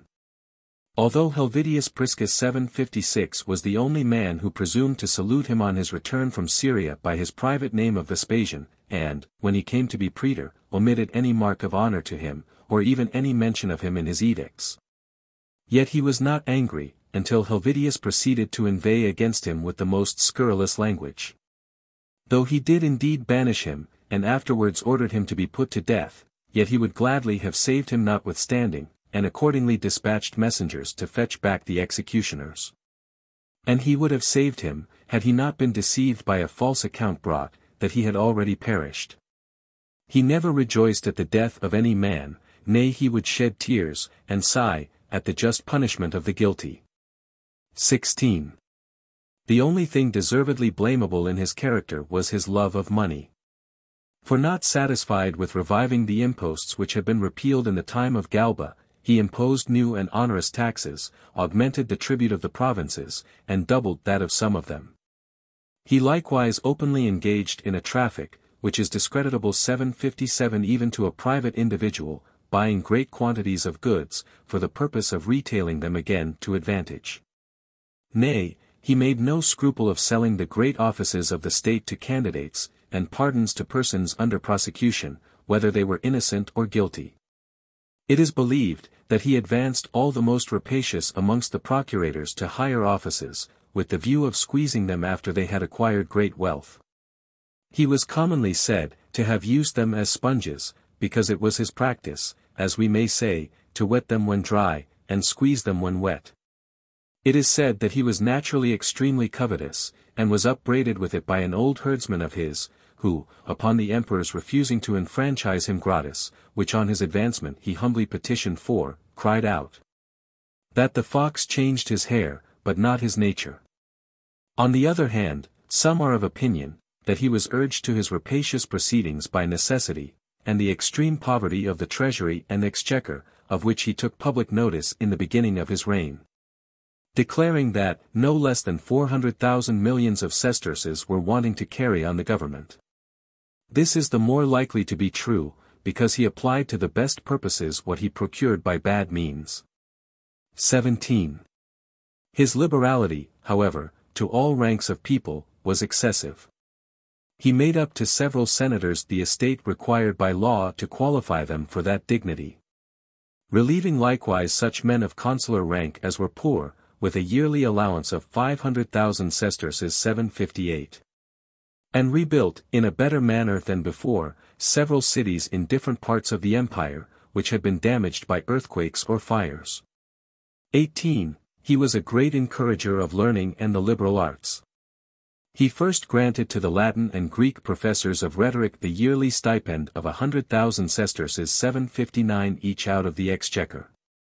He also bought the freedom of superior poets and artists 760, and gave a noble gratuity to the restorer of the cone of Venus 761, and to another artist who repaired the Colossus 762. Someone offering to convey some immense columns into the Capitol at a small expense by a mechanical contrivance, he rewarded him very handsomely for his invention, but would not accept his service, saying, Suffer me to find maintenance for the poor people. 763. 19. In the games celebrated when the stage scenery of the theatre of Marcellus 764 was repaired, he restored the old musical entertainments. He gave Apollinaris, the tragedian, 400,000 sesterces, and to Terpinus and Diodorus, the harpers, 200,000, to some a hundred thousand. And the least he gave to any of the performers was forty thousand, besides many golden crowns. He entertained company constantly at his table, and often in great state and very sumptuously, in order to promote trade. As in the Saturnalia he made presents to the men which they were to carry away with them, so did he to the women upon the calends of March 765, notwithstanding which, he could not wipe off the disrepute of his former stinginess. The Alexandrians called him constantly Cybiosax, a name which had been given to one of their kings who was sordidly avaricious. Nay, at his funeral, Favo, the principal mimic, personating him, and imitating, as actors do, both his manner of speaking and his gestures, asked aloud of the procurators, how much his funeral and the procession would cost. And being answered ten millions of sesterces, he cried out, Give him but a hundred thousand sesterces, and they might throw his body into the Tiber, if they would. XX. He was broad-set, strong-limbed, and his features gave the idea of a man in the act of straining himself. In consequence, one of the city wits, upon the emperor's desiring him to say something droll respecting himself, facetiously answered, I will, when you have done relieving your bowels. 766 He enjoyed a good state of health, though he used no other means to preserve it, than repeated friction, as much as he could bear, on his neck and other parts of his body, in the tennis court attached to the baths. Besides fasting one day in every month. XXI His method of life was commonly this. After he became emperor, he used to rise very early, often before daybreak. Having read over his letters, and the briefs of all the departments of the government offices, he admitted his friends. And while they were paying him their compliments, he would put on his own shoes, and dress himself with his own hands.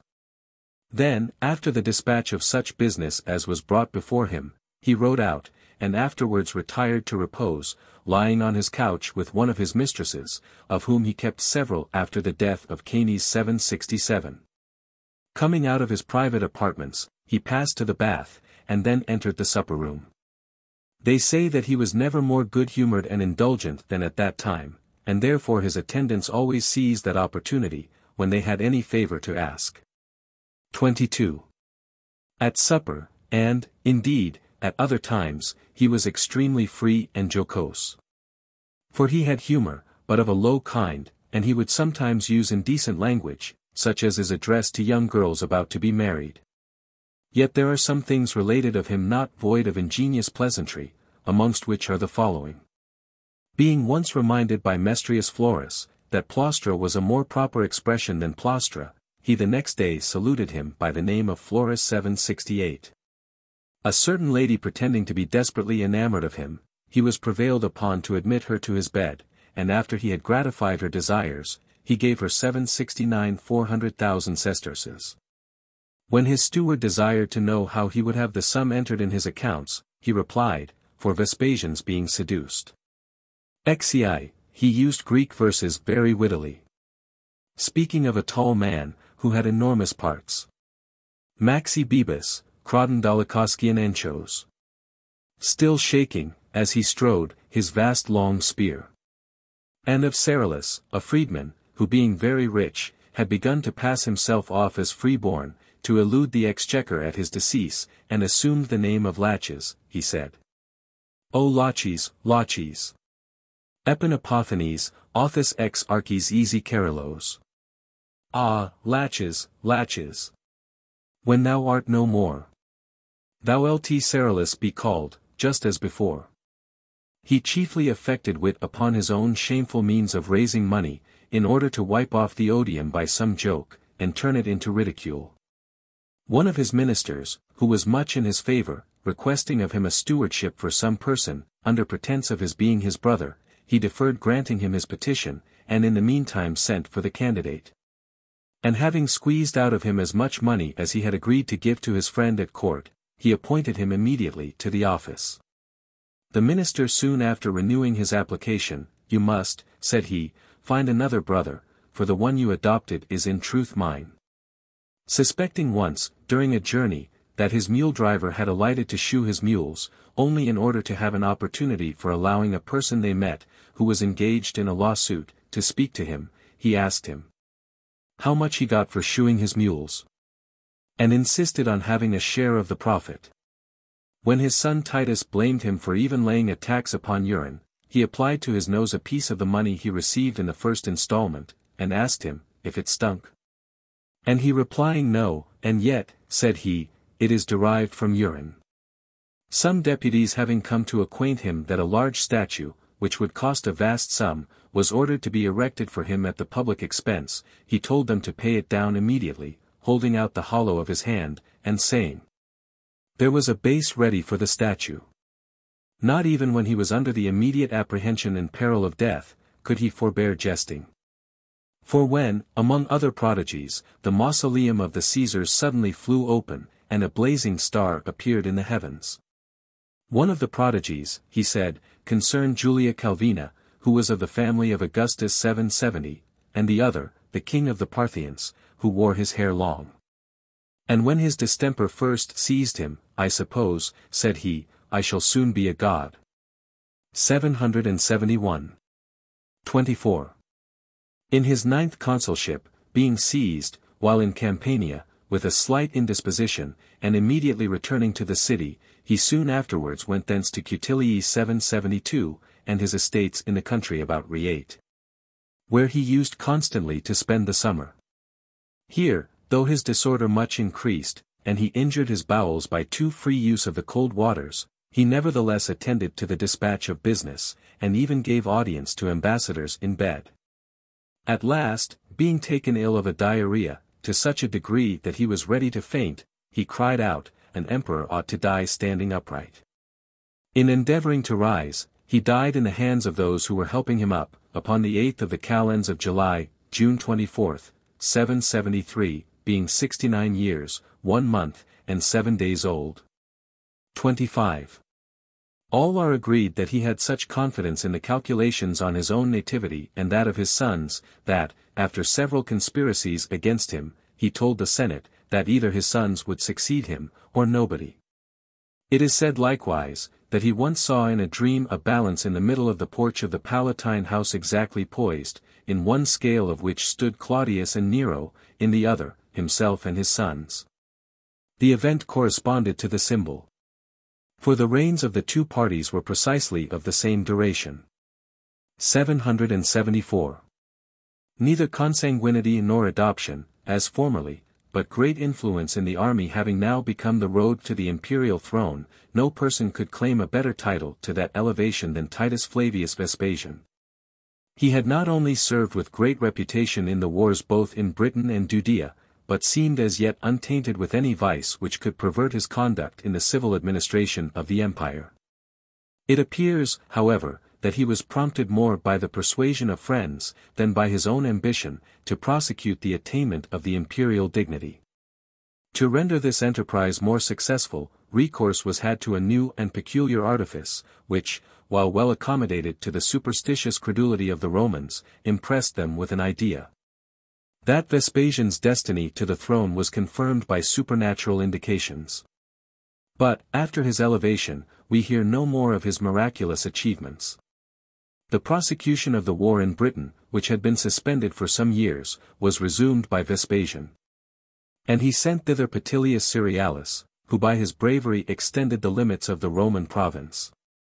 Under Julius Frontinus, successor to that general, the invaders continued to make farther progress in the reduction of the island, but the commander who finally established the dominion of the Romans in Britain, was Julius Agricola. Not less distinguished for his military achievements, than for his prudent regard to the civil administration of the country. He began his operations with the conquest of North Wales, whence passing over into the island of Anglesey, which had revolted since the time of Suetonius Paulinus, he again reduced it to subjection. Then proceeding northwards with his victorious army, he defeated the Britons in every engagement, took possession of all the territories in the southern parts of the island, and driving before him all who refused to submit to the Roman arms. Penetrated even into the forests and mountains of Caledonia. He defeated the natives under Galgacus, their leader, in a decisive battle. And fixing a line of garrisons between the friths of Clyde and Forth, he secured the Roman province from the incursions of the people who occupied the parts of the island beyond that boundary. Wherever he established the Roman power, he introduced laws and civilization amongst the inhabitants, and employed every means of conciliating their affection, as well as of securing their obedience. The war in Judea, which had been commenced under the former reign, was continued in that of Vespasian. But he left the siege of Jerusalem to be conducted by his son Titus, who displayed great valor and military talents in the prosecution of the enterprise. After an obstinate defense by the Jews, that city, so much celebrated in the sacred writings, was finally demolished, and the glorious temple itself, the admiration of the world, reduced to ashes. Contrary, however, to the will of Titus, who exerted his utmost efforts to extinguish the flames. The manners of the Romans had now attained to an enormous pitch of depravity, through the unbounded licentiousness of the times. And, to the honor of Vespasian, he discovered great zeal in his endeavors to effect a national reformation. Vigilant, active, and persevering, he was indefatigable in the management of public affairs, and rose in the winter before daybreak, to give audience to his officers of state. But if we give credit to the whimsical imposition of a tax upon urine, we cannot entertain any high opinion either of his talents as a financier, or of the resources of the Roman Empire. By his encouragement of science, he displayed a liberality, of which there occurs no example under all the preceding emperors, since the time of Augustus. Pliny the Elder was now in the height of reputation, as well as in great favor with Vespasian, and it was probably owing not a little to the advice of that minister, that the emperor showed himself so much the patron of literary men. A writer mentioned frequently by Pliny, and who lived in this reign, was Licinius Mucianus, a Roman knight, he treated of the history and geography of the eastern countries. Juvenal, who had begun his satires several years before, continued to inveigh against the flagrant vices of the times, but the only author whose writings we have to notice in the present reign, is a poet of a different class. C. Valerius Flaccus wrote a poem in eight books, on the expedition of the Argonauts, a subject which, next to the wars of Thebes and Troy, was in ancient times the most celebrated. Of the life of this author, biographers have transmitted no particulars, but we may place his birth in the reign of Tiberius, before all the writers who flourished in the Augustan age were extinct. He enjoyed the rays of the setting sun which had illumined that glorious period, and he discovers the efforts of an ambition to recall its meridian splendor. As the poem was left incomplete by the death of the author, we can only judge imperfectly of the conduct and general consistency of the fable, but the most difficult part having been executed, without any room for the censure of candid criticism. We may presume that the sequel would have been finished with an equal claim to indulgence, if not to applause. The traditional anecdotes relative to the Argonautic expedition are introduced with propriety, and embellished with the graces of poetical fiction.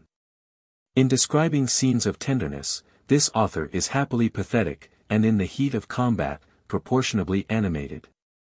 His similes present the imagination with beautiful imagery, and not only illustrate, but give additional force to the subject.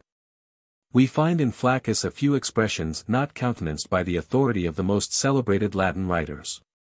His language, however, in general, is pure, but his words are perhaps not always the best that might have been chosen. The versification is elevated, though not uniformly harmonious, and there pervades the whole poem an epic dignity, which renders it superior to the production ascribed to Orpheus, or to that of Apollonius, on the same subject.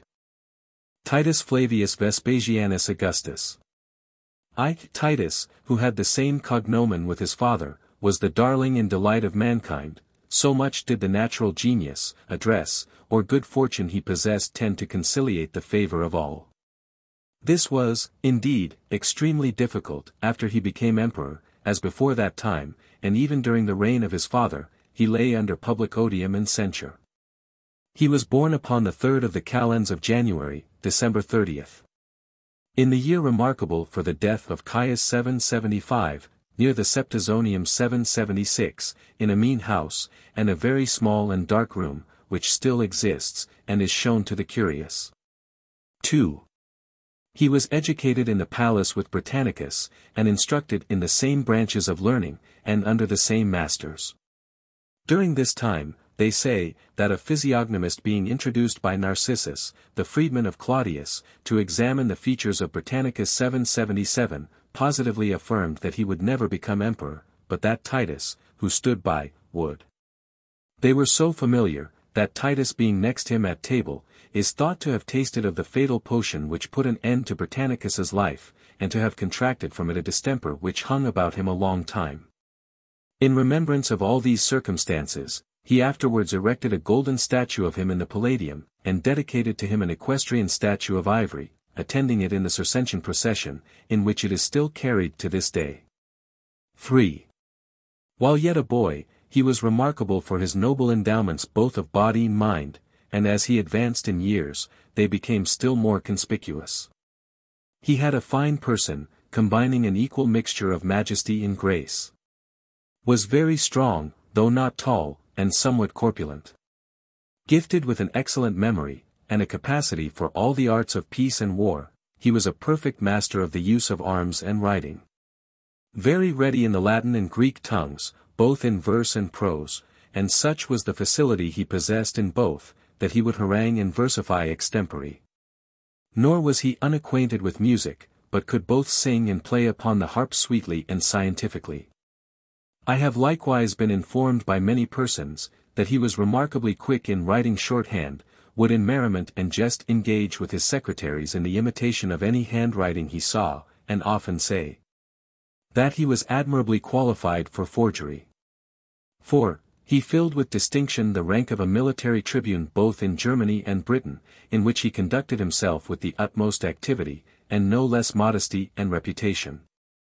As appears evident from the great number of statues, with honorable inscriptions, erected to him in various parts of both those provinces. After serving in the wars, he frequented the courts of law, but with less assiduity than applause. About the same time, he married Aricidia, the daughter of Tertullus, who was only a knight, but had formerly been prefect of the Praetorian Guards. After her decease, he married Marcia Furnilla, of a very noble family, but afterwards divorced her, taking from her the daughter he had by her. Upon the expiration of his quaestorship, he was raised to the rank of commander of a legion 778, and took the two strong cities of Tarichaea and Gamala, in Judea. And having his horse killed under him in a battle, he mounted another, whose rider he had encountered and slain. V. Soon afterwards, when Galba came to be emperor, he was sent to congratulate him, and turned the eyes of all people upon himself, wherever he came. It being the general opinion amongst them, that the emperor had sent for him with a design to adopt him for his son. But finding all things again in confusion, he turned back upon the road. And going to consult the oracle of Venus at Paphos about his voyage, he received assurances of obtaining the empire for himself.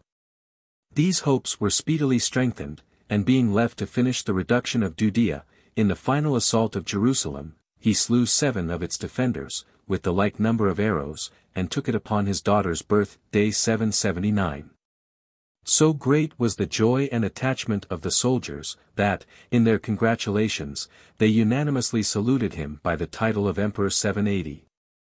And, upon his quitting the province soon afterwards, would needs have detained him, earnestly begging him, and that not without threats, either to stay, or take them all with him. This occurrence gave rise to the suspicion of his being engaged in a design to rebel against his father, and claim for himself the government of the East. And the suspicion increased, when, on his way to Alexandria, he wore a diadem at the consecration of the ox Apis at Memphis. And, though he did it only in compliance with an ancient religious usage of the country, yet there was some who put a bad construction upon it. Making, therefore, what haste he could into Italy, he arrived first at Rhegium, and sailing thence in a merchant ship to Puteoli, went to Rome with all possible expedition. Presenting himself unexpectedly to his father, he said, by way of contradicting the strange reports raised concerning him, I am come, father, I am come. 6. From that time he constantly acted as colleague with his father, and, indeed, as regent of the empire. He triumphed 781 with his father, bore jointly with him the office of censor 782, and was, besides, his colleague not only in the tribunician authority 783, but in 7 consulship 784. Taking upon himself the care and inspection of all offices, he dictated letters, wrote proclamations in his father's name, and pronounced his speeches in the Senate in place of the quaestor. He likewise assumed the command of the Praetorian Guards, although no one but a Roman knight had ever before been their prefect. In this he conducted himself with great haughtiness and violence, taking off without scruple or delay all those he had most reason to suspect, after he had secretly sent his emissaries into the theatres and camp, to demand, as if by general consent, that the suspected persons should be delivered up to punishment. Among these, he invited to supper a Caecina, a man of consular rank, whom he ordered to be stabbed at his departure, immediately after he had gone out of the room. To this act, indeed, he was provoked by an imminent danger. For he had discovered a writing under the hand of Caecina, containing an account of a plot hatched among the soldiers.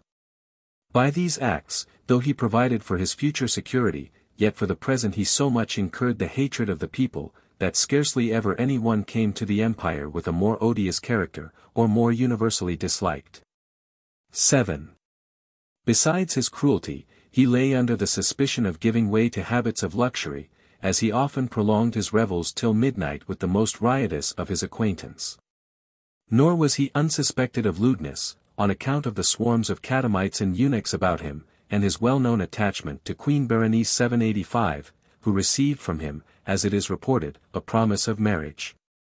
He was supposed, besides, to be of a rapacious disposition, for it is certain, that, in causes which came before his father, he used to offer his interest for sale, and take bribes. In short, people publicly expressed an unfavorable opinion of him, and said he would prove another Nero. This prejudice, however, turned out in the end to his advantage, and enhanced his praises to the highest pitch when he was found to possess no vicious propensities, but, on the contrary, the noblest virtues. His entertainments were agreeable rather than extravagant, and he surrounded himself with such excellent friends, that the succeeding princes adopted them as most serviceable to themselves and the state. He immediately sent away Berenice from the city, much against both their inclinations. Some of his old eunuchs, though such accomplished dancers, that they bore an uncontrollable sway upon the stage, he was so far from treating with any extraordinary kindness that he would not so much as witness their performances in the crowded theatre. He violated no private right, and if ever man refrained from injustice, he did, nay, he would not accept of the allowable and customary offerings. Yet, in munificence, he was inferior to none of the princes before him. Having dedicated his amphitheatre 786, and built some warm baths 787 close by it with great expedition, he entertained the people with most magnificent spectacles. He likewise exhibited a naval fight in the old Naumachia, besides a combat of gladiators, and in one day brought into the theatre 5,000 wild beasts of all kinds. 788.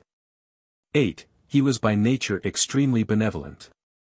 For whereas all the emperors after Tiberius, according to the example he had set them, would not admit the grants made by former princes to be valid, unless they received their own sanction, he confirmed them all by one general edict. Without waiting for any applications respecting them. Of all who petitioned for any favor, he sent none away without hopes. And when his ministers represented to him that he promised more than he could perform, he replied, no one ought to go away downcast from an audience with his prince. Once at supper, reflecting that he had done nothing for any that day, he broke out into that memorable and justly admired saying, My friends, I have lost a day. 789 More particularly, he treated the people on all occasions with so much courtesy, that, on his presenting them with a show of gladiators, he declared, he should manage it, not according to his own fancy, but that of the spectators. And did accordingly. He denied them nothing, and very frankly encouraged them to ask what they pleased. Espousing the cause of the Thracian party among the gladiators, he frequently joined in the popular demonstrations in their favor, but without compromising his dignity or doing injustice. To omit no opportunity of acquiring popularity, he sometimes made use himself of the baths he had erected, without excluding the common people. There happened in his reign some dreadful accidents. An eruption of Mount Vesuvius 790, in Campania, and a fire in Rome, which continued during three days and three nights 791, besides a plague, such as was scarcely ever known before. Amidst these many great disasters, he not only manifested the concern which might be expected from a prince but even the affection of a father, for his people. One while comforting them by his proclamations, and another while relieving them to the utmost of his power. He chose by lot, from amongst the men of consular rank, commissioners for repairing the losses in Campania. The estates of those who had perished by the eruption of Vesuvius, and who had left no heirs, he applied to the repair of the ruined cities. With regard to the public buildings destroyed by fire in the city, he declared that nobody should be a loser but himself. Accordingly, he applied all the ornaments of his palaces to the decoration of the temples, and purposes of public utility, and appointed several men of the equestrian order to superintend the work. For the relief of the people during the plague, he employed, in the way of sacrifice and medicine, all means both human and divine. Amongst the calamities of the times, were informers and their agents. A tribe of miscreants who had grown up under the license of former reigns. These he frequently ordered to be scourged or beaten with sticks in the forum, and then, after he had obliged them to pass through the amphitheatre as a public spectacle, commanded them to be sold for slaves. Or else banished them to some rocky islands. And to discourage such practices for the future, amongst other things, he prohibited actions to be successively brought under different laws for the same cause. Or the state of affairs of deceased persons to be inquired into after a certain number of years. 9. Having declared that he accepted the office of Pontifex Maximus for the purpose of preserving his hands undefiled, he faithfully adhered to his promise. For after that time he was neither directly nor indirectly concerned in the death of any person, though he sometimes was justly irritated. He swore that he would perish himself, rather than prove the destruction of any man. Two men of patrician rank being convicted of aspiring to the empire, he only advised them to desist, saying, that the sovereign power was disposed of by fate, and promised them, that if there was anything else they desired of him, he would grant it. He also immediately sent messengers to the mother of one of them, who was at a great distance, and in deep anxiety about her son, to assure her of his safety. Nay, he not only invited them to sup with him, but next day, at a show of gladiators, purposely placed them close by him, and handed to them the arms of the combatants for his inspection. It is said likewise, that having had their nativities cast, he assured them, that a great calamity was impending on both of them, but from another hand, and not from his. Though his brother was continually plotting against him, almost openly stirring up the armies to rebellion, and contriving to get away, yet he could not endure to put him to death, or to banish him from his presence. Nor did he treat him with less respect than before. But from his first accession to the empire, he constantly declared him his partner in it, and that he should be his successor. Begging of him sometimes in private, with tears in his eyes, to return the affection he had for him. X, amidst all these favorable circumstances, he was cut off by an untimely death, more to the loss of mankind than himself. At the close of the public spectacles, he wept bitterly in the presence of the people, and then retired into the Sabine country 792, rather melancholy, because a victim had made its escape while he was sacrificing. And loud thunder had been heard while the atmosphere was serene. At the first resting place on the road, he was seized with a fever, and being carried forward in a litter, they say that he drew back the curtains, and looked up to heaven, complaining heavily, that his life was taken from him. Though he had done nothing to deserve it. For there was no action of his that he had occasion to repent of, but one. What that was, he neither disclosed himself, nor is it easy for us to conjecture. Some imagine that he alluded to the connection which he had formerly had with his brother's wife. But Domitia solemnly denied it on oath, which she would never have done, had there been any truth in the report. Nay, she would certainly have gloried in it, as she was forward enough to boast of all her scandalous intrigues. 11. He died in the same villa where his father had died before him, upon the Ides of September, the 13th of September. Two years, two months, and twenty days after he had succeeded his father, and in the one and fortieth year of his age 793. As soon as the news of his death was published, all people mourned for him, as for the loss of some near relative. The Senate assembled in haste, before they could be summoned by proclamation, and locking the doors of their house at first, but afterwards opening them, gave him such thanks, and heaped upon him such praises, now he was dead. As they never had done whilst he was alive and present amongst them. Titus Flavius Vespasian, the younger, was the first prince who succeeded to the empire by hereditary right. And having constantly acted, after his return from Judea, as colleague with his father in the administration, he seemed to be as well qualified by experience as he was by abilities, for conducting the affairs of the empire. But with respect to his natural disposition, and moral behavior, the expectations entertained by the public were not equally flattering. He was immoderately addicted to luxury, he had betrayed a strong inclination to cruelty. And he lived in a habitual practice of lewdness, no less unnatural than intemperate. But, with a degree of virtuous resolution unexampled in history, he had no sooner taken into his hands the entire reins of government, than he renounced every vicious attachment. Instead of wallowing in luxury, as before, he became a model of temperance, instead of cruelty, he displayed the strongest proofs of humanity and benevolence. And in the room of lewdness, he exhibited a transition to the most unblemished chastity and virtue. In a word, so sudden and great a change was never known in the character of mortal. And he had the peculiar glory to receive the appellation of the darling and delight of mankind. Under a prince of such a disposition, the government of the empire could not but be conducted with the strictest regard to the public welfare. The reform, which was begun in the late reign, he prosecuted with the most ardent application.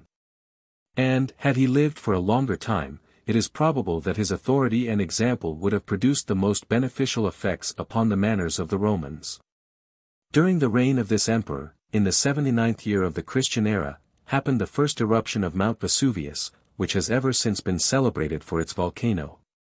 Before this time, Vesuvius is spoken of, by ancient writers, as being covered with orchards and vineyards, and of which the middle was dry and barren. The eruption was accompanied by an earthquake, which destroyed several cities of Campania, particularly Pompeii and Herculaneum, while the lava, pouring down the mountain in torrents, overwhelmed, in various directions, the adjacent plains. The burning ashes were carried not only over the neighboring country, but as far as the shores of Egypt, Libya, and even Syria. Amongst those to whom this dreadful eruption proved fatal, was Pliny, the celebrated naturalist, whose curiosity to examine the phenomenon led him so far within the verge of danger, that he could not afterwards escape. Pliny, surnamed the Elder, was born at Verona, of a noble family. He distinguished himself early by his military achievements in the German war, received the dignity of an augur, at Rome, and was afterwards appointed governor of Spain. In every public character, he acquitted himself with great reputation, and enjoyed the esteem of the several emperors under whom he lived. The assiduity with which he applied himself to the collection of information, either curious or useful, surpasses all example. From an early hour in the morning, until late at night, he was almost constantly employed in discharging the duties of his public station, in reading or hearing books read by his amanuensis. And in extracting from them whatever seemed worthy of notice. Even during his meals, and while traveling in his carriage upon business, he prosecuted with unremitting zeal and diligence his taste for inquiry and compilation. No man ever displayed so strong a persuasion of the value of time, or availed himself so industriously of it. He considered every moment as lost which was not employed in literary pursuits. The books which he wrote, in consequence of this indefatigable exertion, were, according to the account transmitted by his nephew, Pliny the Younger, numerous, and on various subjects. The catalogue of them is as follows, a book on equestrian archery, which discovered much skill in the art, the life of Q. Pomponius Secundus, 20 books of the wars of Germany, a complete treatise on the education of an orator, in six volumes. Eight books of doubtful discourses, written in the latter part of the reign of Nero, when every kind of moral discussion was attended with danger. With a hundred and sixty volumes of remarks on the writings of the various authors which he had perused. For the last mentioned production only, and before it was brought near to its accomplishment, we are told, that he was offered by Largius Licinius 400,000 sesterces, amounting to upwards of 3,200 pounds sterling. An enormous sum for the copyright of a book before the invention of printing.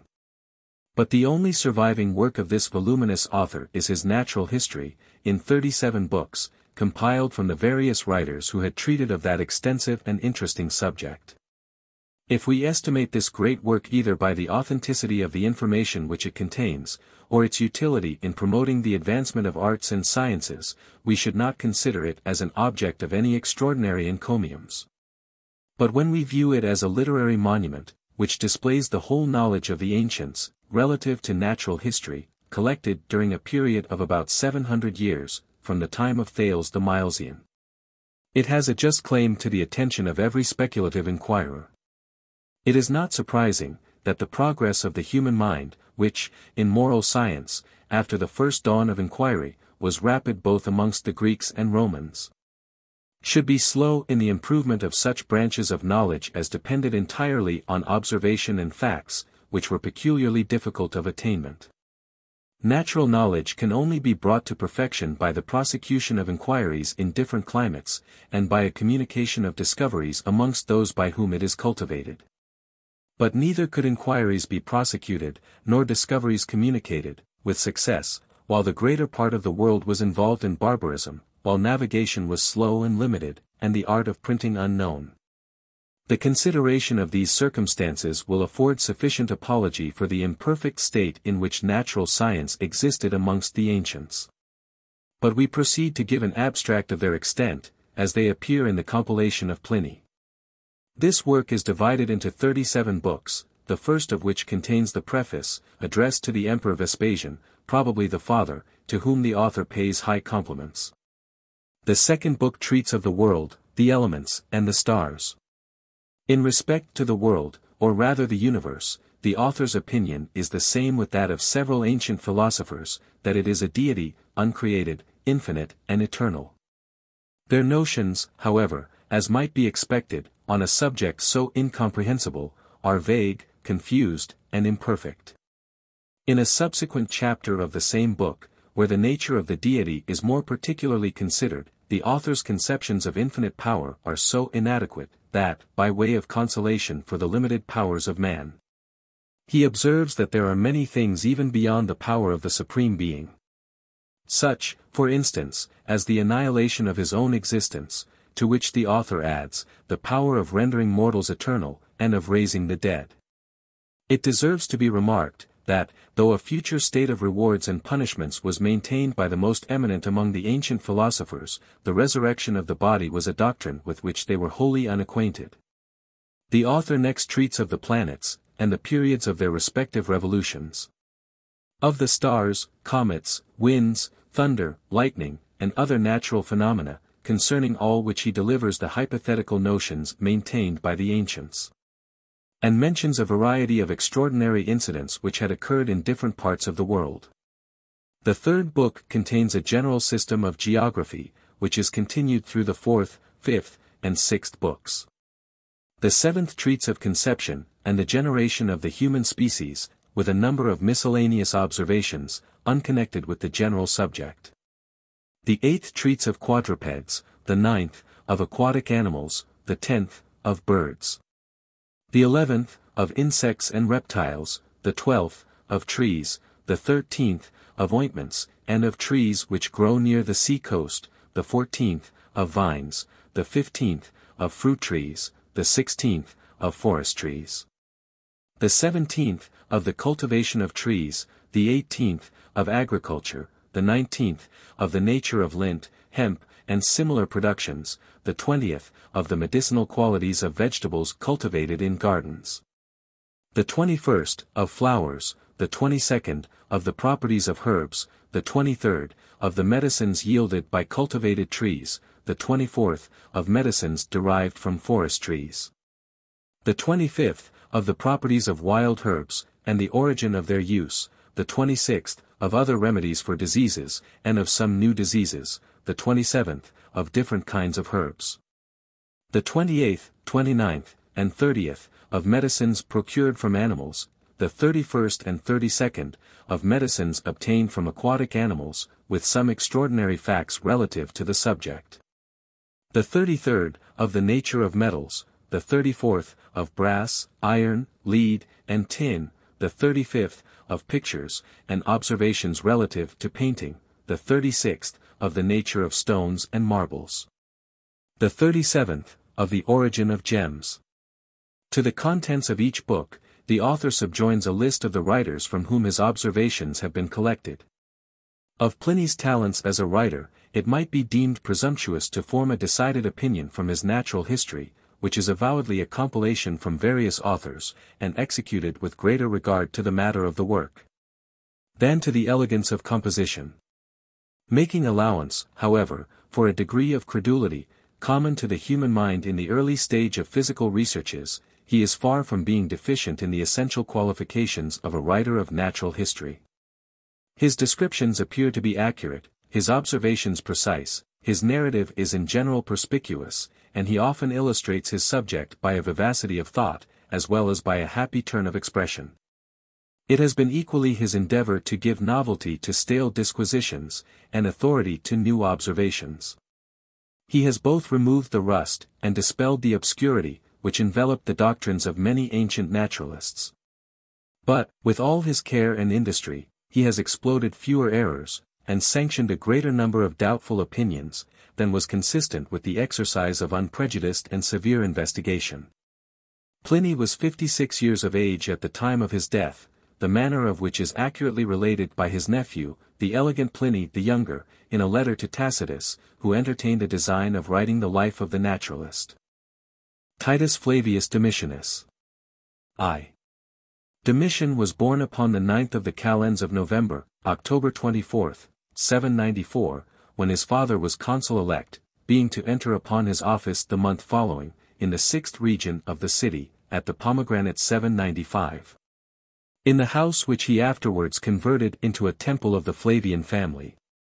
He is said to have spent the time of his youth in so much want and infamy, that he had not one piece of plate belonging to him.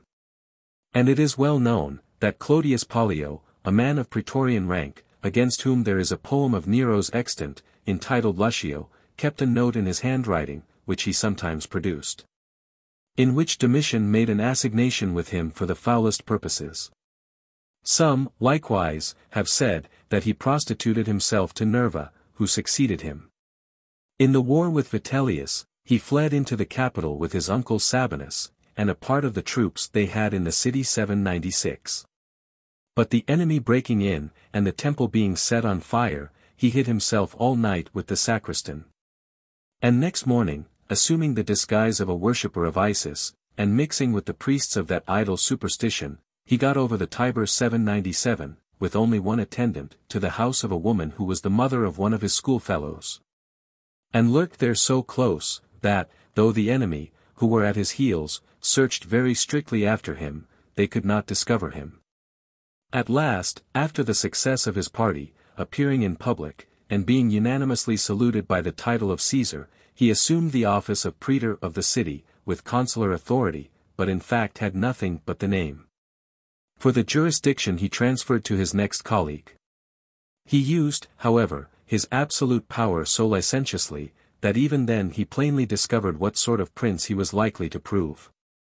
Not to go into details, after he had made free with the wives of many men of distinction, he took Domitia Longina from her husband, Aelius Lamia, and married her, and in one day disposed of above twenty offices in the city and the provinces. Upon which Vespasian said several times, he wondered he did not send him a successor too.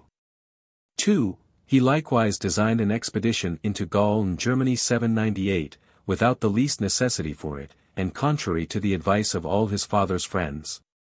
And this he did only with the view of equaling his brother in military achievements and glory. But for this he was severely reprimanded, and that he might the more effectually be reminded of his age and position, was made to live with his father, and his litter had to follow his father's and brother's carriage, as often as they went abroad. But he attended them in their triumph for the conquest of Judea 799, mounted on a white horse. Of the six consulships which he held, only one was ordinary, and that he obtained by the cession and interest of his brother. He greatly affected a modest behavior, and, above all, a taste for poetry, insomuch, that he rehearsed his performances in public, though it was an art he had formerly little cultivated, and which he afterwards despised and abandoned. Devoted, however, as he was at this time to poetical pursuits, yet when Vologesus, king of the Parthians, desired succors against the Alani, with one of Vespasian's sons to command them, he labored hard to procure for himself that appointment. But the scheme proving abortive, he endeavored by presents and promises to engage other kings of the East to make a similar request. After his father's death, he was for some time in doubt, whether he should not offer the soldiers a donative double to that of his brother, and made no scruple of saying frequently, that he had been left his partner in the empire. But that his father's will had been fraudulently set aside. From that time forward, he was constantly engaged in plots against his brother, both publicly and privately, until, falling dangerously ill, he ordered all his attendants to leave him, under pretence of his being dead, before he really was so. And, at his decease, paid him no other honor than that of enrolling him amongst the gods, and he often, both in speeches and edicts, carped at his memory by sneers and insinuations. 3. In the beginning of his reign, he used to spend daily an hour by himself in private, during which time he did nothing else but catch flies, and stick them through the body with a sharp pin. When some one therefore inquired, whether any one was with the emperor, it was significantly answered by Vibius Crispus, not so much as a fly. Soon after his advancement, his wife Domitia, by whom he had a son in his second consulship, and whom the year following he complimented with the title of Augusta, being desperately in love with Paris, the actor, he put her away. But within a short time afterwards, being unable to bear the separation, he took her again, under pretence of complying with the people's importunity. During some time, there was in his administration a strange mixture of virtue and vice, until at last his virtues themselves degenerated into vices. Being, as we may reasonably conjecture concerning his character, inclined to avarice through want, and to cruelty through fear. 4. He frequently entertained the people with most magnificent and costly shows, not only in the amphitheatre, but the circus. Where, besides the usual races with chariots drawn by two or four horses abreast, he exhibited the representation of an engagement between both horse and foot, and a sea fight in the amphitheatre. The people were also entertained with the chase of wild beasts and the combat of gladiators, even in the night time, by torchlight. Nor did men only fight in these spectacles, but women also. He constantly attended at the games given by the quaestors, which had been disused for some time, but were revived by him. And upon those occasions, always gave the people the liberty of demanding two pair of gladiators out of his own school, who appeared last in court uniforms. Whenever he attended the shows of gladiators, there stood at his feet a little boy dressed in scarlet, with a prodigiously small head, with whom he used to talk very much, and sometimes seriously. We are assured, that he was overheard asking him, if he knew for what reason he had in the late appointment, made Mettius Rufus governor of Egypt. He presented the people with naval fights, performed by fleets almost as numerous as those usually employed in real engagements, making a vast lake near the Tiber 800, and building seats round it. And he witnessed them himself during a very heavy rain. He likewise celebrated the secular games 801, reckoning not from the year in which they had been exhibited by Claudius, but from the time of Augustus's celebration of them. In these, upon the day of the Circensian sports, in order to have a hundred races performed, he reduced each course from seven rounds to five. He likewise instituted, in honor of Jupiter Capitolinus, a solemn contest in music to be performed every five years, besides horse racing and gymnastic exercises, with more prizes than are at present allowed. There was also a public performance in elocution, both Greek and Latin and besides the musicians who sung to the harp, there were others who played concerted pieces or solos, without vocal accompaniment. Young girls also ran races in the stadium, at which he presided in his sandals, dressed in a purple robe, made after the Grecian fashion, and wearing upon his head a golden crown bearing the effigies of Jupiter, Juno, and Minerva. With the flamen of Jupiter, and the college of priests sitting by his side in the same dress, excepting only that their crowns had also his own image on them. He celebrated also upon the Alban Mount every year the festival of Minerva, for whom he had appointed a college of priests, out of which were chosen by lot persons to preside as governors over the college. Who were obliged to entertain the people with extraordinary chases of wild beasts, and stage plays, besides contests for prizes in oratory and poetry. He thrice bestowed upon the people a largess of three hundred sesterces each man. And, at a public show of gladiators, a very plentiful feast. At the festival of the Seven Hills 802, he distributed large hampers of provisions to the senatorian and equestrian orders, and small baskets to the common people, and encouraged them to eat by setting them the example. The day after, he scattered among the people a variety of cakes and other delicacies to be scrambled for. And on the greater part of them falling amidst the seats of the crowd, he ordered five hundred tickets to be thrown into each range of benches belonging to the senatorian and equestrian orders. V. He rebuilt many noble edifices which had been destroyed by fire, and amongst them the Capitol, which had been burnt down a second time 803, but all the inscriptions were in his own name, without the least mention of the original founders. He likewise erected a new temple in the Capitol to Jupiter Custos, and a forum, which is now called Nerva S804, as also the temple of the Flavian family 805, a stadium 806, an odeum 807, and a Naumachia 808. Out of the stone dug from which, the sides of the Circus Maximus, which had been burnt down, were rebuilt. 6 he undertook several expeditions, some from choice, and some from necessity. That against the Catti 809 was unprovoked, but that against the Sarmatians was necessary, an entire legion, with its commander, having been cut off by them. He sent two expeditions against the Dacians. The first upon the defeat of Appius Sabinus, a man of consular rank, and the other, upon that of Cornelius Fuscus, prefect of the Praetorian cohorts, to whom he had entrusted the conduct of that war. After several battles with the Catti and Daci, he celebrated a double triumph. But for his successes against the Sarmatians, he only bore in procession the laurel crown to Jupiter Capitolinus. The civil war, begun by Lucius Antonius, governor of Upper Germany, he quelled, without being obliged to be personally present at it, with remarkable good fortune. For, at the very moment of joining battle, the Rhine suddenly thawing, the troops of the barbarians which were ready to join L. Antonius, were prevented from crossing the river. Of this victory he had notice by some presages, before the messengers who brought the news of it arrived.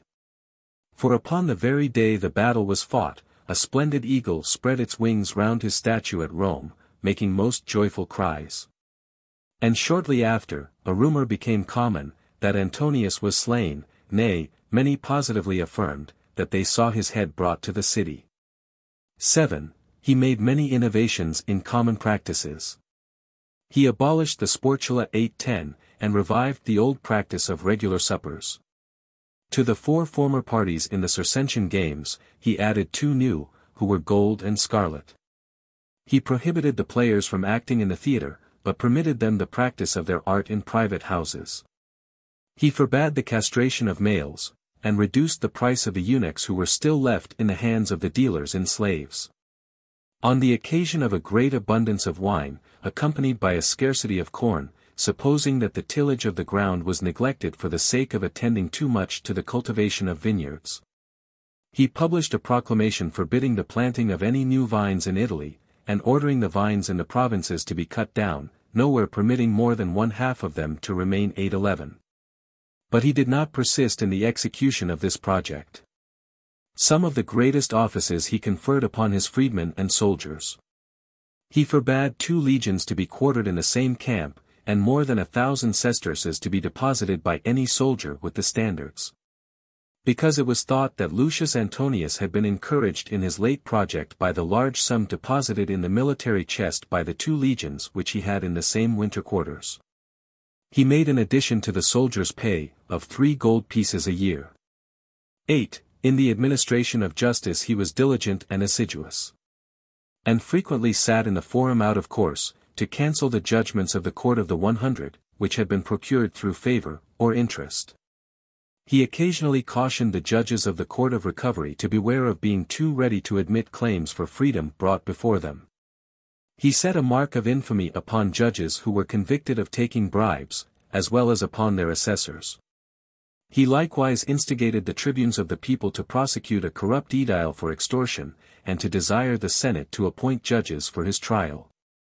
He likewise took such effectual care in punishing magistrates of the city, and governors of provinces, guilty of malversation, that they never were at any time more moderate or more just. Most of these, since his reign, we have seen prosecuted for crimes of various kinds. Having taken upon himself the reformation of the public manners, he restrained the license of the populace in sitting promiscuously with the knights in the theatre. Scandalous libels, published to defame persons of rank, of either sex, he suppressed, and inflicted upon their authors a mark of infamy. He expelled a man of quaestorian rank from the Senate, for practicing mimicry in dancing. He debarred infamous women the use of litters, as also the right of receiving legacies, or inheriting estates. He struck out of the list of judges a Roman knight for taking again his wife whom he had divorced and prosecuted for adultery. He condemned several men of the senatorian and equestrian orders, upon the Scantinian law 812. The lewdness of the Vestal virgins, which had been overlooked by his father and brother, he punished severely, but in different ways, viz. Offences committed before his reign, with death, and those since its commencement, according to ancient custom. For to the two sisters called Oculatae, he gave liberty to choose the mode of death which they preferred, and banished their paramours. But Cornelia, the president of the Vestals, who had formerly been acquitted upon a charge of incontinence, being a long time after again prosecuted and condemned, he ordered to be buried alive. And her gallants to be whipped to death with rods in the comitium. Excepting only a man of praetorian rank, to whom, because he confessed the fact, while the case was dubious, and it was not established against him, though the witnesses had been put to the torture, he granted the favor of banishment. And to preserve pure and undefiled the reverence due to the gods, he ordered the soldiers to demolish a tomb, which one of his freedmen had erected for his son out of the stones designed for the temple of Jupiter Capitolinus. And to sink in the sea the bones and relics buried in it. 9. Upon his first succeeding to power, he felt such an abhorrence for the shedding of blood, that, before his father's arrival in Rome, calling to mind the verse of Virgil. Impia quam quisus gens est epulata juvences 813. Ere impious man restrained from blood in vain, began to feast on flesh of bullocks slain. He designed to have published a proclamation, to forbid the sacrifice of oxen. Before his accession to the imperial authority, and during some time afterwards, he scarcely ever gave the least grounds for being suspected of covetousness or avarice. But, on the contrary, he often afforded proofs, not only of his justice, but his liberality. To all about him he was generous even to profusion, and recommended nothing more earnestly to them than to avoid doing anything mean. He would not accept the property left him by those who had children. He also set aside a legacy bequeathed by the will of Ruscus Scipio, who had ordered his heir to make a present yearly to each of the senators upon their first assembling. He exonerated all those who had been under prosecution from the treasury for above five years before and would not suffer suits to be renewed, unless it was done within a year, and on condition, that the prosecutor should be banished, if he could not make good his cause. The secretaries of the quaestors having engaged in trade, according to custom, but contrary to the Clodian law 814, he pardoned them for what was past. Such portions of land as had been left when it was divided amongst the veteran soldiers, he granted to the ancient possessors, as belonging to them by prescription. He put a stop to false prosecutions in the exchequer, by severely punishing the prosecutors, and this saying of his was much taken notice of, that a prince who does not punish informers, encourages them. X. But he did not long persevere in this course of clemency and justice, although he sooner fell into cruelty than into avarice. He put to death a scholar of Paris, the pantomimic 815, though a minor, and then sick, only because, both in person and the practice of his art, he resembled his master. As he did likewise Hermogenes of Tarsus for some oblique reflections in his history, crucifying, besides, the scribes who had copied the work. One who was master of a band of gladiators, happening to say, that a Thrax was a match for a Myrmillo 816, but not so for the exhibitor of the games, he ordered him to be dragged from the benches into the arena, and exposed to the dogs. With this label upon him, a Parmularian 817 guilty of talking impiously. He put to death many senators, and amongst them several men of consular rank. In this number were, Civica Cerealis, when he was proconsul in Africa, Salvidianus Orfitus, and Acilius Glabrio in exile, under the pretence of their planning to revolt against him. The rest he punished upon very trivial occasions. As Aelius Lamia for some jocular expressions, which were of old date, and perfectly harmless, because, upon his commending his voice after he had taken his wife from him 818, he replied, Alas! I hold my tongue. And when Titus advised him to take another wife, he answered him thus, What? Have you a mind to marry? Salvius Cocceianus was condemned to death for keeping the birthday of his uncle Otho, the emperor, Mettius Pomposianus, because he was commonly reported to have an imperial nativity 819, and to carry about with him a map of the world upon vellum. With the speeches of kings and generals extracted out of Titus Livius. And for giving his slaves the names of Mago and Hannibal, Sallustius Lucullus, lieutenant in Britain, for suffering some lances of a new invention to be called Lucullian. And Junius Rusticus, for publishing a treatise in praise of Paetus Thrasea and Helvidius Priscus, and calling them both most upright men. Upon this occasion, he likewise banished all the philosophers from the city and Italy. He put to death the younger Helvidius, for writing a farce, in which, under the character of Paris and Oenone, he reflected upon his having divorced his wife. And also Flavius Sabinus, one of his cousins, because, upon his being chosen at the consular election to that office, the public crier had, by a blunder, proclaimed him to the people not consul, but emperor. Becoming still more savage after his success in the civil war, he employed the utmost industry to discover those of the adverse party who absconded, many of them he racked with a new invented torture, inserting fire through their private parts. And from some he cut off their hands. It is certain, that only two of any note were pardoned, a tribune who wore the narrow stripe, and a centurion.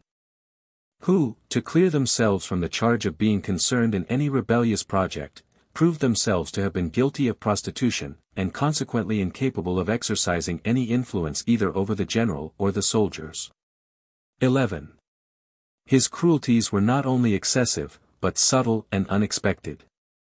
The day before he crucified a collector of his rents, he sent for him into his bedchamber, made him sit down upon the bed by him, and sent him away well pleased, and, so far as could be inferred from his treatment, in a state of perfect security. Having vouchsafed him the favor of a plate of meat from his own table. When he was on the point of condemning to death Aretinus Clemens, a man of consular rank, and one of his friends and emissaries, he retained him about his person in the same or greater favor than ever. Until at last, as they were riding together in the same litter, upon seeing the man who had informed against him, he said, Are you willing that we should hear this base slave tomorrow? Contemptuously abusing the patience of men, he never pronounced a severe sentence without prefacing it with words which gave hopes of mercy, so that, at last, there was not a more certain token of a fatal conclusion, than a mild commencement. He brought before the Senate some persona accused of treason, declaring, that he should prove that day how dear he was to the Senate, and so influenced them, that they condemned the accused to be punished according to the ancient usage 820. Then, as if alarmed at the extreme severity of their punishment, to lessen the odiousness of the proceeding, he interposed in these words.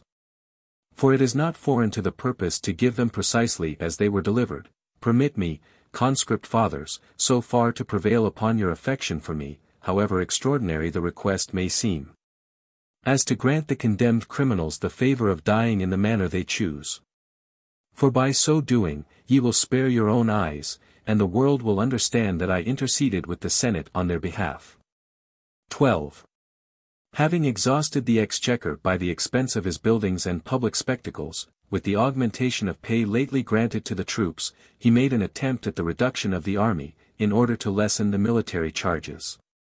But reflecting, that he should, by this measure, expose himself to the insults of the barbarians, while it would not suffice to extricate him from his embarrassments, he had recourse to plundering his subjects by every mode of exaction.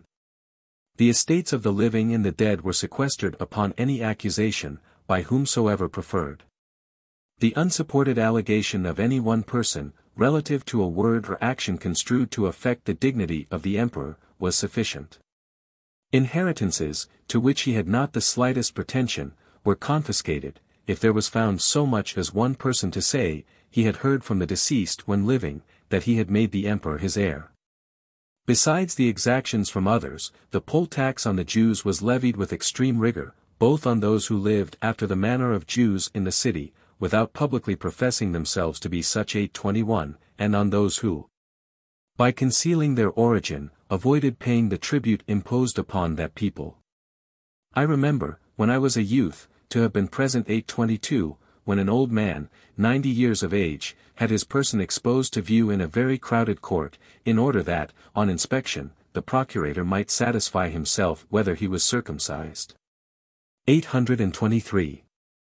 From his earliest years Domitian was anything but courteous, of a forward, assuming disposition, and extravagant both in his words and actions. When Caenis, his father's concubine, upon her return from Istria, offered him a kiss, as she had been used to do, he presented her his hand to kiss. Being indignant, that his brother's son-in-law should be waited on by servants dressed in white 824, he exclaimed. Uk agathon polyquirani. 825. Too many princes are not good. 13. After he became emperor, he had the assurance to boast in the Senate, that he had bestowed the empire on his father and brother, and they had restored it to him. And upon taking his wife again, after the divorce, he declared by proclamation, that he had recalled her to his pulvinar. 826 He was not a little pleased too, at hearing the acclamations of the people in the amphitheatre on a day of festival, all happiness to our Lord and Lady. But when, during the celebration of the Capitoline trial of skill, the whole concourse of people entreated him with one voice to restore Palfurius Sura to his place in the Senate. From which he had been long before expelled, he having then carried away the prize of eloquence from all the orators who had contended for it, he did not vouchsafe to give them any answer. But only commanded silence to be proclaimed by the voice of the crier. With equal arrogance, when he dictated the form of a letter to be used by his procurators, he began it thus, Our Lord and God commands so and so, whence it became a rule that no one should style him otherwise either in writing or speaking. He suffered no statues to be erected for him in the Capitol, unless they were of gold and silver, and of a certain weight. He erected so many magnificent gates and arches, surmounted by representations of chariots drawn by four horses, and other triumphal ornaments, in different quarters of the city, that a wag inscribed on one of the arches the Greek word axii. It is enough. 827 He filled the office of consul seventeen times, which no one had ever done before him, and for the seven middle occasions in successive years, but in scarcely any of them had he more than the title. For he never continued in office beyond the calends of May, the May 1st, and for the most part only till the Ides of January, January 13th. After his two triumphs, when he assumed the cognomen of Germanicus, he called the months of September and October, Germanicus and Domitian, after his own names, because he commenced his reign in the one, and was born in the other. 14. Becoming by these means universally feared and odious, he was at last taken off by a conspiracy of his friends and favorite freedmen, in concert with his wife 828. He had long entertained a suspicion of the year and day when he should die, and even of the very hour and manner of his death, all which he had learned from the Chaldeans, when he was a very young man. His father once at supper laughed at him for refusing to eat some mushrooms, saying, that if he knew his fate, he would rather be afraid of the sword. Being, therefore, in perpetual apprehension and anxiety, he was keenly alive to the slightest suspicions, insomuch that he is thought to have withdrawn the edict ordering the destruction of the vines. Chiefly because the copies of it which were dispersed had the following lines written upon them. K me phagis api rhizonomos api cartophoriso. Asen epispici caesari thuamino. 829. Gnaw thou my root, yet shall my juice suffice. To pour on Caesar's head in sacrifice. It was from the same principle of fear, that he refused a new honor, devised and offered him by the Senate, though he was greedy of all such compliments. It was this, that as often as he held the consulship, Roman knights, chosen by lot, should walk before him, clad in the with lances in their hands, amongst his lictors and apparitors. As the time of the danger which he apprehended drew near, he became daily more and more disturbed in mind. Insomuch that he lined the walls of the porticos in which he used to walk, with the stone called Phengites 830, by the reflection of which he could see every object behind him. He seldom gave an audience to persons in custody, unless in private, being alone, and he himself holding their chains in his hand. To convince his domestics that the life of a master was not to be attempted upon any pretext, however plausible, he condemned to death Epaphroditus his secretary, because it was believed that he had assisted Nero, in his extremity, to kill himself. 15. His last victim was Flavius Clemens 831, his cousin german, a man below contempt for his want of energy, whose sons, then of very tender age, he had avowedly destined for his successors, and, discarding their former names, had ordered one to be called Vespasian, and the other Domitian.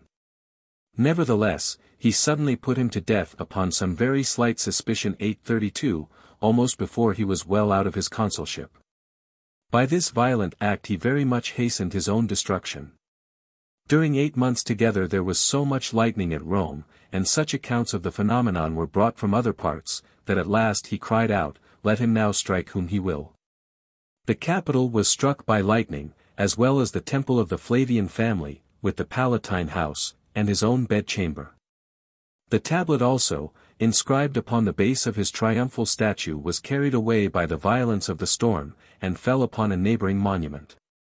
The tree which just before the advancement of Vespasian had been prostrated, and rose again 833, suddenly fell to the ground. The goddess Fortune of Praeneste, to whom it was his custom on New Year's Day to commend the empire for the ensuing year, and who had always given him a favorable reply, at last returned him a melancholy answer, not without mention of blood. He dreamt that Minerva, whom he worshipped even to a superstitious excess, was withdrawing from her sanctuary, declaring she could protect him no longer, because she was disarmed by Jupiter. Nothing, however, so much affected him as an answer given by Ascletario, the astrologer, and his subsequent fate. This person had been informed against, and did not deny his having predicted some future events, of which, from the principles of his art, he confessed he had a foreknowledge. Domitian asked him, what end he thought he should come to himself. To which replying, I shall in a short time be torn to pieces by dogs, he ordered him immediately to be slain, and, in order to demonstrate the vanity of his art, to be carefully buried. But during the preparations for executing this order, it happened that the funeral pile was blown down by a sudden storm, and the body, half burnt, was torn to pieces by dogs. Which being observed by Latinus, the comic actor, as he chanced to pass that way, he told it, amongst the other news of the day, to the emperor at supper. 16. The day before his death, he ordered some dates 834, served up at table, to be kept till the next day, adding, if I have the luck to use them. And turning to those who were nearest him, he said, Tomorrow the moon in Aquarius will be bloody instead of watery, and an event will happen, which will be much talked of all the world over. About midnight, he was so terrified that he leaped out of bed. That morning he tried and passed sentence on a soothsayer sent from Germany, who being consulted about the lightning that had lately happened, predicted from it a change of government. The blood running down his face as he scratched an ulcerous tumor on his forehead, he said, Would this were all that is to befall me. Then, upon his asking the time of the day, instead of five o'clock, which was the hour he dreaded, they purposely told him it was six overjoyed at this information. As if all danger were now past, and hastening to the bath, Parthenius, his chamberlain, stopped him, by saying that there was a person come to wait upon him about a matter of great importance, which would admit of no delay. Upon this, ordering all persons to withdraw, he retired into his chamber, and was there slain. 17. Concerning the contrivance and mode of his death, the common account is this.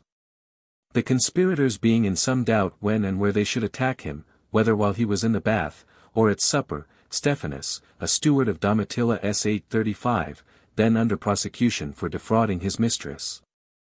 Offered them his advice and assistance. And wrapping up his left arm, as if it was hurt, in wool and bandages for some days, to prevent suspicion, at the hour appointed, he secreted a dagger in them. Pretending then to make a discovery of a conspiracy, and being for that reason admitted, he presented to the emperor a memorial, and while he was reading it in great astonishment, stabbed him in the groin. But Domitian, though wounded, making resistance, Clodianus, one of his guards, Maximus, a freedman of Parthenius's, Saturius, his principal chamberlain, with some gladiators, fell upon him, and stabbed him in seven places. A boy who had the charge of the Lares in his bedchamber, and was then in attendance as usual, gave these further particulars, that he was ordered by Domitian, upon receiving his first wound, to reach him a dagger which lay under his pillow. And call in his domestics. But that he found nothing at the head of the bed, excepting the hilt of a poniard, and that all the doors were fastened, that the emperor in the meantime got hold of Stephanus, and throwing him upon the ground, struggled a long time with him. One while endeavoring to wrench the dagger from him, another while, though his fingers were miserably mangled, to tear out his eyes.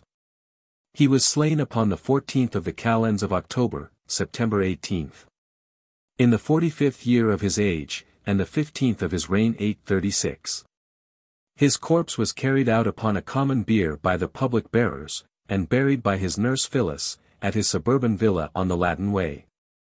But she afterwards privately conveyed his remains to the temple of the Flavian family 837, and mingled them with the ashes of Julia, the daughter of Titus, whom she had also nursed. 18. He was tall in stature, his face modest, and very ruddy. He had large eyes, but was dim-sighted. Naturally graceful in his person, particularly in his youth, excepting only that his toes were bent somewhat inward, he was at last disfigured by baldness, corpulence, and the slenderness of his legs, which were reduced by a long illness. He was so sensible how much the modesty of his countenance recommended him, that he once made this boast to the Senate, Thus far you have approved both of my disposition and my countenance. His baldness so much annoyed him, that he considered it an affront to himself, if any other person was reproached with it, either in jest or in earnest. Though in a small tract he published, addressed to a friend, concerning the preservation of the hair, he uses for their mutual consolation the words following. Ouch oras oios cago kalos te megas te. Sayest thou my graceful mien, my stately form? And yet the fate of my hair awaits me, however, I bear with fortitude this loss of my hair while I am still young. Remember that nothing is more fascinating than beauty, but nothing of shorter duration. 19. He so shrunk from undergoing fatigue, that he scarcely ever walked through the city on foot. In his expeditions and on a march, he seldom rode on horseback, but was generally carried in a litter. He had no inclination for the exercise of arms, but was very expert in the use of the bow. Many persons have seen him often kill a hundred wild animals, of various kinds, at his Alban retreat, and fix his arrows in their heads with such dexterity, that he could, in two shots, plant them, like a pair of horns, in each. He would sometimes direct his arrows against the hand of a boy standing at a distance, and expand it as a mark, with such precision, that they all passed between the boy's fingers, without hurting him. XX.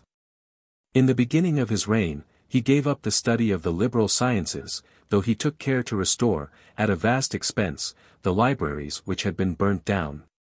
Collecting manuscripts from all parts, and sending scribes to Alexandria 838 either to copy or correct them.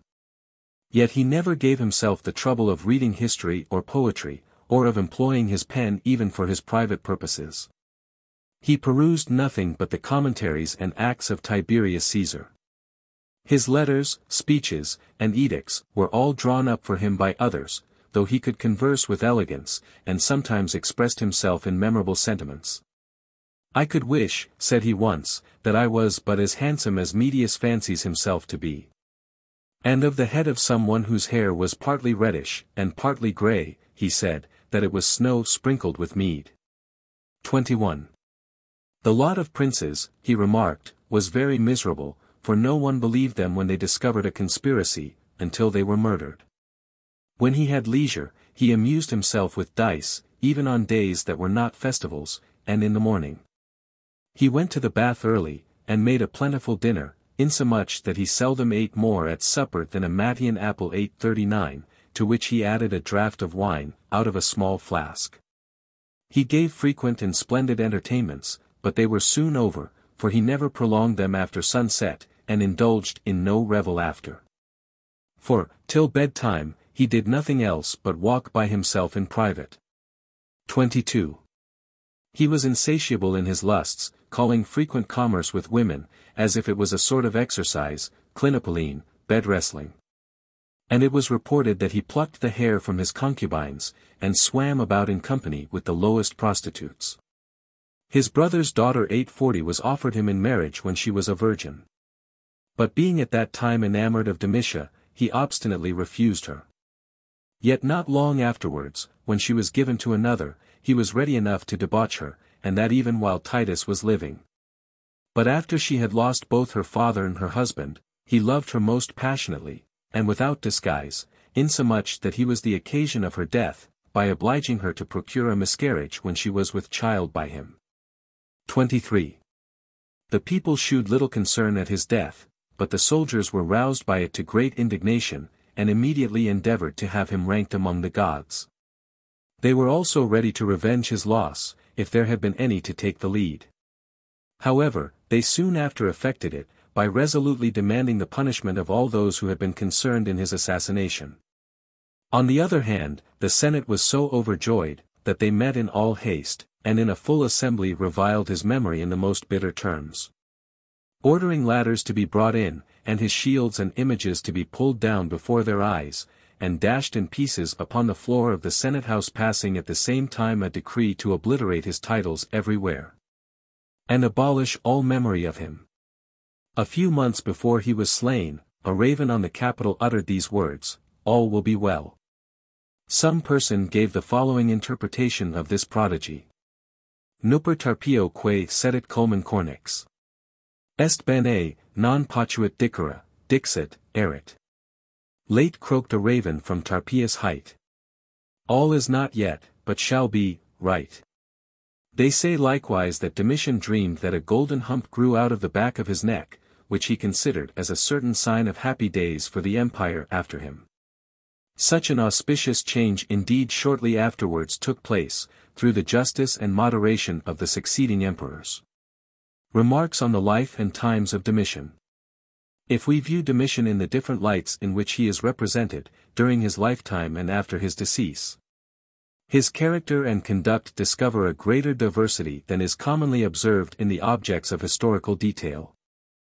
But as posthumous character is always the most just, its decisive verdict affords the surest criterion by which this variegated emperor must be estimated by impartial posterity.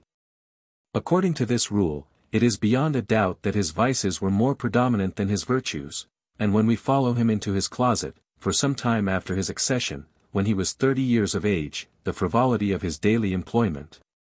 In the killing of flies, exhibits an instance of dissipation, which surpasses all that has been recorded of his imperial predecessors.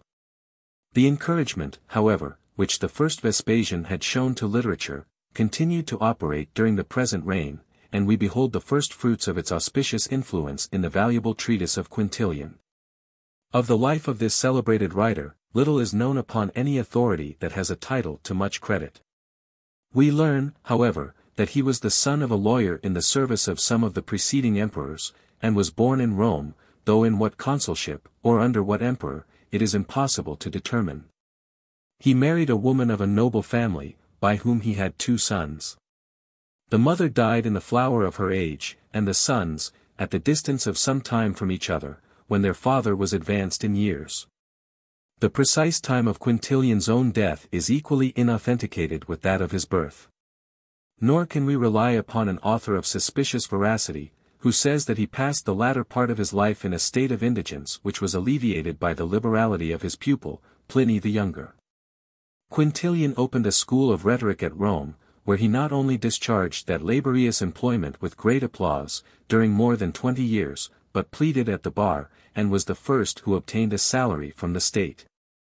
For executing the office of a public teacher. He was also appointed by Domitian preceptor to the two young princes who were intended to succeed him on the throne.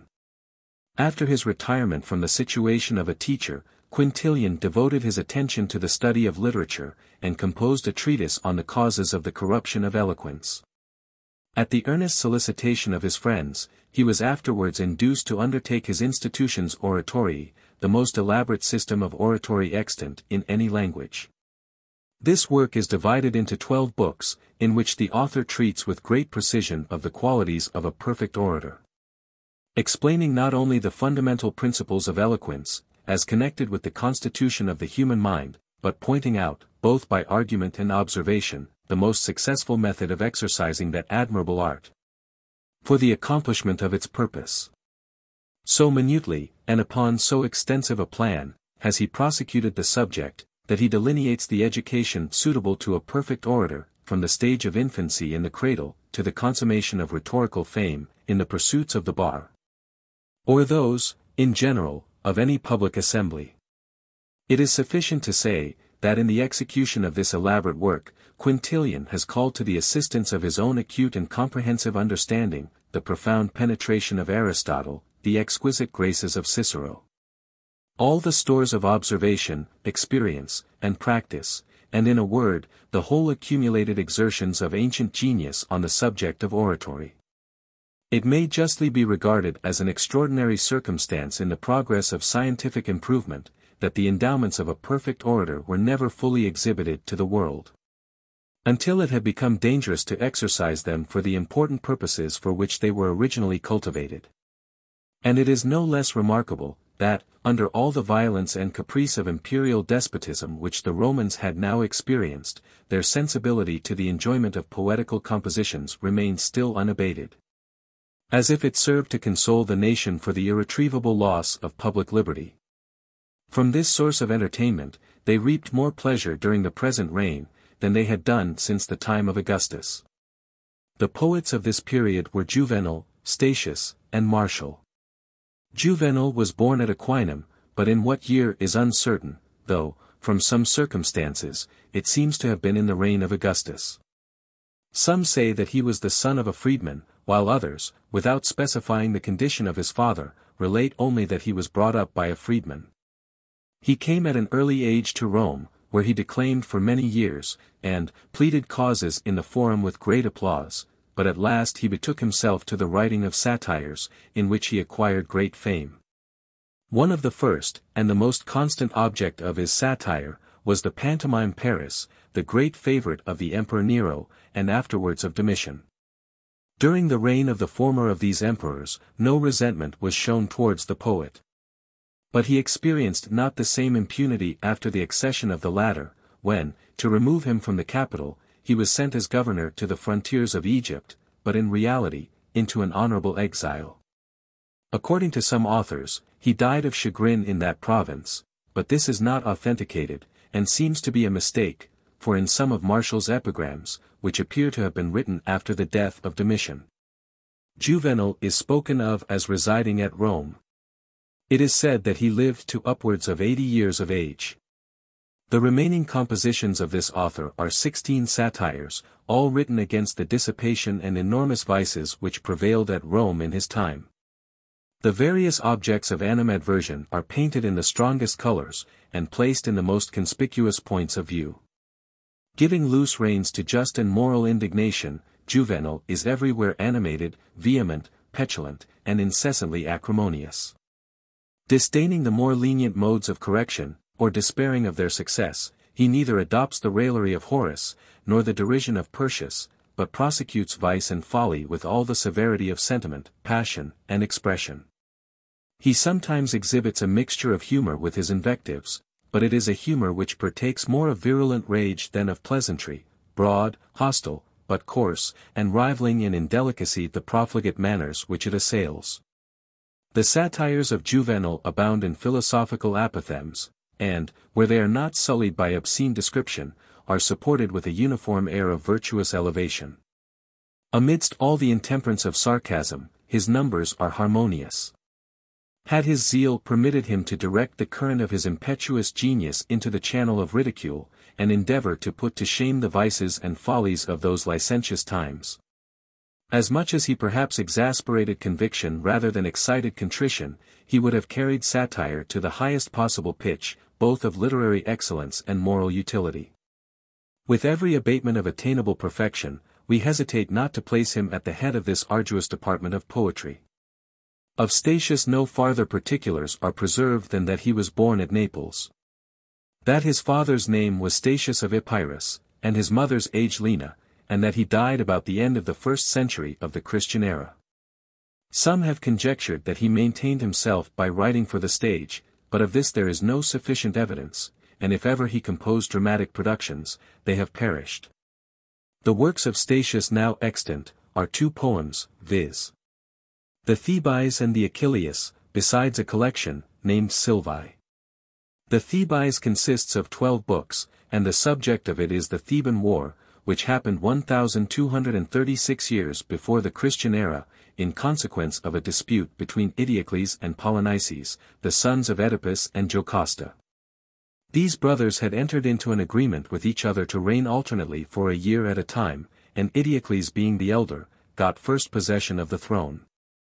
This prince refusing to abdicate at the expiration of the year, Polynices fled to Argos, where marrying Argia, the daughter of Adrastus, king of that country, he procured the assistance of his father-in-law.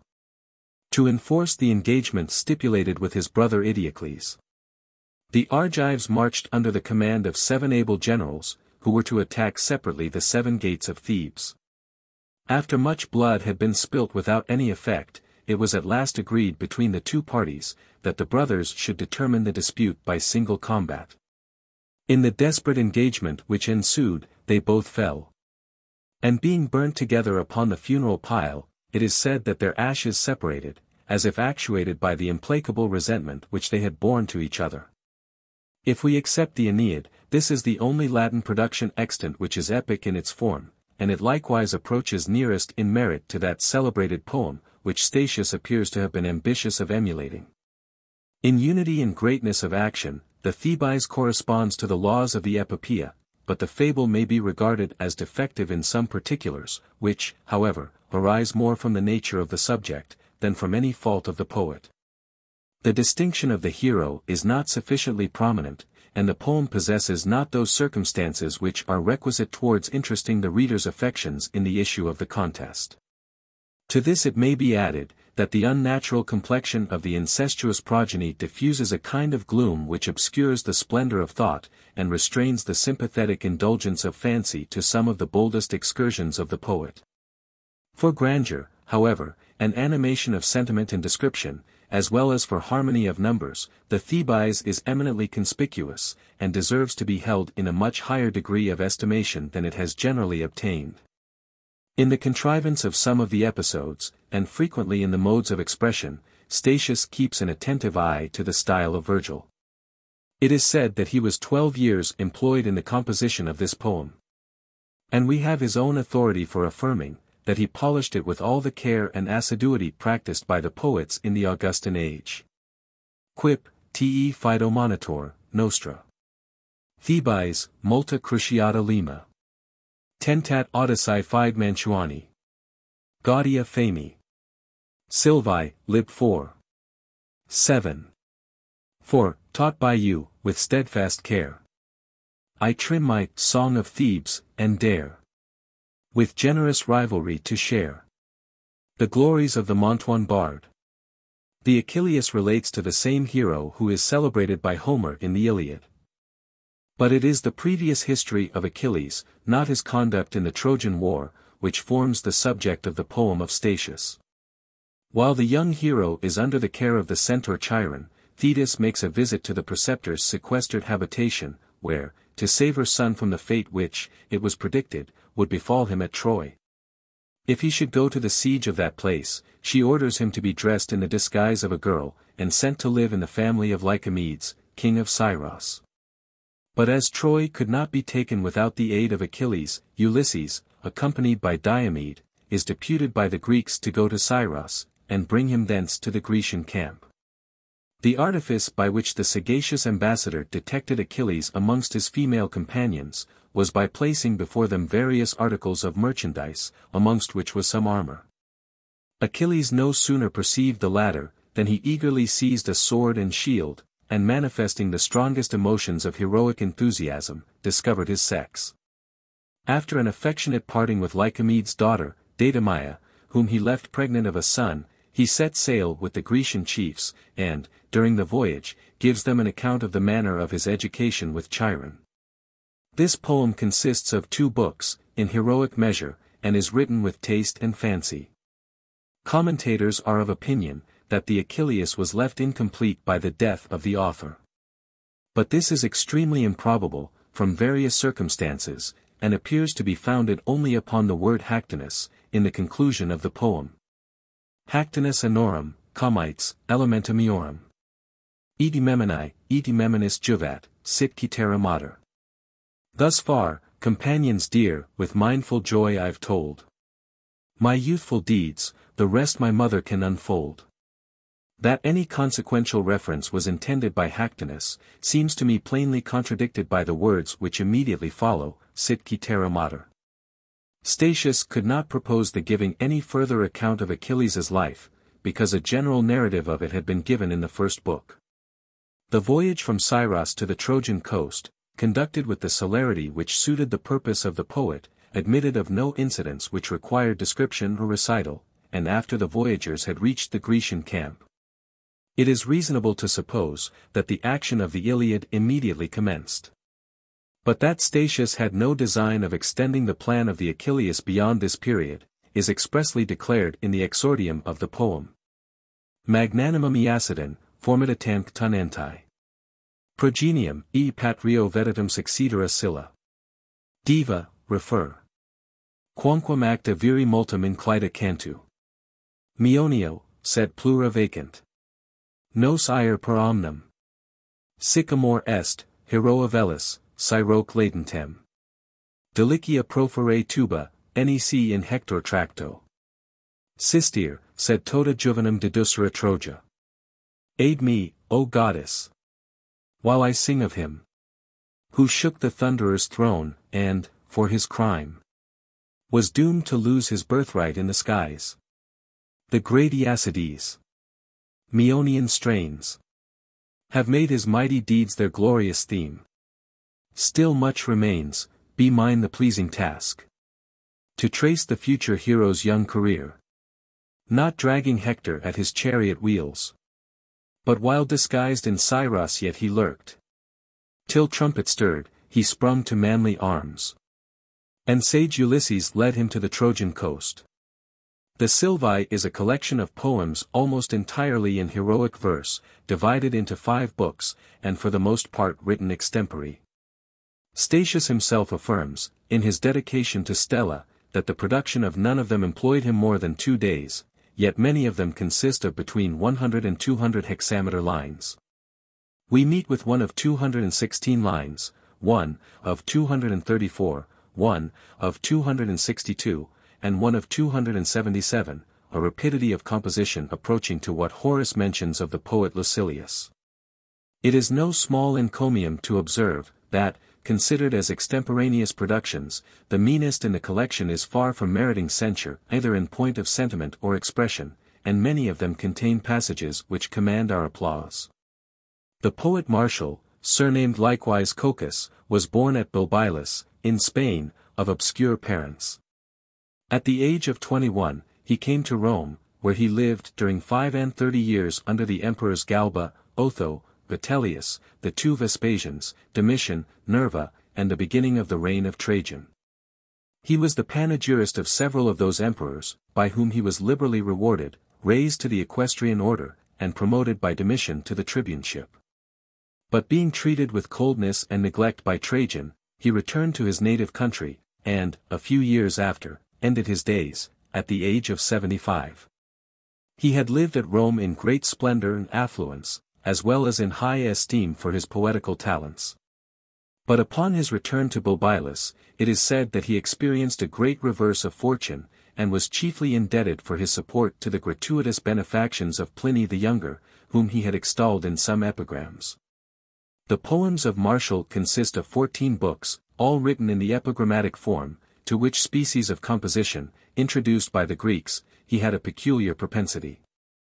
Amidst such a multitude of verses, on a variety of subjects, often composed extempore, and many of them, probably, in the moments of fashionable dissipation, it is not surprising that we find a large number unworthy the genius of the author. Delicacy, and even decency, is often violated in the productions of Martial. Grasping at every thought which afforded even the shadow of ingenuity, he gave unlimited scope to the exercise of an active and fruitful imagination. In respect to composition, he is likewise liable to censure. At one time he wearies, and at another tantalizes the reader, with the prolixity or ambiguity of his preambles. His prelusive sentiments are sometimes far-fetched, and converge not with a natural declination into the focus of epigram.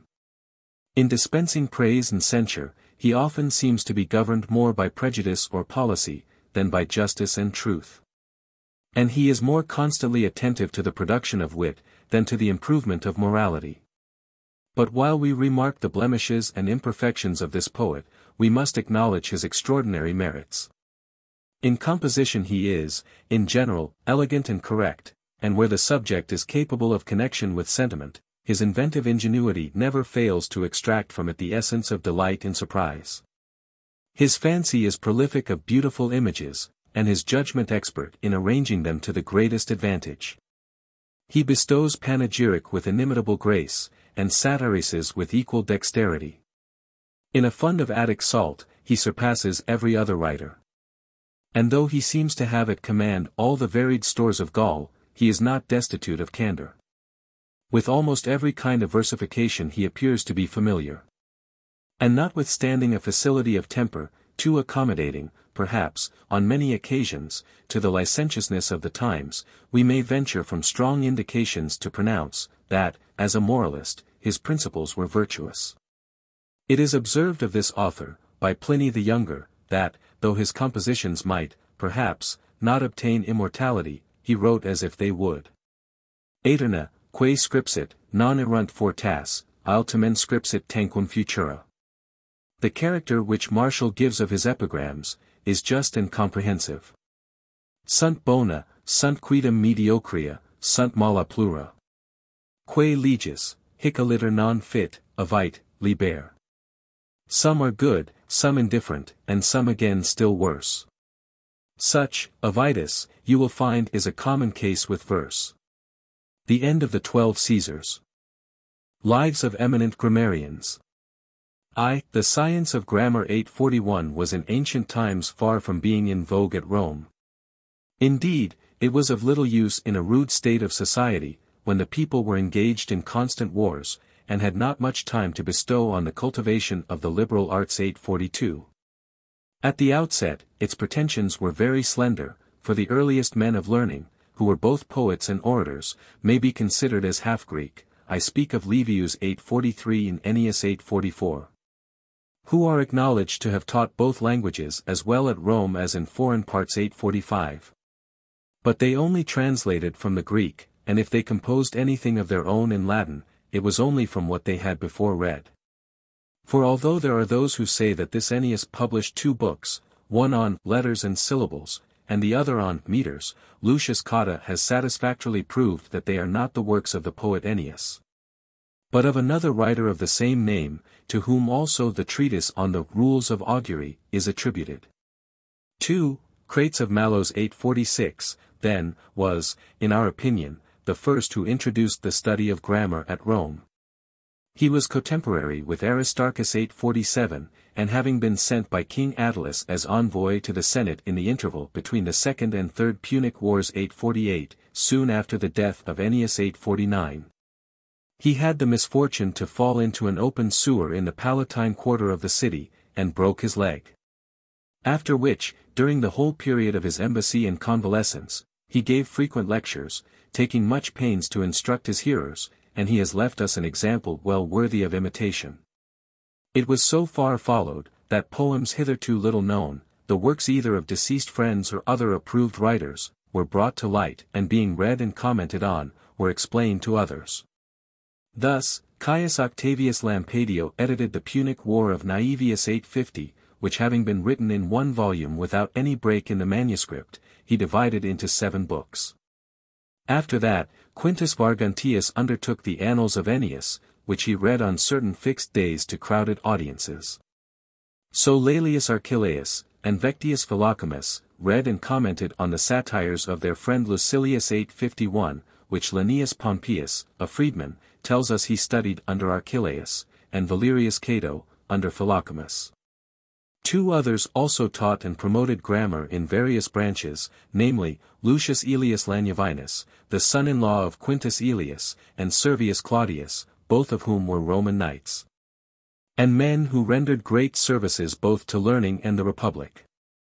3. Lucius Aelius had a double cognomen, for he was called Preconius, because his father was a herald, Stylo, because he was in the habit of composing orations for most of the speakers of highest rank. Indeed, he was so strong a partisan of the nobles, that he accompanied Quintus Metellus Numidicus 852 in his exile. Servius 853 having clandestinely obtained his father-in-law's book before it was published, was disowned for the fraud, which he took so much to heart, that, overwhelmed with shame and distress, he retired from Rome. And being seized with a fit of the gout, in his impatience, he applied a poisonous ointment to his feet, which half killed him, so that his lower limbs mortified while he was still alive. After this, more attention was paid to the science of letters, and it grew in public estimation, insomuch, that men of the highest rank did not hesitate in undertaking to write something on the subject. And it is related that sometimes there were no less than twenty celebrated scholars in Rome.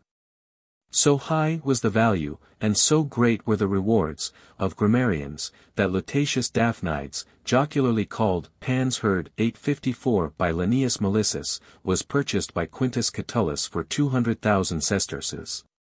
And shortly afterwards made a freedman. And that Lucius Apuleius, who was taken into the pay of Apicius Calvinus, a wealthy Roman knight, at the annual salary of 10,000 crowns, had many scholars.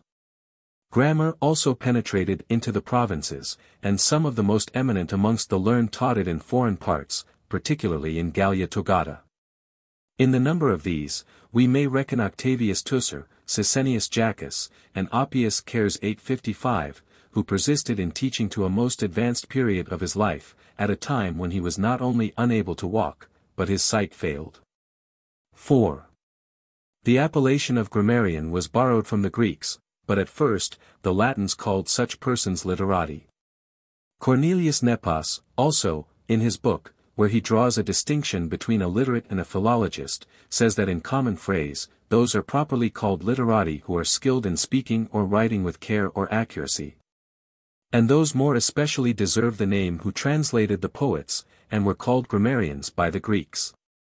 It appears that they were named literators by Messala Corvinus, in one of his letters, when he says, that it does not refer to Furius Bibaculus, nor even to Ticida, nor to Cato, the literator, 856 meaning, doubtless.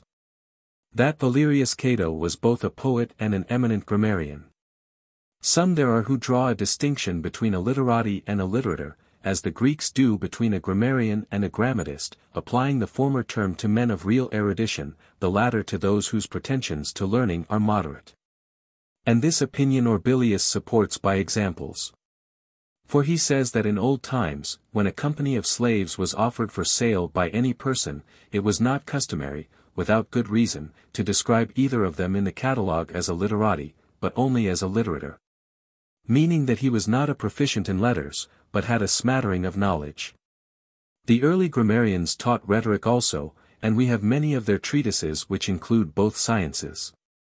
Whence it arose, I think, that in later times, although the two professions had then become distinct, the old custom was retained, or the grammarians introduced into their teaching some of the elements required for public speaking. Such as the problem, the periphrasis, the choice of words, description of character, and the like in order that they might not transfer their pupils to the rhetoricians no better than ill-taught boys. But I perceive that these lessons are now given up in some cases, on account of the want of application, or the tender years, of the scholar, for I do not believe that it arises from any dislike in the master. I recollect that when I was a boy it was the custom of one of these, whose name was Princeps, to take alternate days for declaiming and disputing. And sometimes he would lecture in the morning, and declaim in the afternoon, when he had his pulpit removed. I heard, also, that even within the memories of our own fathers, some of the pupils of the grammarians passed directly from the schools to the courts, and at once took a high place in the ranks of the most distinguished advocates. The professors at that time were, indeed, men of great eminence, of some of whom I may be able to give an account in the following chapters. V. Sevius 857 Nicanor first acquired fame and reputation by his teaching, and, besides, he made commentaries, the greater part of which, however, are said to have been borrowed. He also wrote a satire, in which he informs us that he was a freedman, and had a double cognomen, in the following verses. Sevius Nicanor Marci Libertus negabit. Sevius Postumius idem, said Marcus, docebit. What Sevius Nicanor, the freedman of Marcus, will deny. The same Sevius, called also Postumius Marcus, will assert. It is reported, that in consequence of some infamy attached to his character, he retired to Sardinia, and there ended his days. 6. Aurelius Opilius 858, the freedman of some Epicurean, first taught philosophy, then rhetoric, and last of all, grammar. Having closed his school, he followed Rutilius Rufus, when he was banished to Asia, and there the two friends grew old together. He also wrote several volumes on a variety of learned topics, nine books of which he distinguished by the number and names of the nine muses, as he says, not without reason, they being the patrons of authors and poets. I observe that its title is given in several indexes by a single letter, but he uses two in the heading of a book called Pinax. 7. Marcus Antonius Gnipho 859, a freeborn native of Gaul, was exposed in his infancy, and afterwards received his freedom from his foster father, and, as some say, was educated at Alexandria, where Dionysius Scytobrachion 860 was his fellow pupil. This, however, I am not very ready to believe, as the times at which they flourished scarcely agree. He is said to have been a man of great genius, of singular memory, well read in Greek as well as Latin, and of a most obliging and agreeable temper, who never haggled about remuneration, but generally left it to the liberality of his scholars. He first taught in the house of Julius Caesar 861, when the latter was yet but a boy, and, afterwards, in his own private house. He gave instruction in rhetoric also, teaching the rules of eloquence every day, but declaiming only on festivals. It is said that some very celebrated men frequented his school, and, among others, Marcus Cicero, during the time he held the praetorship 862. He wrote a number of works, although he did not live beyond his fiftieth year. But Ateius, the philologist 863, says, that he left only two volumes, the Latino Sermon, and, that the other works ascribed to him, were composed by his disciples, and were not his, although his name is sometimes to be found in them. 8. M. Pompilius Andronicus, a native of Syria, while he professed to be a grammarian, was considered an idle follower of the Epicurean sect, and little qualified to be a master of a school. Finding, therefore, that, at Rome, not only Antonius Gnipho, but even other teachers of less note were preferred to him, he retired to Cumae, where he lived at his ease. And, though he wrote several books, he was so needy, and reduced to such straits, as to be compelled to sell that excellent little work of his, the Index to the Annals, for sixteen thousand sesterces. Orbilius has informed us, that he redeemed this work from the oblivion into which it had fallen, and took care to have it published with the author's name. 9.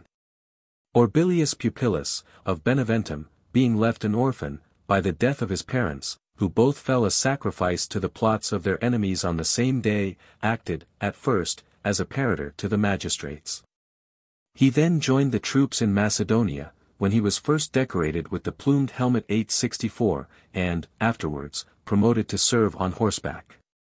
Having completed his military service, he resumed his studies, which he had pursued with no small diligence from his youth upwards. And, having been a professor for a long period in his own country, at last, during the consulship of Cicero, made his way to Rome, where he taught with more reputation than profit. For in one of his works he says, that he was then very old, and lived in a garret. He also published a book with the title of Periologos. Containing complaints of the injurious treatment to which professors submitted, without seeking redress at the hands of parents. His sour temper betrayed itself, not only in his disputes with the sophists opposed to him, whom he lashed on every occasion, but also towards his scholars, as Horace tells us, who calls him a flogger. 865 and Domitius Marsus 866, who says of him. Si quos orbilius ferula scuticake cessidit. If those orbilius with rod or ferule thrashed. And not even men of rank escaped his sarcasms. For, before he became noticed, happening to be examined as a witness in a crowded court, Varro, the advocate on the other side, put the question to him, what he did and by what profession he gained his livelihood. He replied, that he lived by removing hunchbacks from the sunshine into the shade, alluding to Murena's deformity. He lived till he was near a hundred years old. But he had long lost his memory, as the verse of Bibaculus informs us. Orbilius jubenum est, literarum oblivio. Where is Orbilius now, that wreck of learning lost? His statue is shown in the Capitol at Beneventum. It stands on the left hand, and is sculptured in marble 867, representing him in a sitting posture, wearing the pallium, with two writing cases in his hand. He left a son, named also Orbilius, who, like his father, was a professor of grammar. X. Ateius, the philologist, a freedman, was born at Athens. Of him, Capito Ateius 868, the well-known jurisconsult, says that he was a rhetorician among the grammarians, and a grammarian among the rhetoricians. Asinius Pollio 869, in the book in which he finds fault with the writings of Sallust for his great affectation of obsolete words, speaks thus, in this work his chief assistant was a certain Ateius, a man of rank, a splendid Latin grammarian. The aider and preceptor of those who studied the practice of declamation. In short, one who claimed for himself the cognomen of Philologus. Writing to Lucius Hermes, he says, that he had made great proficiency in Greek literature, and some in Latin. That he had been a hearer of Antonius Gnipho, and his Hermes 870, and afterwards began to teach others. Moreover, that he had for pupils many illustrious youths, among whom were the two brothers, Appius and Pulcher Claudius. And that he even accompanied them to their province. He appears to have assumed the name of Philologus, because, like Eratosthenes 871, who first adopted that cognomen, he was in high repute for his rich and varied stores of learning. Which, indeed, is evident from his commentaries, though but few of them are extant. Another letter, however, to the same Hermes, shews that they were very numerous, remember, it says, to recommend generally our extracts, which we have collected, as you know, of all kinds, into 800 books. He afterwards formed an intimate acquaintance with Caius Sallustius, and, on his death, with Asinius Pollio. And when they undertook to write a history, he supplied the one with short annals of all Roman affairs, from which he could select at pleasure, and the other, with rules on the art of composition. I am, therefore, surprised that Asinius Pollio should have supposed that he was in the habit of collecting old words and figures of speech for Sallust, when he must have known that his own advice was, that none but well known. And common and appropriate expressions should be made use of. And that, above all things, the obscurity of the style of Sallust, and his bold freedom in translations, should be avoided.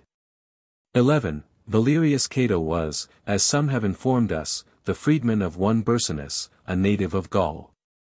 He himself tells us, in his little work called Indignatio, that he was born free, and being left an orphan, was exposed to be easily stripped of his patrimony during the license of Sylla's administrations.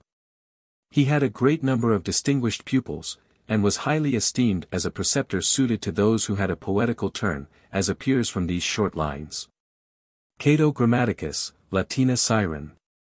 Ca solus legit ac facit potus. Cato, the Latin siren, grammar taught in verse. To form the poet skilled, and poetry rehearse. Besides his treatise on grammar, he composed some poems, of which, his Lydia and Diana are most admired. Ticida mentions his Lydia. Lydia, Doctora Maxima Cura. Lydia, a work to men of learning dear. Cinna 872 thus notices that Diana. Secula permaniat nostrae Diana Catonis. Immortal be Arcado's song of Dien. He lived to extreme old age, but in the lowest state of penury, and almost in actual want, having retired to a small cottage when he gave up his Tusculan villa to his creditors. As Bibaculus tells us. Sicus forte me domum Catonis. Depictas minio aciulas, et illos. Custodes vidit hortulos priapi. Mirator, cabus al. Tantam sit sapientium assicutus. Quam tres colliculi et salibra feris. Racemi duo, tegula sub una. Ad summum prope nutrient senectum. If, perchance, any one has seen the house of my Cato, with marble slabs of the richest hues, and his gardens worthy of having Priapus 873 for their guardian, he may well wonder by what philosophy he has gained so much wisdom.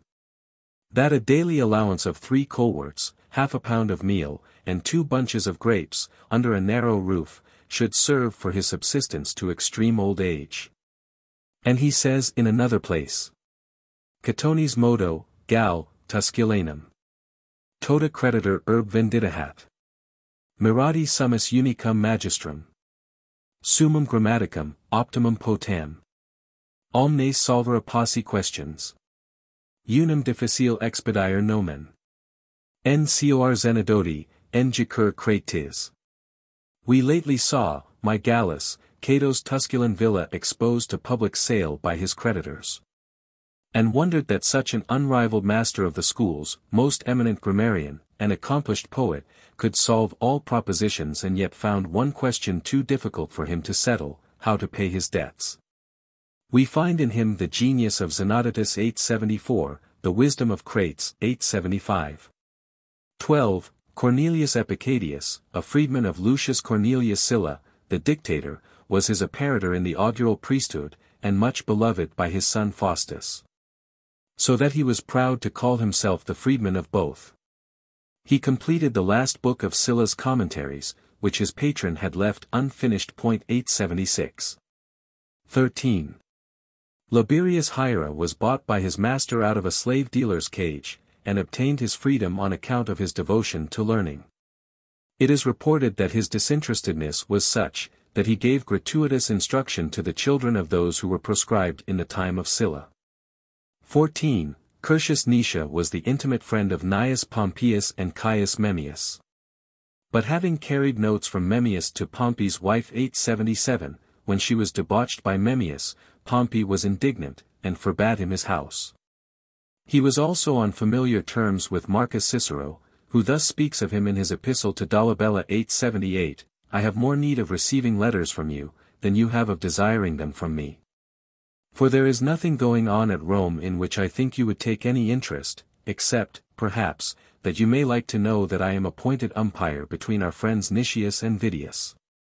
The one, it appears, alleges in two short verses that Nicias owes him money, the other, like an Aristarchus, cavils at them.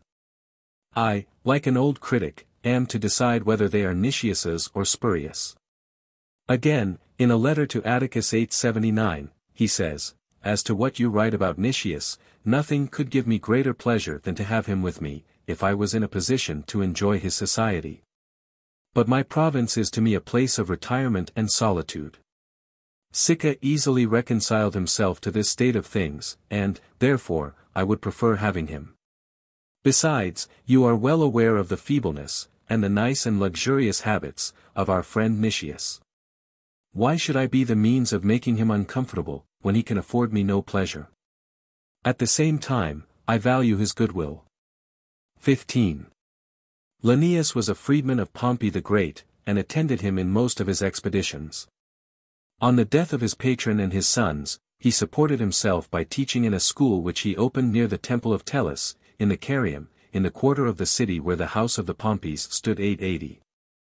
Such was his regard for his patron's memory, that when Sallust described him as having a brazen face, and a shameless mind, he lashed the historian in a most bitter satire 881, as, a bull's pizzle, a gormandizer, a braggart, and a tippler. A man whose life and writings were equally monstrous.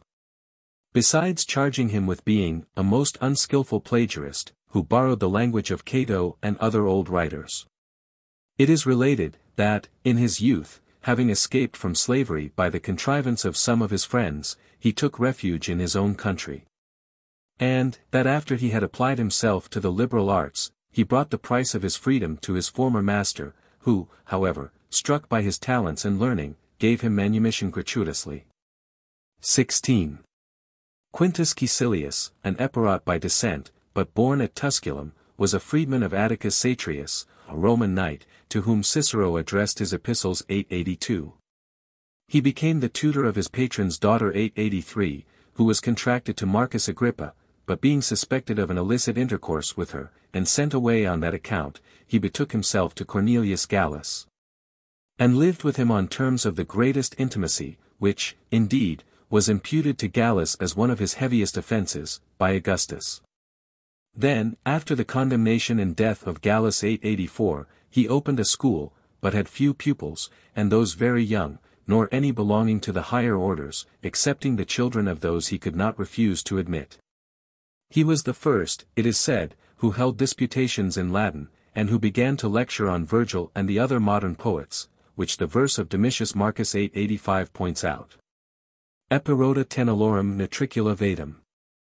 The Epirot who, with tender care, our unfledged poets nursed.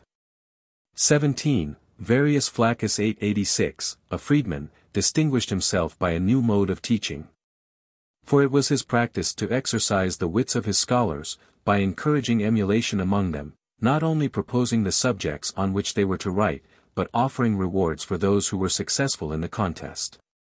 These consisted of some ancient, handsome, or rare book. Being, in consequence, selected by Augustus, as preceptor to his grandsons, he transferred his entire school to the Palatium, but with the understanding that he should admit no fresh scholars.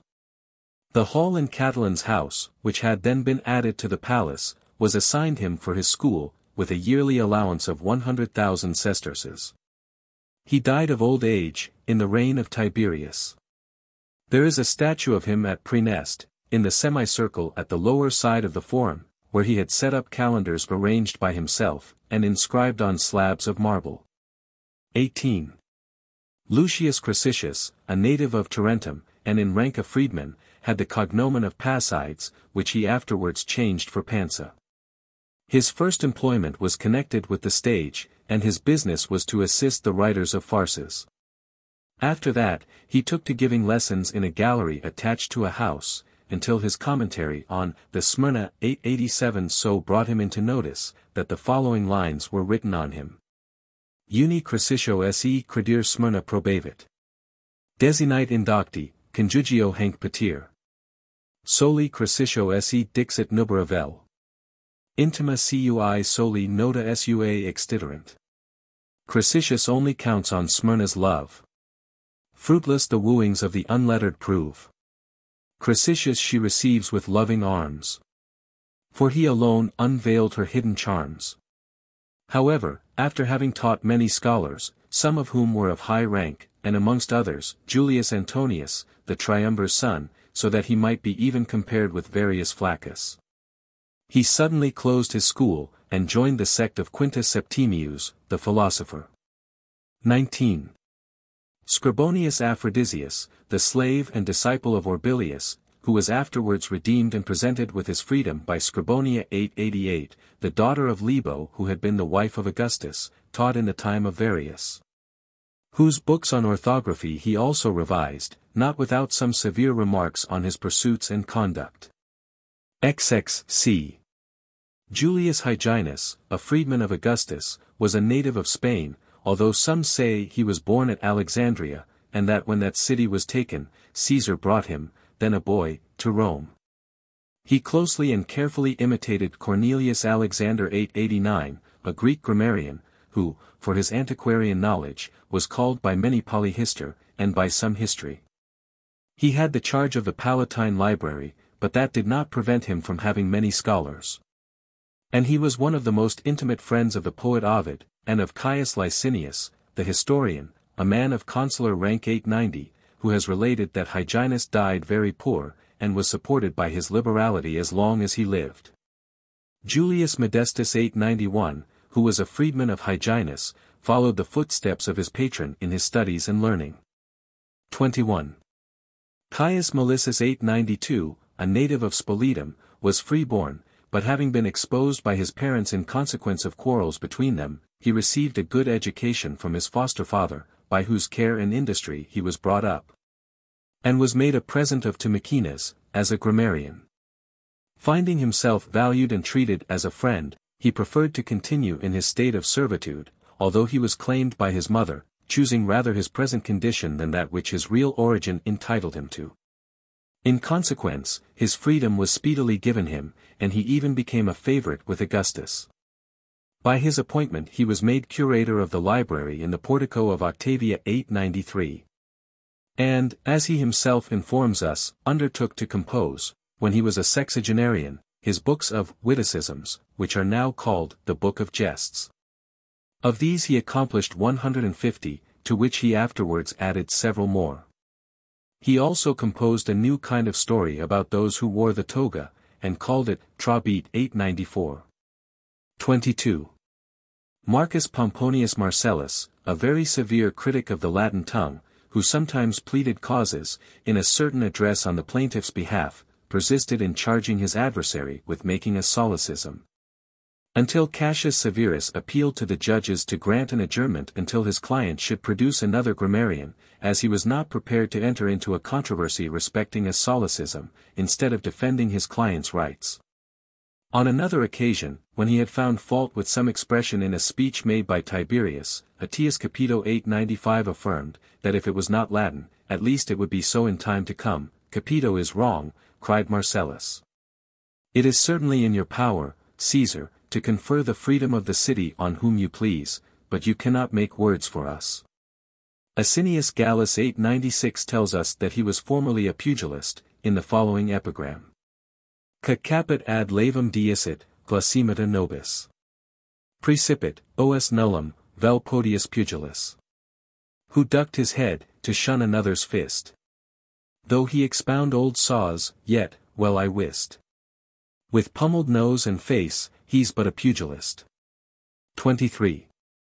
Remmius Palaemon 897, of Vicentia 898, the offspring of a bondwoman, acquired the rudiments of learning, first as the companion of a weaver's, and then of his master's, son, at school. Being afterwards made free, he taught at Rome, where he stood highest in the rank of the grammarians. But he was so infamous for every sort of vice, that Tiberius and his successor Claudius publicly denounced him as an improper person to have the education of boys and young men entrusted to him. Still, his powers of narrative and agreeable style of speaking made him very popular, besides which, he had the gift of making extempore verses. He also wrote a great many in various and uncommon meters. His insolence was such, that he called Marcus Varro a hog, and bragged that letters were born and would perish with him.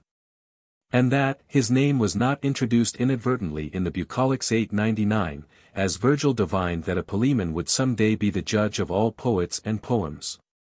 He also boasted, that having once fallen into the hands of robbers, they spared him on account of the celebrity his name had acquired. He was so luxurious, that he took the bath many times in a day. Nor did his means suffice for his extravagance, although his school brought him in forty thousand sesterces yearly, and he received not much less from his private estate, which he managed with great care. He also kept a broker's shop for the sale of old clothes, and it is well known that a vine 900, he planted himself, yielded 350 bottles of wine. But the greatest of all his vices was his unbridled licentiousness in his commerce with women, which he carried to the utmost pitch of foul indecency 901. They tell a droll story of someone who met him in a crowd, and upon his offering to kiss him, could not escape the salute, Master, said he, do you want to mouth everyone you meet with in a hurry? 24. Marcus Valerius Probus, of Berytus 902, after long aspiring to the rank of centurion, being at last tired of waiting, devoted himself to study. He had met with some old authors at a bookseller's shop in the provinces, where the memory of ancient times still lingers, and is not quite forgotten, as it is at Rome. Being anxious carefully to reperuse these, and afterwards to make acquaintance with other works of the same kind, he found himself an object of contempt, and was laughed at for his lectures, instead of their gaining him fame or profit. Still, however, he persisted in his purpose, and employed himself in correcting, illustrating, and adding notes to many works which he had collected, his labors being confined to the province of a grammarian, and nothing more. He had, properly speaking, no scholars, but some few followers. For he never taught in such a way as to maintain the character of a master, but was in the habit of admitting one or two, perhaps at most three or four, disciples in the afternoon. And while he lay at ease and chatted freely on ordinary topics, he occasionally read some book to them, but that did not often happen. He published a few slight treatises on some subtle questions, besides which, he left a large collection of observations on the language of the ancients. Lives of Eminent Rhetoricians I. Rhetoric, also, as well as grammar, was not introduced amongst us till a late period, and with still more difficulty, inasmuch as we find that, at times, the practice of it was even prohibited. In order to leave no doubt of this, I will subjoin an ancient decree of the Senate, as well as an edict of the censors, in the consulship of Caius Fannius Strabo, and Marcus Valerius Messala 903, the praetor Marcus Pomponius moved the Senate. That an act be passed respecting philosophers and rhetoricians. In this matter, they have decreed as follows, it shall be lawful for M. Pomponius, the praetor, to take such measures, and make such provisions, as the good of the republic, and the duty of his office, require, that no philosophers or rhetoricians be suffered at Rome. After some interval, the censor Gnaeus Domitius Enobarbus and Lucius Licinius Crassus issued the following edict upon the same subject, it is reported to us that certain persons have instituted a new kind of discipline. That our youth resort to their schools, that they have assumed the title of Latin rhetoricians, and that young men waste their time there for whole days together. Our ancestors have ordained what instruction it is fitting their children should receive, and what schools they should attend. These novelties, contrary to the customs and instructions of our ancestors, we neither approve, nor do they appear to us good. Wherefore it appears to be our duty that we should notify our judgment both to those who keep such schools, and those who are in the practice of frequenting them, that they meet our disapprobation. However, by slow degrees, rhetoric manifested itself to be a useful and honorable study, and many persons devoted themselves to it, both as a means of defense and of acquiring reputation. Cicero declaimed in Greek until his praetorship, but afterwards, as he grew older, in Latin also, and even in the consulship of Hirtius and Pansa 904, whom he calls his great and noble disciples. Some historians state that Gnaeus Pompey resumed the practice of declaiming even during the Civil War, in order to be better prepared to argue against Caius Curio, a young man of great talents, to whom the defense of Caesar was entrusted. They say, likewise, that it was not forgotten by Mark Antony, nor by Augustus, even during the War of Modena. Nero also declaimed 905 even after he became emperor, in the first year of his reign, which he had done before in public but twice. Many speeches of orators were also published. In consequence, public favor was so much attracted to the study of rhetoric, that a vast number of professors and learned men devoted themselves to it. And it flourished to such a degree, that some of them raised themselves by it to the rank of senators and the highest offices. But the same mode of teaching was not adopted by all, nor, indeed, did individuals always confine themselves to the same system, but each varied his plan of teaching according to circumstances. For they were accustomed, in stating their argument with the utmost clearness, to use figures and apologies, to put cases, as circumstances required, and to relate facts, sometimes briefly and succinctly, and, at other times, more at large and with greater feeling. Nor did they omit, on occasion, to resort to translations from the Greek, and to expatiate in the praise, or to launch their censures on the faults, of illustrious men. They also dealt with matters connected with everyday life, pointing out such as are useful and necessary, and such as are hurtful and needless. They had occasion often to support the authority of fabulous accounts, and to detract from that of historical narratives, which sort the Greeks call propositions, refutations, and corroboration. Until by a gradual process they have exhausted these topics, and arrive at the gist of the argument. Among the ancients, subjects of controversy were drawn either from history, as indeed some are even now, or from actual facts, of recent occurrence. It was, therefore, the custom to state them precisely, with details of the names of places. We certainly so find them collected and published, and it may be well to give one or two of them literally, by way of example. A company of young men from the city, having made an excursion to Ostia in the summer season. And going down to the beach, fell in with some fishermen who were casting their nets in the sea. Having bargained with them for the haul, whatever it might turn out to be, for a certain sum, they paid down the money. They waited a long time while the nets were being drawn, and when at last they were dragged on shore, there was no fish in them, but some gold sewn up in a basket. The buyers claim the haul as theirs, the fishermen assert that it belongs to them. Again, some dealers having to land from a ship at Brundusium a cargo of slaves, among which there was a handsome boy of great value, Bay, in order to deceive the collectors of the customs, smuggled him ashore in the dress of a freeborn youth. With the bullum 906 hung about his neck. The fraud easily escaped detection.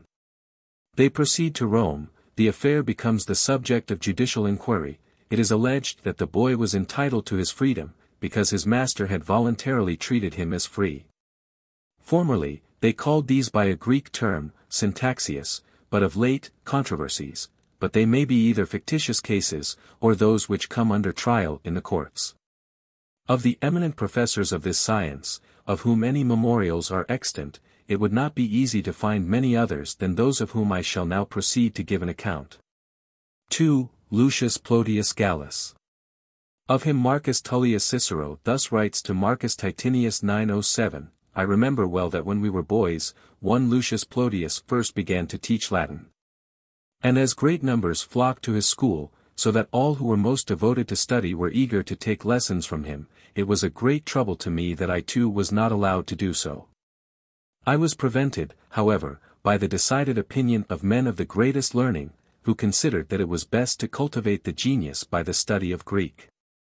This same Gallus, for he lived to a great age, was pointed at by M. Caelius, in a speech which he was forced to make in his own cause, as having supplied his accuser, Atratinus 908, with materials for his charge. Suppressing his name, he says that such a rhetorician was like barley bread 909 compared to a wheaten loaf, windy, chaffy, and coarse. 3. Lucius Octacilius Pilatus is said to have been a slave, and, according to the old custom, chained to the door like a watch dog 910. Until, having been presented with his freedom for his genius and devotion to learning, he drew up for his patron the act of accusation in a cause he was prosecuting. After that, becoming a professor of rhetoric, he gave instructions to Gnaeus Pompey the Great, and composed an account of his actions, as well as of those of his father, being the first freedman, according to the opinion of Cornelius Nepos 911. Who ventured to write history, which before his time had not been done by anyone who was not of the highest ranks in society. For, about this time, Epidius 912 having fallen into disgrace for bringing a false accusation, opened a school of instruction, in which he taught, among others, Mark Antony and Augustus. On one occasion Caius Canutius jeered them for presuming to belong to the party of the consul Isauricus 913 in his administration of the republic. Upon which he replied, that he would rather be the disciple of Isauricus, than of Epidius, the false accuser. This Epidius claimed to be descended from Epidius Nuncio, who, as ancient traditions assert, fell into the fountain of the river Sarnus 914 when the streams were overflown, and not being afterwards found, was reckoned among the number of the gods. V. Sextus Clodius, a native of Sicily, a professor both of Greek and Latin eloquence, had bad eyes and a facetious tongue. It was a saying of his, that he lost a pair of eyes from his intimacy with Mark Antony, the Triumvir 915. Of his wife, Fulvia, when there was a swelling in one of her cheeks, he said that, she tempted the point of his style, 916 nor did Antony think any the worse of him for the joke, but quite enjoyed it. And soon afterwards, when Antony was consul 917, he even made him a large grant of land, which Cicero charges him with in his Philippics 918. You patronize, he said, a master of the schools for the sake of his buffoonery, and make a rhetorician one of your pot companions, allowing him to cut his jokes on anyone he pleased. A witty man, no doubt, but it was an easy matter to say smart things of such as you and your companions. But listen, conscript fathers, while I tell you what reward was given to this rhetorician, and let the wounds of the republic be laid bare to view. You assigned 2,000 acres of the Leontine territory 919 to Sextus Clodius, the rhetorician, and not content with that, exonerated the estate from all taxes. Hear this, and learn from the extravagance of the grant, how little wisdom is displayed in your acts. 6.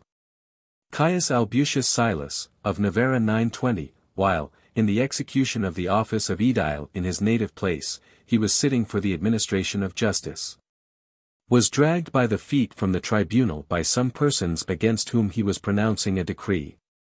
In great indignation at this usage, he made straight for the gate of the town, and proceeded to Rome. There he was admitted to fellowship, and lodged, with Plancus the orator 921, whose practice it was, before he made a speech in public, to set up some one to take the contrary side in the argument. The office was undertaken by Albucius with such success, that he silenced Plancus, who did not venture to put himself in competition with him. This bringing him into notice, he collected an audience of his own, and it was his custom to open the question proposed for debate, sitting, but as he warmed with the subject, he stood up, and made his peroration in that posture.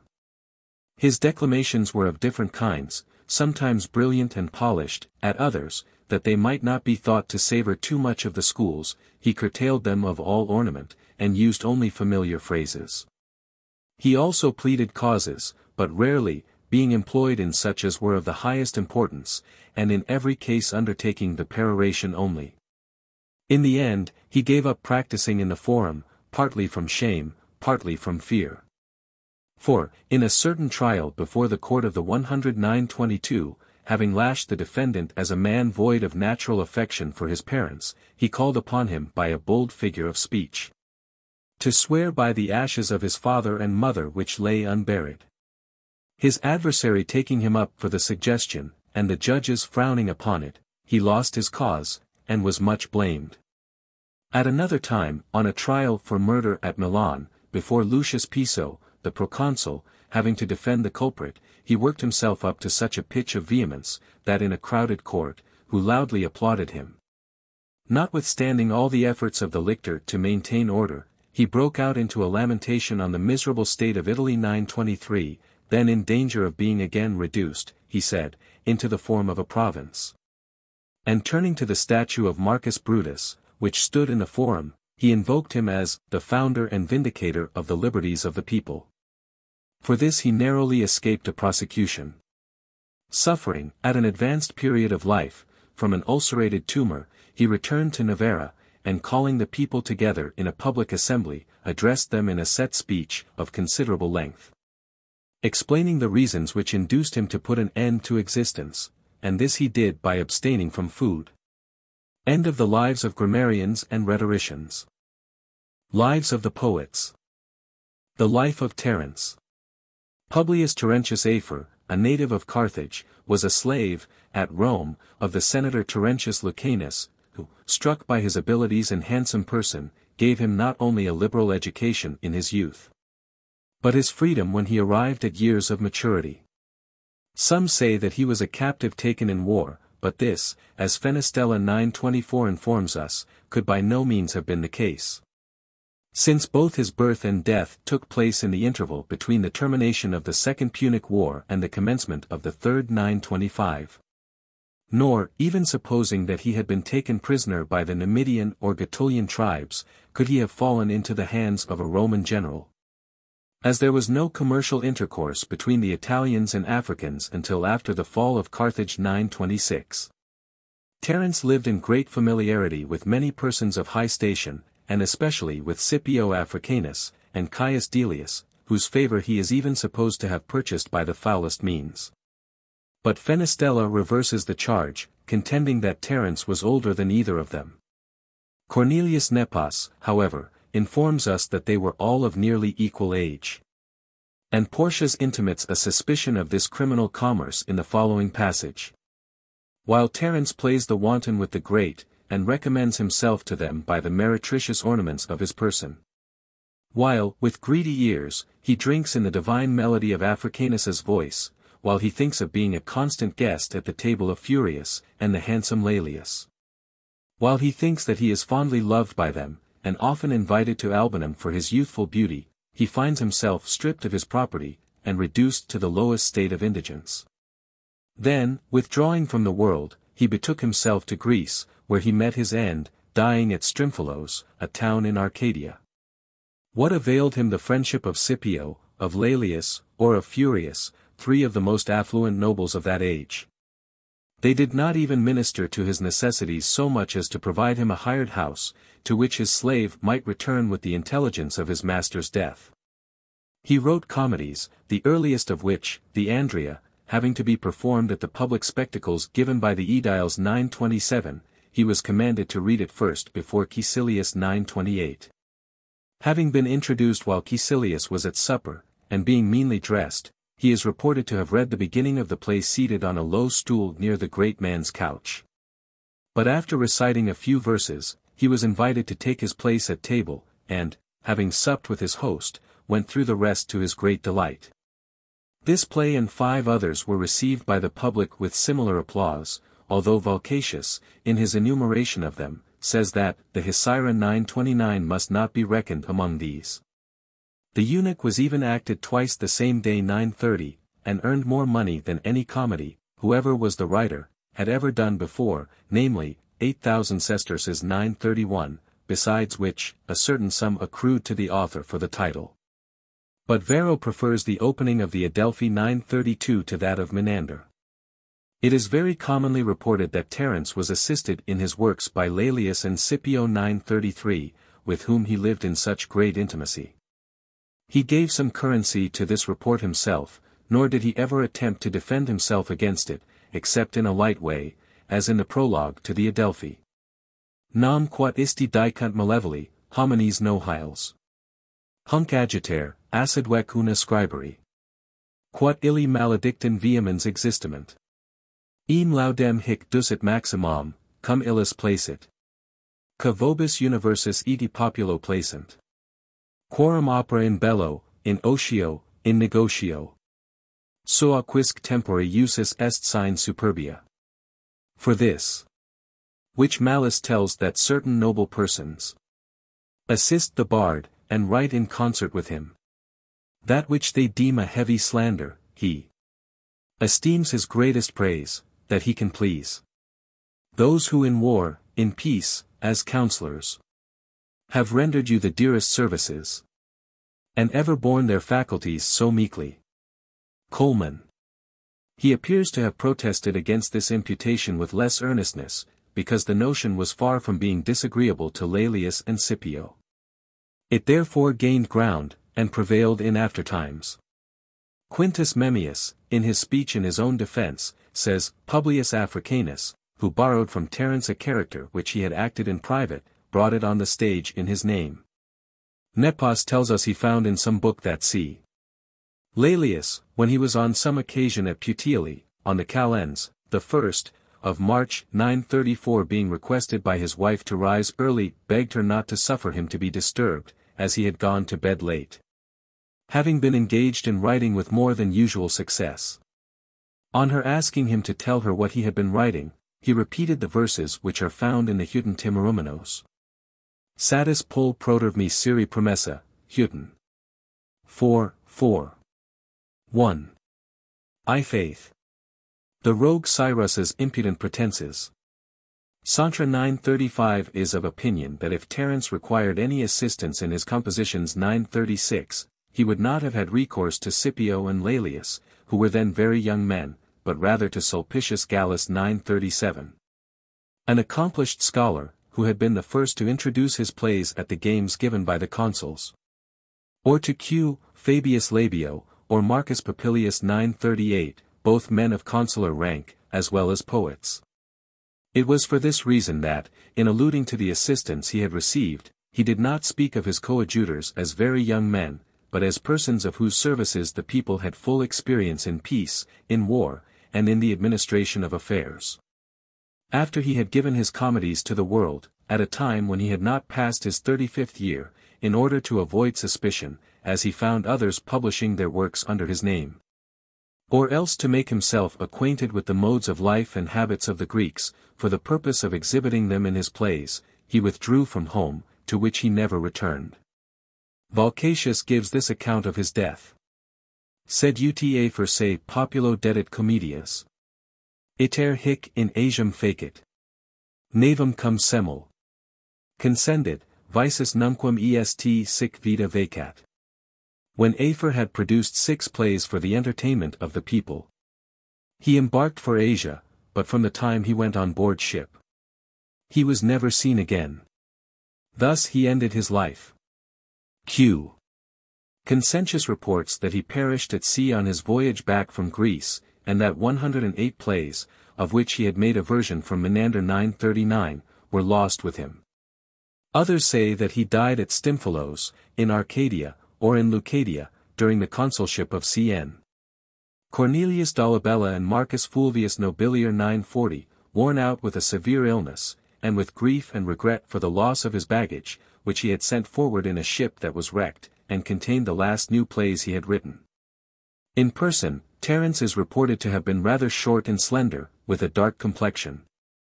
He had an only daughter, who was afterwards married to a Roman knight. And he left also twenty acres of garden ground 941, on the Appian Way, at the Villa of Mars. I, therefore, wonder the more how Porcius could have written the verses. Nihil Publius. Scipio profute, nihil Etilalius, nihil furious. Trace per idem tempus ca adjutabant nobiles facilime. Earum il opera any domum cadem habuit conductitium.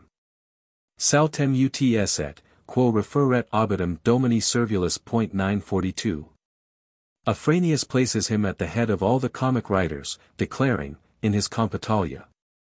Terentio non similem dices quempium. Terence's equal cannot soon be found.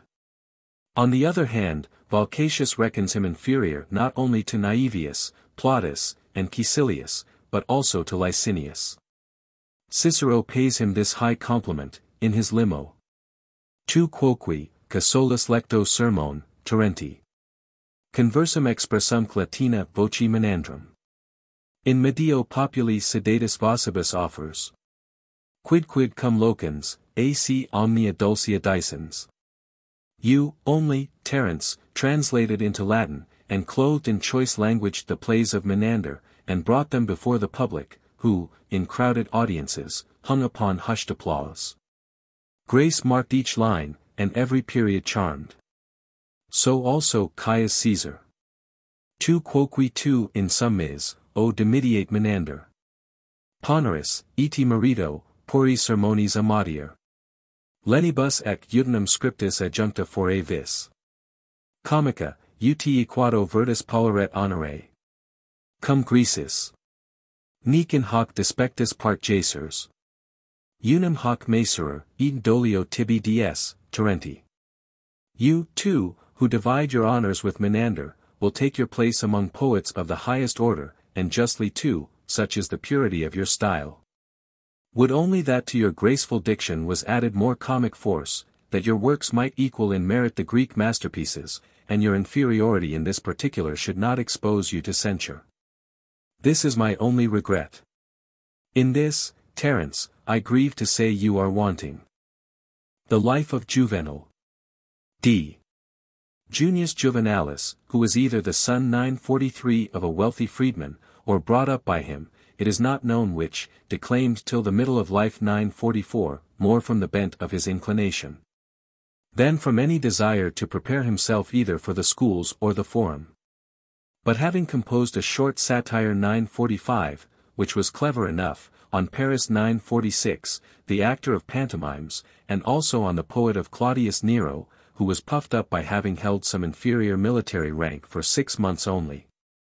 He afterwards devoted himself with much zeal to that style of writing. For a while indeed, he had not the courage to read them even to a small circle of auditors, but it was not long before he recited his satires to crowded audiences, and with entire success. And this he did twice or thrice, inserting new lines among those which he had originally composed.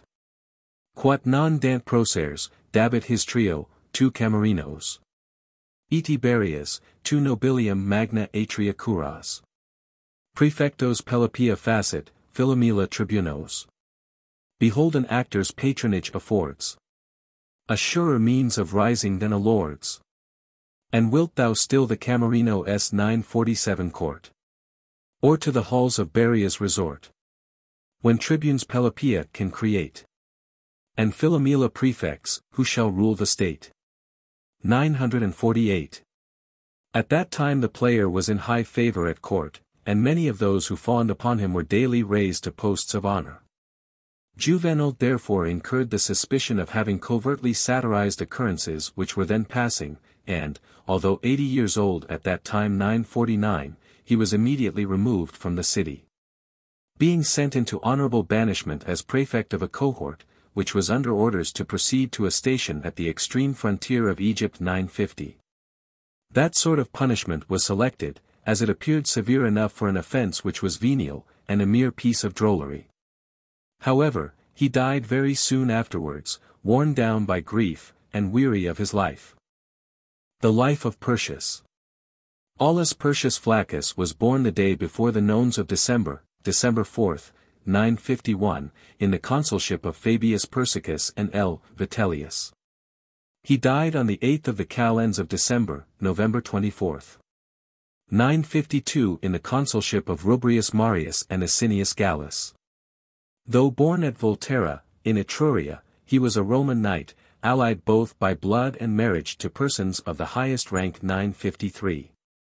He ended his days at an estate he had at the eighth milestone on the Appian Way. His father, Flaccus, who died when he was barely six years old, left him under the care of guardians, and his mother, Fulvia Silena, who afterwards married Fusius, a Roman knight, buried him also in a very few years. Persius Flaccus pursued his studies at Volterra till he was twelve years old, and then continued them at Rome, under Remmius Polemon, the grammarian, and Virginius Flaccus, the rhetorician. Arriving at the age of 21, he formed a friendship with Annaeus Cornutus 954, which lasted through life, and from him he learned the rudiments of philosophy. Among his earliest friends were Caesius Bassus 955, and Calpurnius Statura the latter of whom died while Persius himself was yet in his youth. Servilius Numanus 956, he reverenced as a father. Through Cornutus he was introduced to Annaeus, as well as to Lucan, who was of his own age, and also a disciple of Cornutus.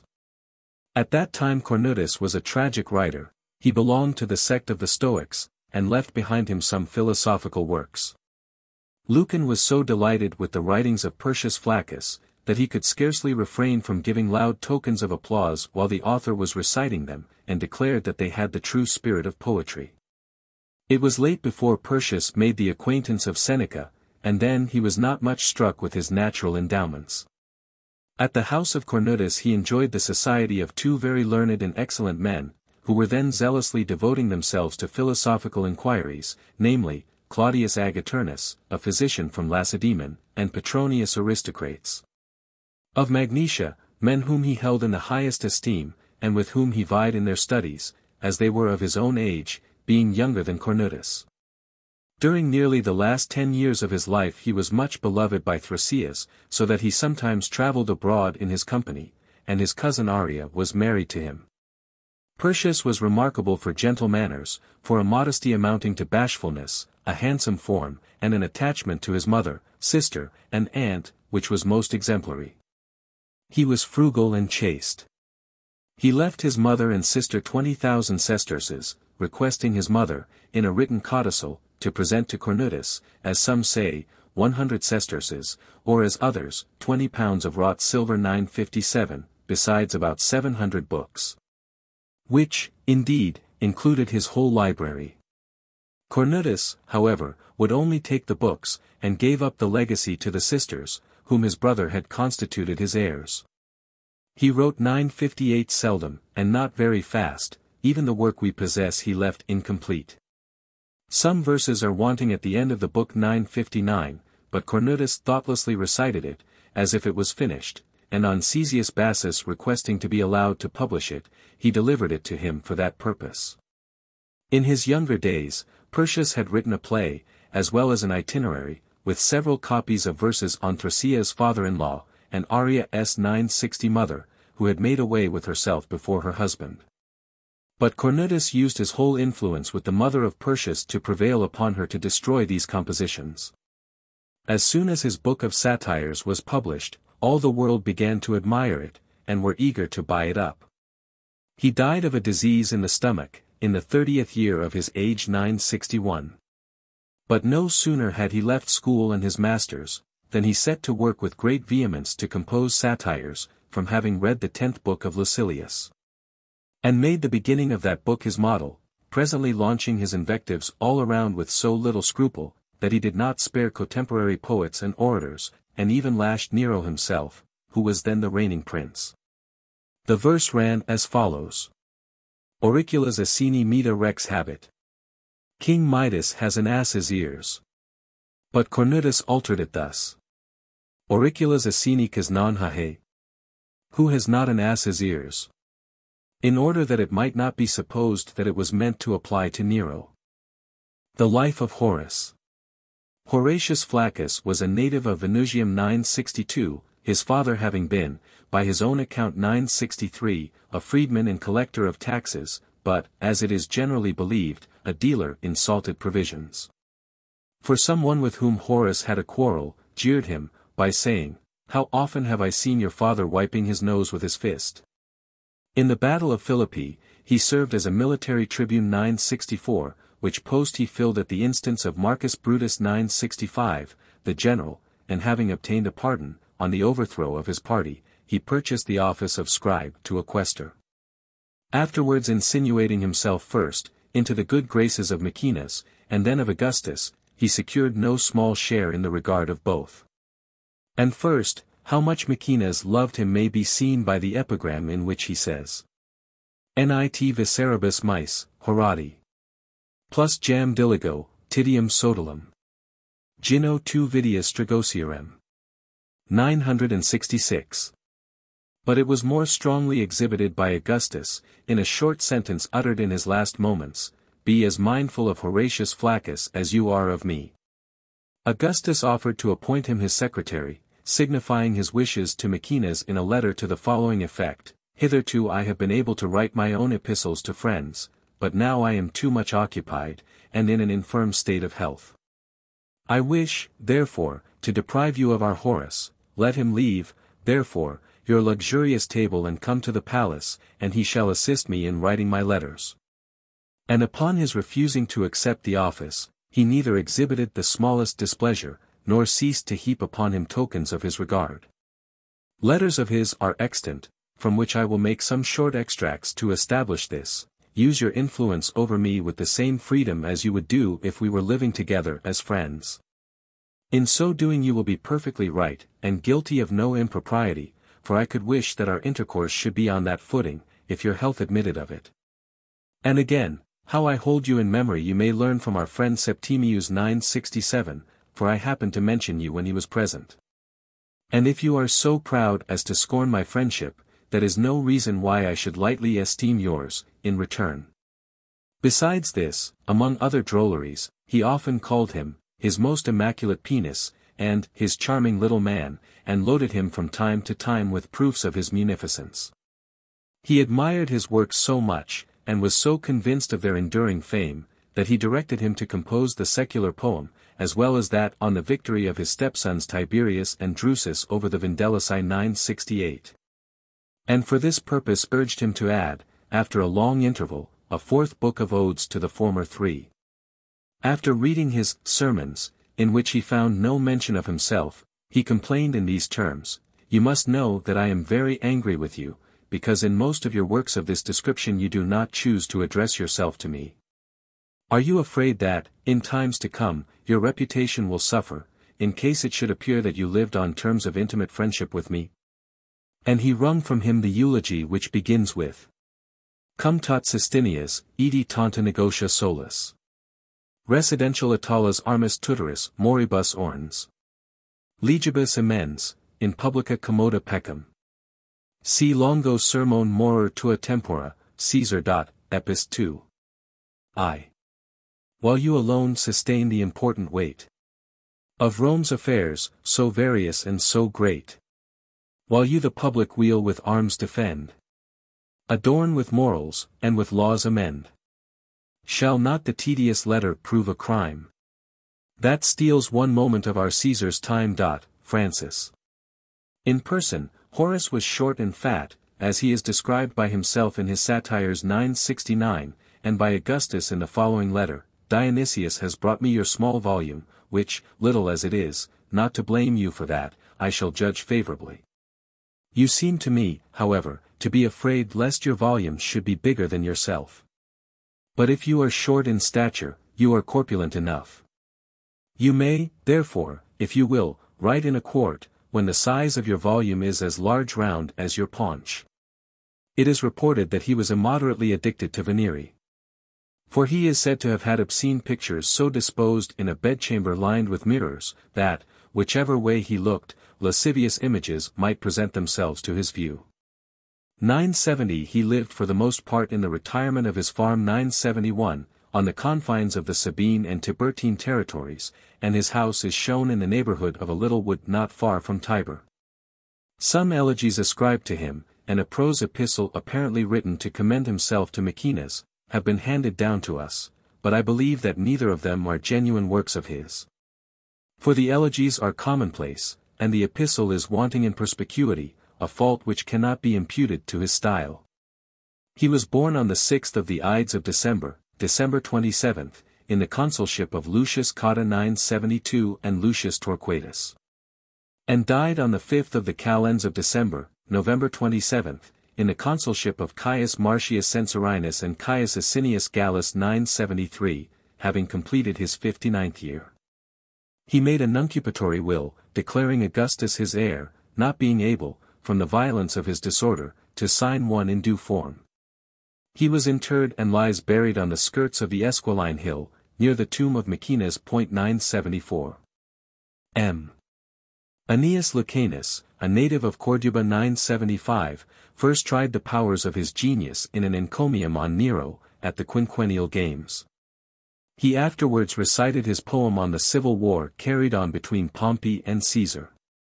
His vanity was so immense, and he gave such liberty to his tongue, that in some preface, comparing his age and his first efforts with those of Virgil, he had the assurance to say, and what now remains for me is to deal with a gnat. In his early youth, after being long informed of the sort of life his father led in the country, in consequence of an unhappy marriage 976, he was recalled from Athens by Nero, who admitted him into the circle of his friends. And even gave him the honor of the quaestorship. But he did not long remain in favor. Smarting at this, and having publicly stated that Nero had withdrawn, all of a sudden, without communicating with the Senate, and without any other motive than his own recreation. After this he did not cease to assail the emperor both with foul words and with acts which are still notorious. So that on one occasion, when easing his bowels in the common privy, there being a louder explosion than usual, he gave vent to the hemistich of Nero, one would suppose it was thundering underground. In the hearing of those who were sitting there for the same purpose, and who took to their heels in much consternation 977. In a poem also, which was in every one's hands, he severely lashed both the emperor and his most powerful adherents. At length, he became nearly the most active leader in Piso's conspiracy 978. And while he dwelt without reserve in many quarters on the glory of those who dipped their hands in the blood of tyrants, he launched out into open threats of violence. And carried them so far as to boast that he would cast the emperor's head at the feet of his neighbors. When, however, the plot was discovered, he did not exhibit any firmness of mind. A confession was wrung from him without much difficulty. And, humbling himself to the most abject entreaties, he even named his innocent mother as one of the conspirators 979, hoping that his want of natural affection would give him favor in the eyes of a parricidal prince. Having obtained permission to choose his mode of death 980, he wrote notes to his father, containing corrections of some of his verses, and, having made a full meal, allowed a physician to open the veins in his arm 981. I have also heard it said that his poems were offered for sale, and commented upon, not only with care and diligence, but also in a trifling way. 982. The Life of Pliny Although this brief memoir of Pliny is inserted in all the editions of Suetonius, it was unquestionably not written by him. The author, whoever he was, has confounded the two Plinies, the uncle and nephew, into which error Suetonius could not have fallen, as he lived on intimate terms with the younger Pliny. Nor can it be supposed that he would have composed the memoir of his illustrious friend in so cursory a manner.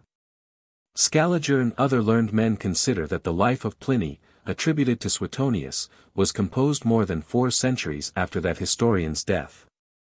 Plinius Secundus, a native of New Como 983, having served in the wars with strict attention to his duties, in the rank of a knight, distinguished himself, also, by the great integrity with which he administered the high functions of procurator for a long period in the several provinces entrusted to his charge. But still he devoted so much attention to literary pursuits, that it would not have been an easy matter for a person who enjoyed entire leisure to have written more than he did. He comprised, in twenty volumes, an account of all the various wars carried on in successive periods with the German tribes. Besides this, he wrote a natural history, which extended to seven books. He fell a victim to the calamitous event which occurred in Campania. For, having the command of the fleet at Misenum, when Vesuvius was throwing up a fiery eruption, he put to sea with his galleys for the purpose of exploring the causes of the phenomenon close on the spot 984. But being prevented by contrary winds from sailing back, he was suffocated in the dense cloud of dust and ashes. Some, however, think that he was killed by his slave, having implored him to put an end to his sufferings, when he was reduced to the last extremity by the fervent heat. 985. The End of Lives of the Poets